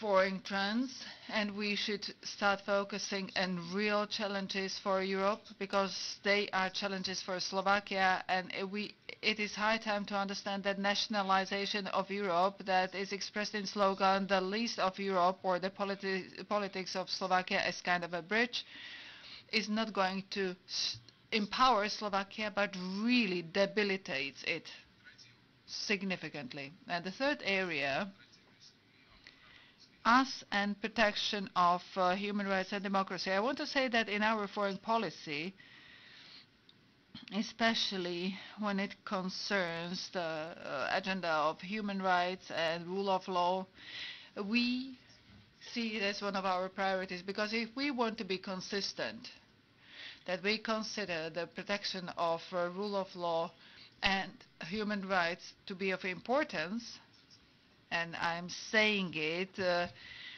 knowing that the opposition parties are criticizing us heavily for it. In spite of that, I see it as an integral part of our foreign policy, and we are really striving to promote those also towards our external partners. 2020 was the 15th year in sequence where the global freedom was uh, dropping. So there were more countries with a worsened situation than improved situation. And of course, the pandemic uh, played its role. We approved the concept of uh, support of human rights. Peter Burian was appointed as an envoy for human rights. There was a very a successful conference on human rights and democracy, and we are active participant in the Summit for Democracy. And talking about uh, human rights as uh, part of uh, foreign policy, this is not about ideological zealousy. It's not my motivation. Uh, we are kind of like criticized for being zealots in the area of human rights. But we are convinced that the better there's better uh, governance of Slovakia and there's better situation in democracy and uh, good well governed uh, liberal democracy um, really soothes conflicts and uh, upholding human rights is extremely important. Our uh, democracy is really the regime that allows us uh, to protect human rights the best. Uh, I have been criticized for uh, commenting on Belarus or other countries. Why? As if we want to dictate them how they should live. We don't want to dictate the Belarus uh, uh, Russia how how to live. We don't want to dictate them what kind of regime they should uh, they should have, but we believe that in our immediate uh, vicinity is very bizarre if hundreds of people, including civil activists and journalists, are imprisoned because they just want to freely express their opinion how should things be governed. And the fourth area is um, I've been a Minister of uh, Foreign Affairs in two years for the second time, and I'm saying that the foreign policy actually starts in our with our neighbors. You may have the idea how things should work on the global level, but if you have problems with your neighbors, then you are really in a difficult situation. Therefore, we have been trying, and I've been trying to intensify bilateral relations with Ukraine, and I want to openly uh, underline the importance of the involvement of the Prime Minister, of our Prime Minister, and he made it his own political agenda, and I fully support it because it's also in our interest. It's about uh, Ukraine remaining to, uh, as, a sovereign state or whether it will suffer from the war, whether it will thrive and flourish.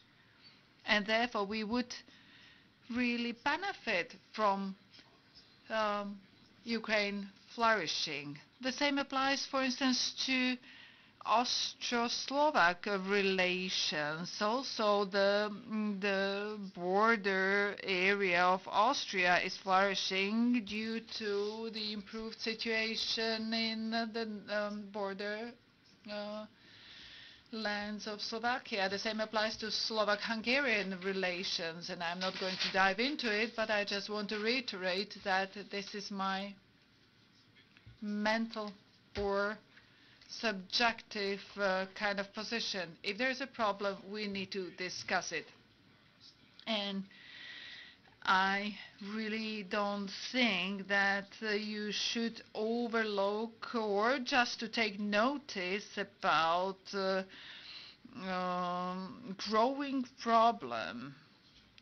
And the problem with Hungary or the situation with um, the with Hungary was such um, the the problem was big.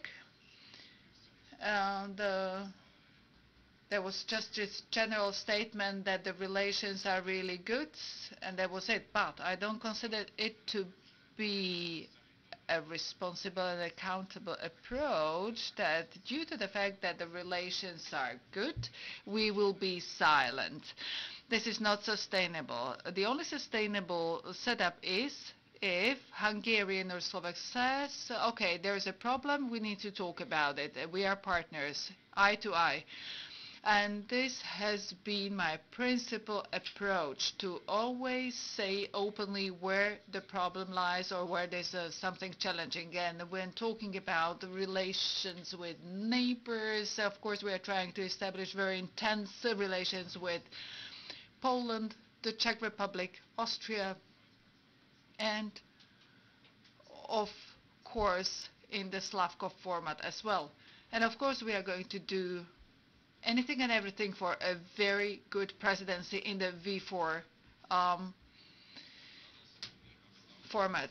And uh, last uh, topic, uh, us and foreign, Slovak foreign policy.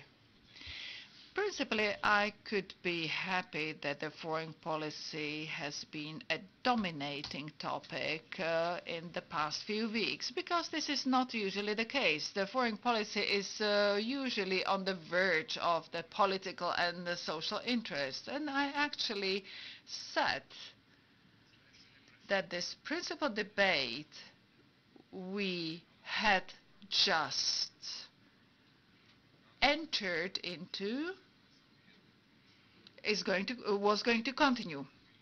But that's where my joy stops. The last week's parliamentary debate was absolutely unacceptable. It was uh, vulgar, but the form uh, is secondary. The most concerning part is the content or, or was the content of this discussion comparing uh, the promotion of our uh, cooperation um, uh, and the also the agreement with the US to the invasion of, by the Soviets was absolutely acceptable. And also the second point in the discussion that concerned Ukraine was absolutely unacceptable as well. Those two extremes point to two serious problems, uh, the loss of historical memory and also uh, um, a mistake or the breach or uh, the problem in the compass and also the willingness to resign on the on our future direction. This is a discussion uh, similar to the discussion in the 90s when that time we were discussing whether we are going to be, become members of political West and uh, of the transatlantic structures, but today's discussion is about whether we are going to uh, remain and stay, stick to the, our Western allies and we will stay with them only formally, but also, or whether we are going to stay with them also mentally and with will. Uh, if there was any purpose in last week's discussion, then at least uh, it was that that we know where we are standing, what is happening, and what we need to do. The last surveys are really proving that. This was one of the arguments uh, that I actually went through with the representatives of the opposition. They were saying, okay, accept this. Slovaks uh, want it this way. Why are you not listening to the Slovak citizens? They don't want the uh, DCA. This should be the show or the display or demonstration of political accountability that uh, the kind of like um, very uh, accidental and emotional positions of the public should form and shape the security uh, and foreign policy of a given state. This is totally unacceptable. And when we were starting the um, debate on DCA with Minister Naď, we knew had known what was happening. Uh, it, it, the discussion went far beyond to what we had expected before. Of course, uh, this uh, what we did reflected also uh, in our popularity and the results of the survey. But of course, you as a politician, you need to make decisions that nobody is going to applaud you for sometimes. And this is the really very important part of doing politics. And we need to go back to principal questions. We thought that some questions are off the table, that uh, you know we don't need to discuss uh, things, that there won't be any mobilization by populism and far right. We cannot shape our foreign, uh, foreign policy based on the trends on social media or depending on where you know the strongest voice uh, is coming from. The, uh, another point was that uh, you need to develop your foreign policy to all uh, directions, south, north, uh, east and west, but you always need to know where the north is. Uh, so, the ladies and gentlemen, Professor Sten, this is uh, as an opening uh, reform, uh, sorry, remark.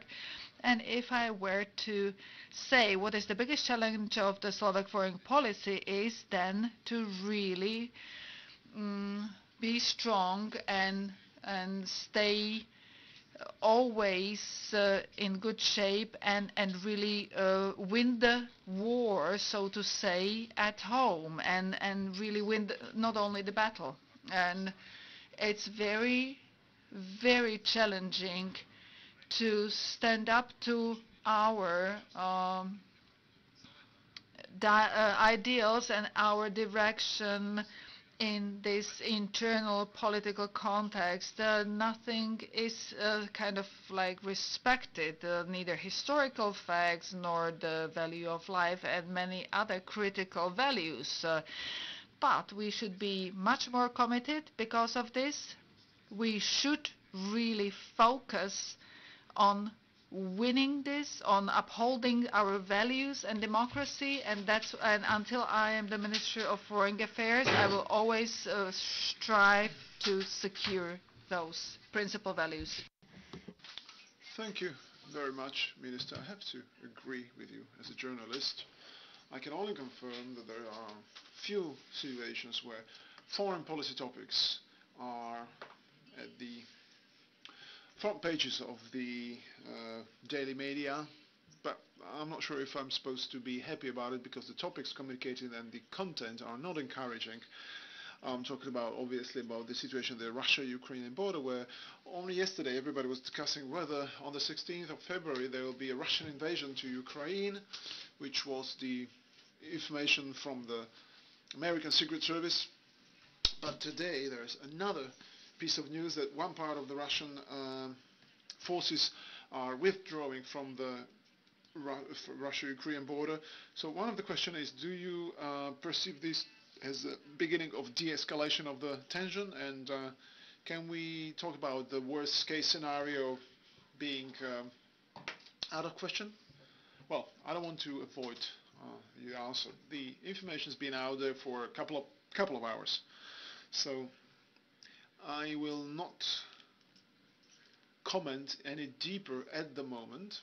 All the more that these, you know, movements of forces at the Russian side of the border, movement of the military personnel, uh, we've witnessed, we witnessed them also in the previous days and weeks. You know, building of these military positions is not just a question of the end of uh, the last year, but basically already in spring, one year ago almost, we were confronted with a situation there was difficult to explain why the Russian Federation is building these positions, and then there was this uh, movements of forces and personnel, but the hardware, the technology remained there. So to simplify this, there's nothing that I wish for more than we could deal and address this problem only from behind the table basically I don't see any other possibility than you know talking about it from behind the table and any other any move or any development that facilitates meaningful dialogue is appreciated but it must be sustainable and we must really be sure that this is heading towards towards you know um, mitigation or, or dispersion of any doubts that uh, military operations still can be deployed the Ministry of Foreign Affairs uh, withdrew families of diplomats from Kiev. So I was uh, wondering when it's going to be, um, when the, the, the, diplomats will be withdrawn. Um, the, well, okay, the first thing is that all the diplomats' families are thankfully at home, but you know it's a little bit of exaggeration of the whole situation. I mean, their families are at home, uh, and I'm supposed to comment on the diplomats themselves. I won't speculate, but security of the diplomatic personnel and their families is alpha and omega. We are evaluating the situation every day, uh, what the situation is. At the moment, we are we've evaluated the situation so that the family members and relatives are at home, and uh, we decided that we will stay in Kiev with our diplomatic staff. The security of this personnel is is, mm, is uh, given legitimate you know grounds for our decision, but we can react quickly. We just don't want to do you know fast steps, or you know it's extremely important to keep our diplomats to keep our diplomats there. You know, you know I'm asking because this step is often a, a benchmark for security of the situation. Uh, when you know diplomats are being withdrawn, then the situation gets really serious. So that's why I wanted to know what is going to be this you know Rubicon when uh, you really believe this is so important that you need to withdraw the diplomats diplomats to home. Well, when we evaluate the situation, this is necessary. We'll do that. That's all. Okay. When it comes to the uh, results or outcomes, you know, uh, of course, this is all hypothetical. Uh, you know, because no one knows what's going to happen. Uh, even the people from the closest um, circle around uh, Vladimir Putin that no one actually can see into his head and that his uh, actions are unpredictable. But especially the neighboring countries, countries neighboring on Ukraine, are preparing various contingency plans for various scenarios. We in Slovakia have, uh, believe, or we've heard that the, the immediate result of uh, the invasion to Ukraine will be a huge migration wave. Hungary even already has specific uh, scenarios uh, which say about hundreds of thousands of Ukrainian refugees coming to Hung Hungary. Uh, do we have an idea what this would mean for Slovakia? Well, first of all, Security Council and other structures of the state, especially the Ministry of Interior, are doing everything they can to be ready for this scenario as well. But we need to openly say that everything depends on what security incidents and what the scope of security incidents would materialize in Ukraine. That's the part of the scenarios, of course. But we do everything we can to manage this at home because, yes, migration moves constitute one of the alternatives. We are in uh, touch with other countries. I will not name them because they turn to us to assist them in case of uh, need with passing of their diplomats or their citizens or, or their their, um, their, natives who are uh, located at the Ukrainian territory for the moment so that they could uh, take advantage of uh, moving to our territory from Ukraine in case of need. But I will not run away from this question, but I will not be the one, you know, spinning this uh, spiral of, of uh, escalation where people are scared, when people are concerned, they objectively are concerned that there's going to be a hundred thousand of people coming into this country in a couple of days.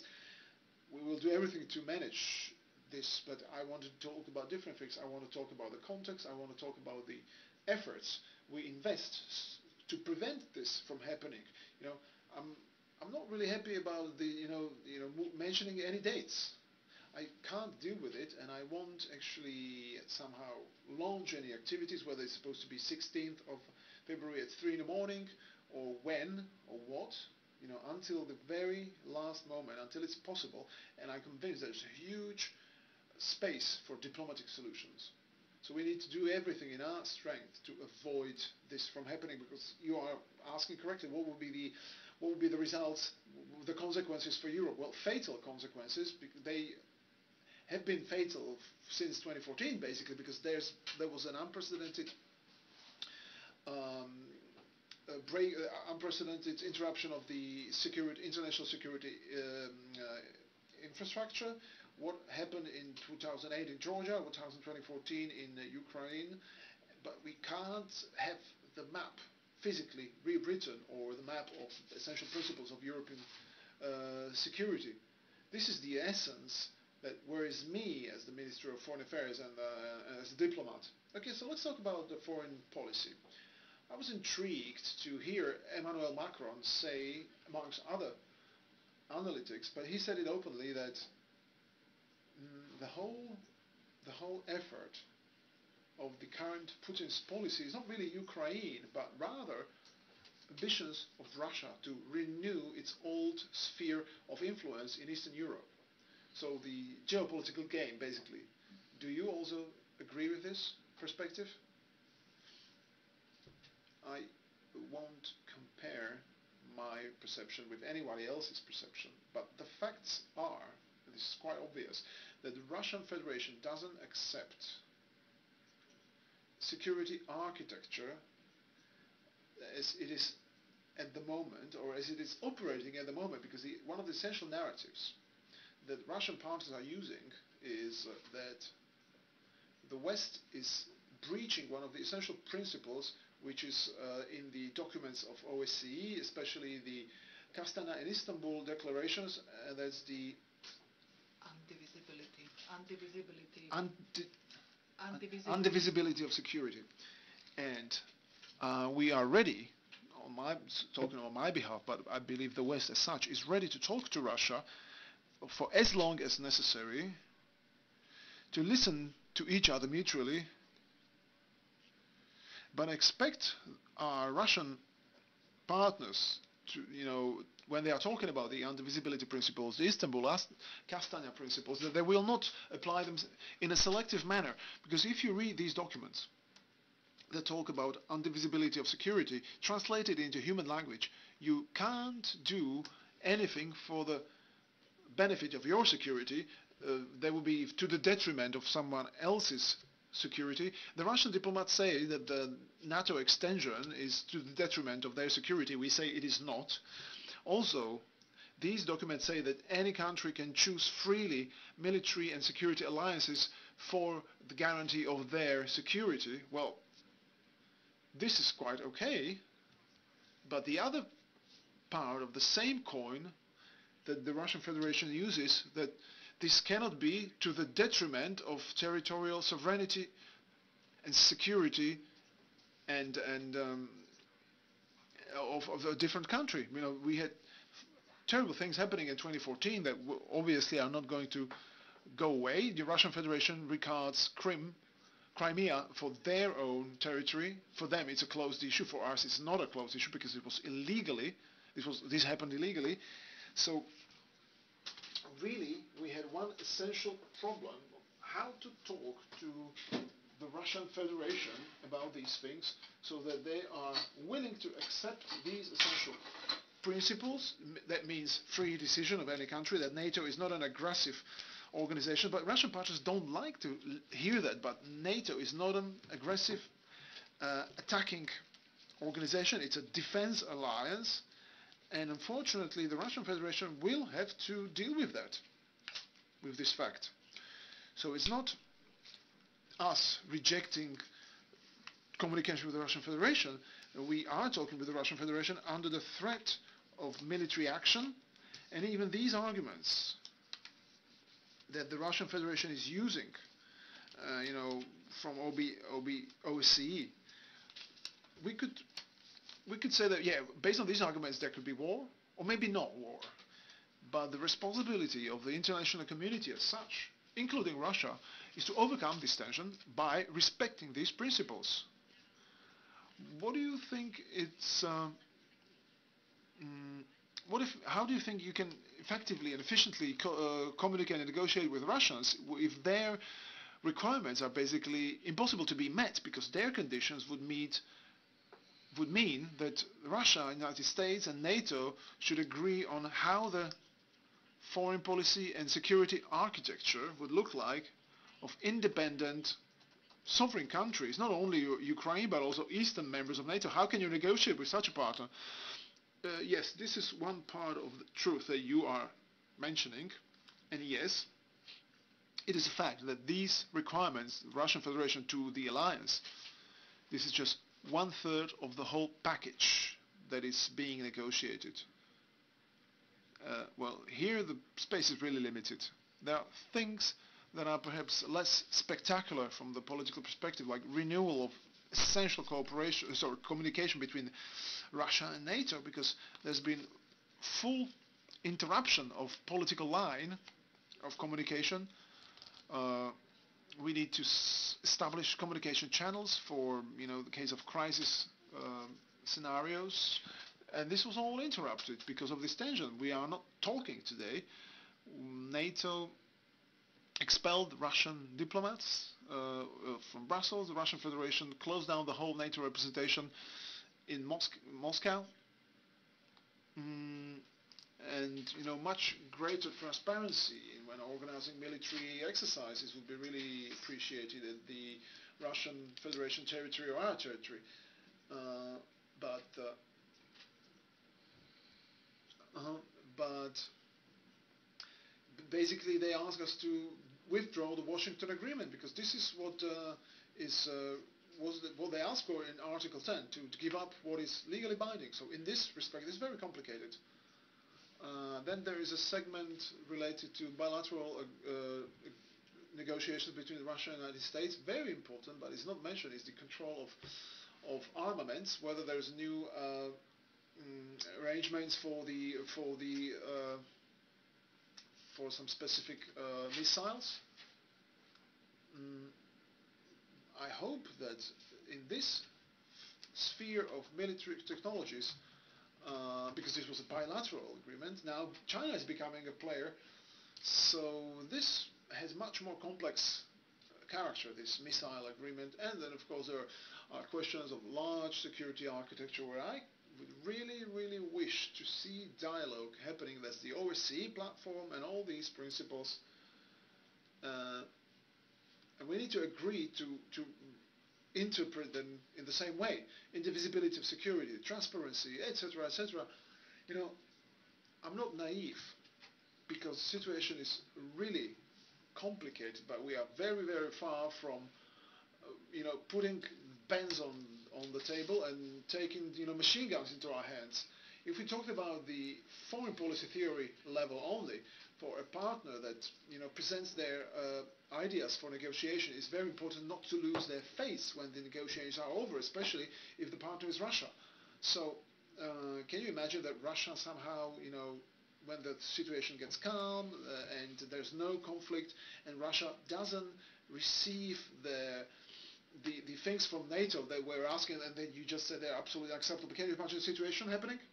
The dialogue needs to be maintained, needs to be alive. That's uh, so important because uh, we haven't talked uh, to each other for past two years because for two and a half years uh, we have been offering such a dialogue as alliance to the to Russia, but the truth is that the waters are really murky and uh, the atmosphere is really toxic, but this is due to the fact of the invasion of Russia to, or, or aggression of Russia towards uh, Ukraine. Some principles are not negotiable. That's uh, clear. Uh, NATO is not a threat. NATO has not uh, um, taken sides of any area. Expansion is not against anybody. In 97 we uh, concluded an agreement with the Russia Federation and NATO about certain principles. That uh, agreement also anchors that inevitable infrastructure can be developed at the Uh, arena of uh, member states. Uh, uh and also uh, NATO made a full clear declaration that there is no goal to to position nuclear weapons or anything alike. But so some things are unnegotiable. It needs goodwill, and we need to really leave this alternative or abandon, sorry, this uh, alternative that something should be settled through war um, in 21st uh, uh, century. Ukraine has alluded to the fact that uh, its idea is flexible when it comes to the membership in the alliance. It sort of alluded that it is willing to give up on this ambition uh, under the threat of this immediate military conflict of, uh, with Russia. Could this be one of the solutions to this situation? The only solution is that we accept that Ukraine decides freely. Well, the question is whether this is a free decision, but I'm not going to comment on it. On it, it has been, uh, you know, corrected, uh, and you know there have been so many um, comments. We need to eliminate this. Um, this idea that we are going to decide about the destiny of other states in 21st century. We are not dictating anything to Ukraine. We are not dictating anything to Belarus, Belarusia. Um, this is a fake argument, as if NATO wanted to expand somewhere. Uh, some say that NATO should withdraw itself from eastern parts of Europe, as if NATO was occupying uh, those regions. But it's so difficult to get into NATO. You know what, uh, how much effort we needed to uh, develop when we missed the train in 97. Then um, it really took us five more years to get on the train. NATO keeps on saying, no, no, no, you need, you need to do this and that, you need to transform your military forces, etc. This is not an expansion. This is expression of free will and recognition of the fact that small member states as the Slovak Republic want to have stronger guarantee of its own national defense than its own national defense. We want to have this uh, security, this, this warranty uh, uh, of 30 more states. Uh, uh, you in your introductory speech or words, you have touched upon the fact that as if we were mentally going back to 90s uh, when we were deciding where to belong uh, from the geopolitical and uh, uh, foreign uh, perspective. So you said that yes, we are doing this. Yes, it has to do with high level of polarization of the Slovak society that can be seen also in the public opinion survey that sh clearly shows that uh, the vast majority of public uh, really is uh, misled and uh, they draw on um, or they tap into conspiracy sources. And I would like to ask the questions from Slido that uh, have to do with the polarization of Slovakia. Minister, are you mm, afraid when it comes to the direction uh, of Slovakia in foreign policy if opposition gets to the uh, government. Uh, I am I am not afraid of the opposition. You know, it disnudes itself in front of the whole nation. Not, uh, there's not only a handful of us that we speak loudly and that we are criticized for speaking up, but there are many people in this society that are silent, that don't need to shout, that don't need to make scenes, they don't need to uh, howl a siren during the negotiations of the parliament. So the fact that the opposition now organize this very disgusting uh, theater with the defense of Slovakia. Just don't, don't tap into it, really. I'm not afraid of the opposition. What I'm much more afraid of, and it has been, it has become more and more clear and evident, uh, and we can see it also in the public opinion surveys uh, that, uh, you know, this is not an immediate fact. For many years we have been just looking and observing that the long-term opinion surveys uh, uh, keep on resulting uh, in finding that Slovakia would do better if it were neutral. So we uh, even the opposition really says incredible things that can be interpreted in so many ways that uh, sort of like okay you are doing favor uh, we are doing favor to you uh, or you are doing favor to us uh, and we will tell you when you can help us. This is the way we uh, uh, talk with the Baltic states, with the Polish. This is the underlying tone of this uh, very brutal discussion that has just uh, surfaced the long-term prevailing uh, things. We sort of throw ourselves, we kind of like surrendered ourselves to the populists for many years. Uh, teams of experts uh, that make incredible money on political advising that, uh, okay, you shouldn't be talking about NATO, you shouldn't be talking about the US. You, you never should utter the fact that we are members of NATO and you never shall uh, talk about the fact that the US is a strategic par partner. So we let uh, the, those advisors talk. And we are totally cornered, and then we happen to end up in this situation. And as as if a bucket of uh, blood uh, was poured into the ocean and the sharks are just circling around. In spite of the fact we cannot let them corner us. This is absolutely impossible unthinkable. Uh, the this diplomacy that has a very strong and deep relation to this country, we cannot uh, break our necks on this. But why we have ended up uh, in this point, why we should take stand, where to go. Uh, what I really like now, uh, the one who doesn't know whom to follow is able to follow anybody. Aren't we at this very point? Isn't this also a result of uh, the of work of of this uh, coalition because not a single member has more uh, support and is not trustworthy, not uh, at the level of 50% either. Uh, I'm I'm not criticizing the opposition for criticizing us. We have lost a major part of the public trust. I'm not going to challenge this because we are making many mistakes. It's great that you are asking. Yes, let's be clear on that.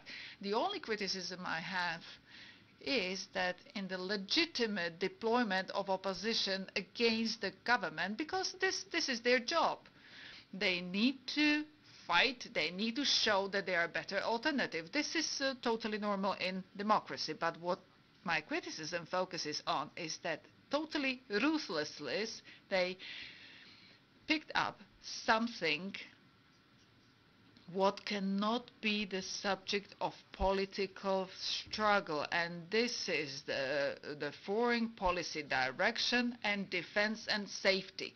And they have risen risen the wave that doesn't need to be controlled and this is what the public opinion surveys show. I don't want to make this, uh, allusions to other uh, developments like in the Great Britain. This is, uh, mm, yes, this is something similar. Many were had been criticizing uh, had been criticizing the European Union for so long, and then they asked the uh, Vox Populi, and they got the answer. Uh, it's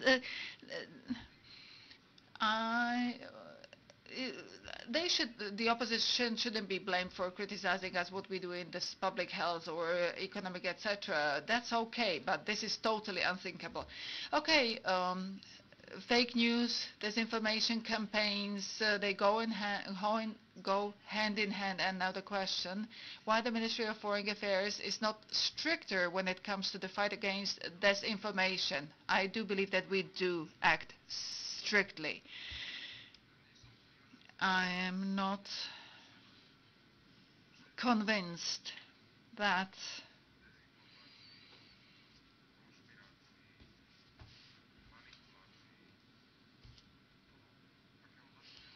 I'm not convinced that uh, what can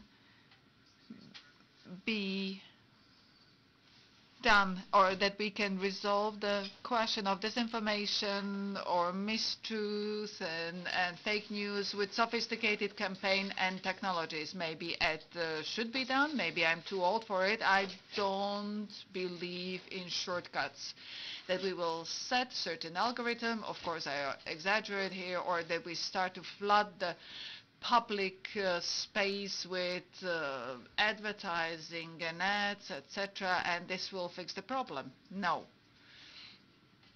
I believe that we need to have clear political positions, attitudes what I can, you know, I could mobilize and I could uh, spend millions on a campaign and we could pretend that we have done something, but this is not going to be as easy. If we are not going to manage very basic discussions such as uh, around the DCA, if we are not going to stand up uh, with our um, allies, then what is uh, this political West we are talking. Uh, talk to a Slovak living in northern Slovakia about political West. This is completely alien uh, narrative uh, to those people. How to make people understand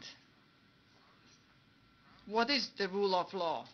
Uh, rule of law is a question of bread winning without the rule of law. You, we won't have investments, we won't have jobs, judiciary, etc. This is the question of survival. The rule of law is question of survival, and you cannot catch up uh, through a campaign. You really need to fight for it. Uh, we need to be very thorough and consistent.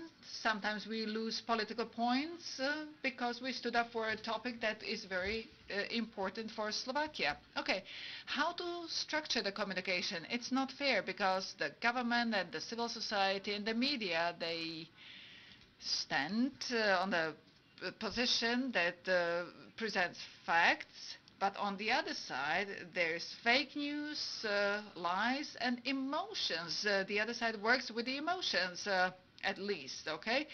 And it's psychologically evident and proven that you are not going to win over the emotions through, uh, emotions through hard facts. So if we want to move further, how to manage this situation, how to sort of win over and how to defeat those emotions, well, since I'm the Minister of Foreign Affairs, it doesn't, doesn't mean that I have answer to everything. So no, I don't have answer to this. I believe it's a chimera if we set our objectives so that in this complicated area like security and foreign affairs, we will be able to convince with facts and arguments those who are spreading emotions, well, we just tried it. We've just tried it. I mean, we lost the public debate.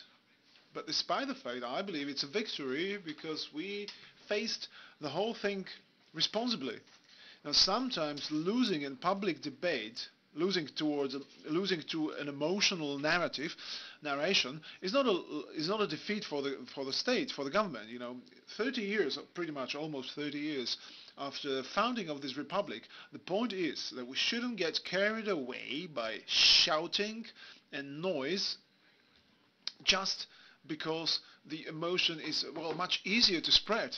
Well, I can't uh, succeed in argumentation if, if, if an MP tells you, quote, that based on the setting of the Slovak-American uh, Defense Cooperation Agreement, the the setting of uh, jurisdiction is that Slovak soldiers will be raping Slovak young girls, quoting, um, and the Americans will take these uh, rapists away and they will transport them to America. End quote. And I say, Article 12, uh, Section C says, etc., etc. You know, and the point is that we can't, you know, we can't get scared. Well, yeah, okay, you've got the emotion, you've got the emotion, but we've got something that is good for the country and important for the country. And the last argument, what drives us? What drives us to deal with it in this way? If, you know, there's Professor Stern, he's an excellent German speaker, as good as I am. You know what is Nachtemundere? Nachtemundere is is reading from someone's lips. You reading, you, you, you saying things as you are reading someone else's lips. You know, if Helmut Kohl was dealing like, dealing with this uh, through, uh, dealing with um, imp uh, implementation of euro in 1999, there's no euro today because the Deutschmark for the Germans was an absolute embodiment of post-war prosperity and wealth. They were against the shared currency. But Helmut Kohl, I, I remember this, I was just a, a, um, a junior diplomat. He was not afraid, he didn't give up in this public discourse. Of course, the discourse was much more cultivated uh, compared to the situation here in, uh, a couple of days ago. But today we have euro, and he didn't give up. And I remember that some historians, if in 1918 there was a referendum in Slovakia, we would be still living in Hungary today. So there are a number of parallels. The Brexit, Brexit is the same thing. You know, this is just an example of what emotions can cause. You know, the result of the referendum in, in the UK was just pure emotions, no rational arguments. So we are returning again to what you're saying that we lost to emotions, but we actually won the the, the battle because the but you know there can be a referendum also in this emotionally charged atmosphere, and we suddenly we find out that we are out. So, uh, do you have any idea that um, you know of communication? You know, I mean, I, I agree. I have just so many questions and no answers, and I'm pulling the answers from you. So I'm sorry for that. But is there any way how to change the communication strategy or overall strategy? You know, across the board in the state uh, authorities and state of offices. I know I know where you are pushing me, and okay, I understand. Yeah, we all keep hearing this. That if you want to sell something, you need to have a communication strategy. But then you arrive from Brussels, and you need to communicate what you're doing in Brussels. And instead of saying that I'm doing this and we shouldn't have this if we were in the EU members. We, we wouldn't have roaming, we wouldn't have so many other things. Then you, you know, forget about that. And I'm asking, how will a clever communication strategy replace uh, clear political statements? And we have changed to do that every day. I mean, I, I, I believe we've been doing communication strategy for a good hour. I don't know how many people are watching this, but if online, but if there are at least as many people online as in this room. This is the way. This is the communication strategy. This is the way how to explain to people in context. I believe the pandemic pandemic is over at least this spring, and maybe we'll be able to travel around Slovakia. You know, Martin is doing, Ingrid is doing. She travels around the regions and around the world. Martin Klus is doing this uh, with the conference on the future of Europe. So we need to do more of this. But nothing will happen even if we crisscross Slovakia three times, the result won't be fast. You know, politics must not confuse people. That's irresponsible, confusing people. Okay, let's move on a little from communication and communication strategy, if we may. We have five minutes. Okay, we have five minutes to go. I would also ask, so let me use the question from Slido, because this is an interesting topic. The question is, the changed global security situation is intensifying European debate on kickstarting the common uh, foreign and defense strategy or policy of Europe. We've been talking about it for years and years. There hasn't been political will.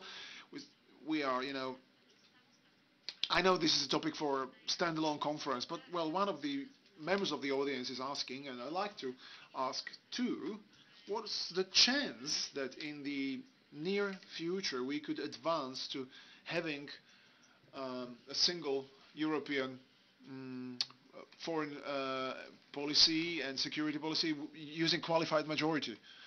Well, this has become a hit.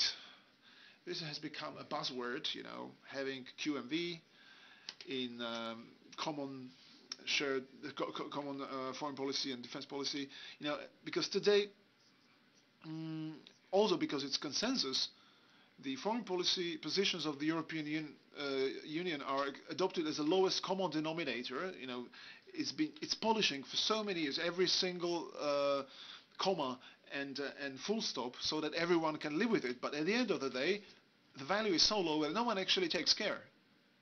No one actually, no one cares. Uh, so the consensus is pushing us so low that you're reading a piece of paper, you don't even know what is written on that paper. And it's an official statement of the European Union. Not even you. Well, yeah, I do, but it doesn't really make, it's not worth it. But if someone believes that we will change the content just like that when it's QMV, so qualified majority, uh, this is going to be uh, quite complicated.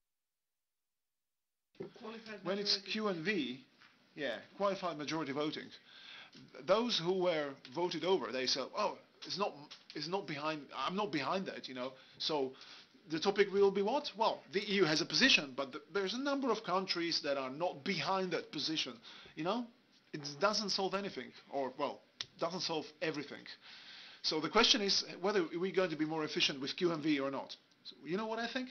Even without QMV, I think the High Representative for the uh, single uh, foreign and, and uh, defense policy of the Europe, Euro, European uh, Union, that is Joseph Borrell, so that even without QMV, we give him much more space to talk on our behalf, in our name, and maybe talking just like it is now. You know, he's poor guy. They are watching his lips.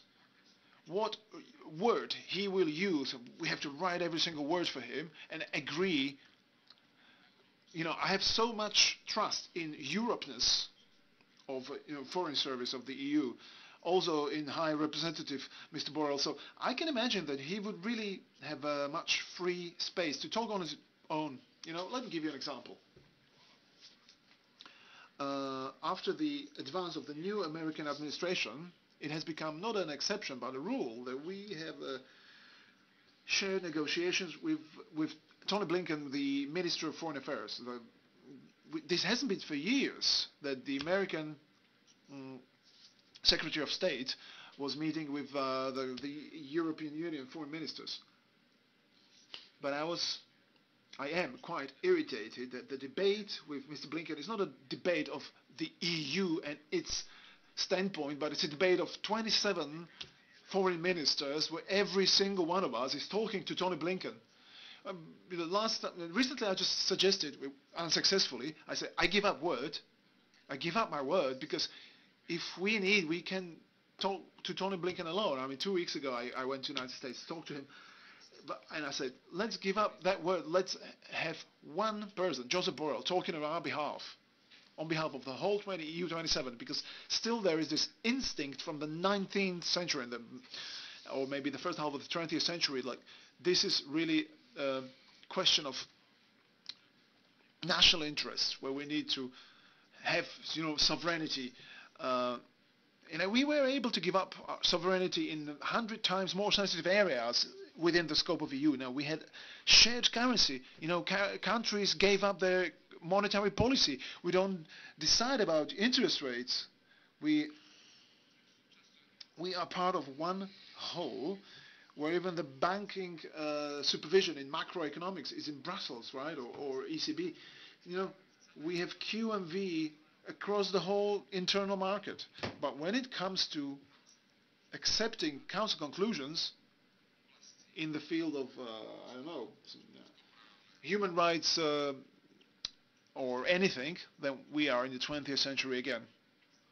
Well, I'm afraid that it's again about the emotions because foreign policy in uh, large countries like France or uh, as Britain used to be, or Spain or, or, even Greece, not such a large country, is linked to um, very many emotions and old wounds and old barriers and old emotions that is very difficult to overcome. But if we if we come to terms with it, well, we, we will not come to terms with it, but then we only would support those who say that the whole EU should be only limited to a single market concept and economic cooperation and we shouldn't have the ambition of any other higher communitary form because just beyond us because the member states cannot give up their rights. Well, if, if we didn't give up uh, our sovereignty, we wouldn't have anything in the EU. People don't realize that political integration is not about someone declaring that Slovakia is not a sovereign country anymore. That's not political integration. You know what political integration is? That's Schengen. That's political integration because without political decision, listen well, you don't realize, or we don't realize, giving up the control at the national borders. That's Schengen. Schengen didn't eliminate borders, it eliminated control at the border. So what is greater uh, what is greater demonstration of sovereignty of any country is controlling its borders, and we gave it up. Roaming, you know, I mean, some somehow you won't say that it damaged our sovereignty. That thanks, you know, having this huge leverage from internal market, we managed to force large telecom players, huge players, we forced them to give up these huge profits from roaming fees. Do you imagine that? That's why I, I really like this topic. But this is what we negotiated in 2016. This is not explained. This is not broken down in detail. You know, today we have uh, we have people, you know, shouting and screaming about state sovereignty. State, state sovereignty is not something that you declare, but it's about being able to operate and defend the interests of your country in the globalized world. Well, let's declare that we're a sovereign country. You know, in a situation like that, the whole EU in 2050 will have 4% of global population and 11% GDP. So let's let's say we're sovereign. We will have 0.00 something. You know, this is the question of protection of our sovereignty. How we can operate in global world for the benefit of this country. Let me uh, let me conclude this uh, evaluation, the review conference, by returning to the Minister Eduard Kukan. And when I personally learned about this very sad news about him passing away, not only many personal things came to my mind, but uh, also I had this thought that I do hope that uh, together with him we are not losing the geopolitical direction of Slovakia. No, definitely our geopolitical direction is not dying or has not died with him. In, spi- uh, in spite of the fact that we need to improve governance, we are in midterm, and I totally agree with you that uh, the disillusion of last week, the disillusion in the society, was enhanced by the fact that we are not governing by the best possible way. We have lost so much trust, so much hope that was vested in the uh, in the, the in the elections. But the consensus, uh, foreign and political consensus, collapsed because the opposition challenged and attacked the core pillars of our foreign and political orientation. It's not about uh, one-off thing, a kind of a single case. I do recall this and I'm not going to mm, overplay it here, but a great part of our opposition said that this is this was totally mm, totally irrelevant for them because for them this means um, mobilization of internal forces and this is totally irresponsible. We really need to remind ourselves where the north is, where to go, what the direction is. So thank you very much for your last words, for concluding the uh, review conference and I would like to wish you all the best uh, to everybody here in the hall but and also to those who are following us online. Thank you very much.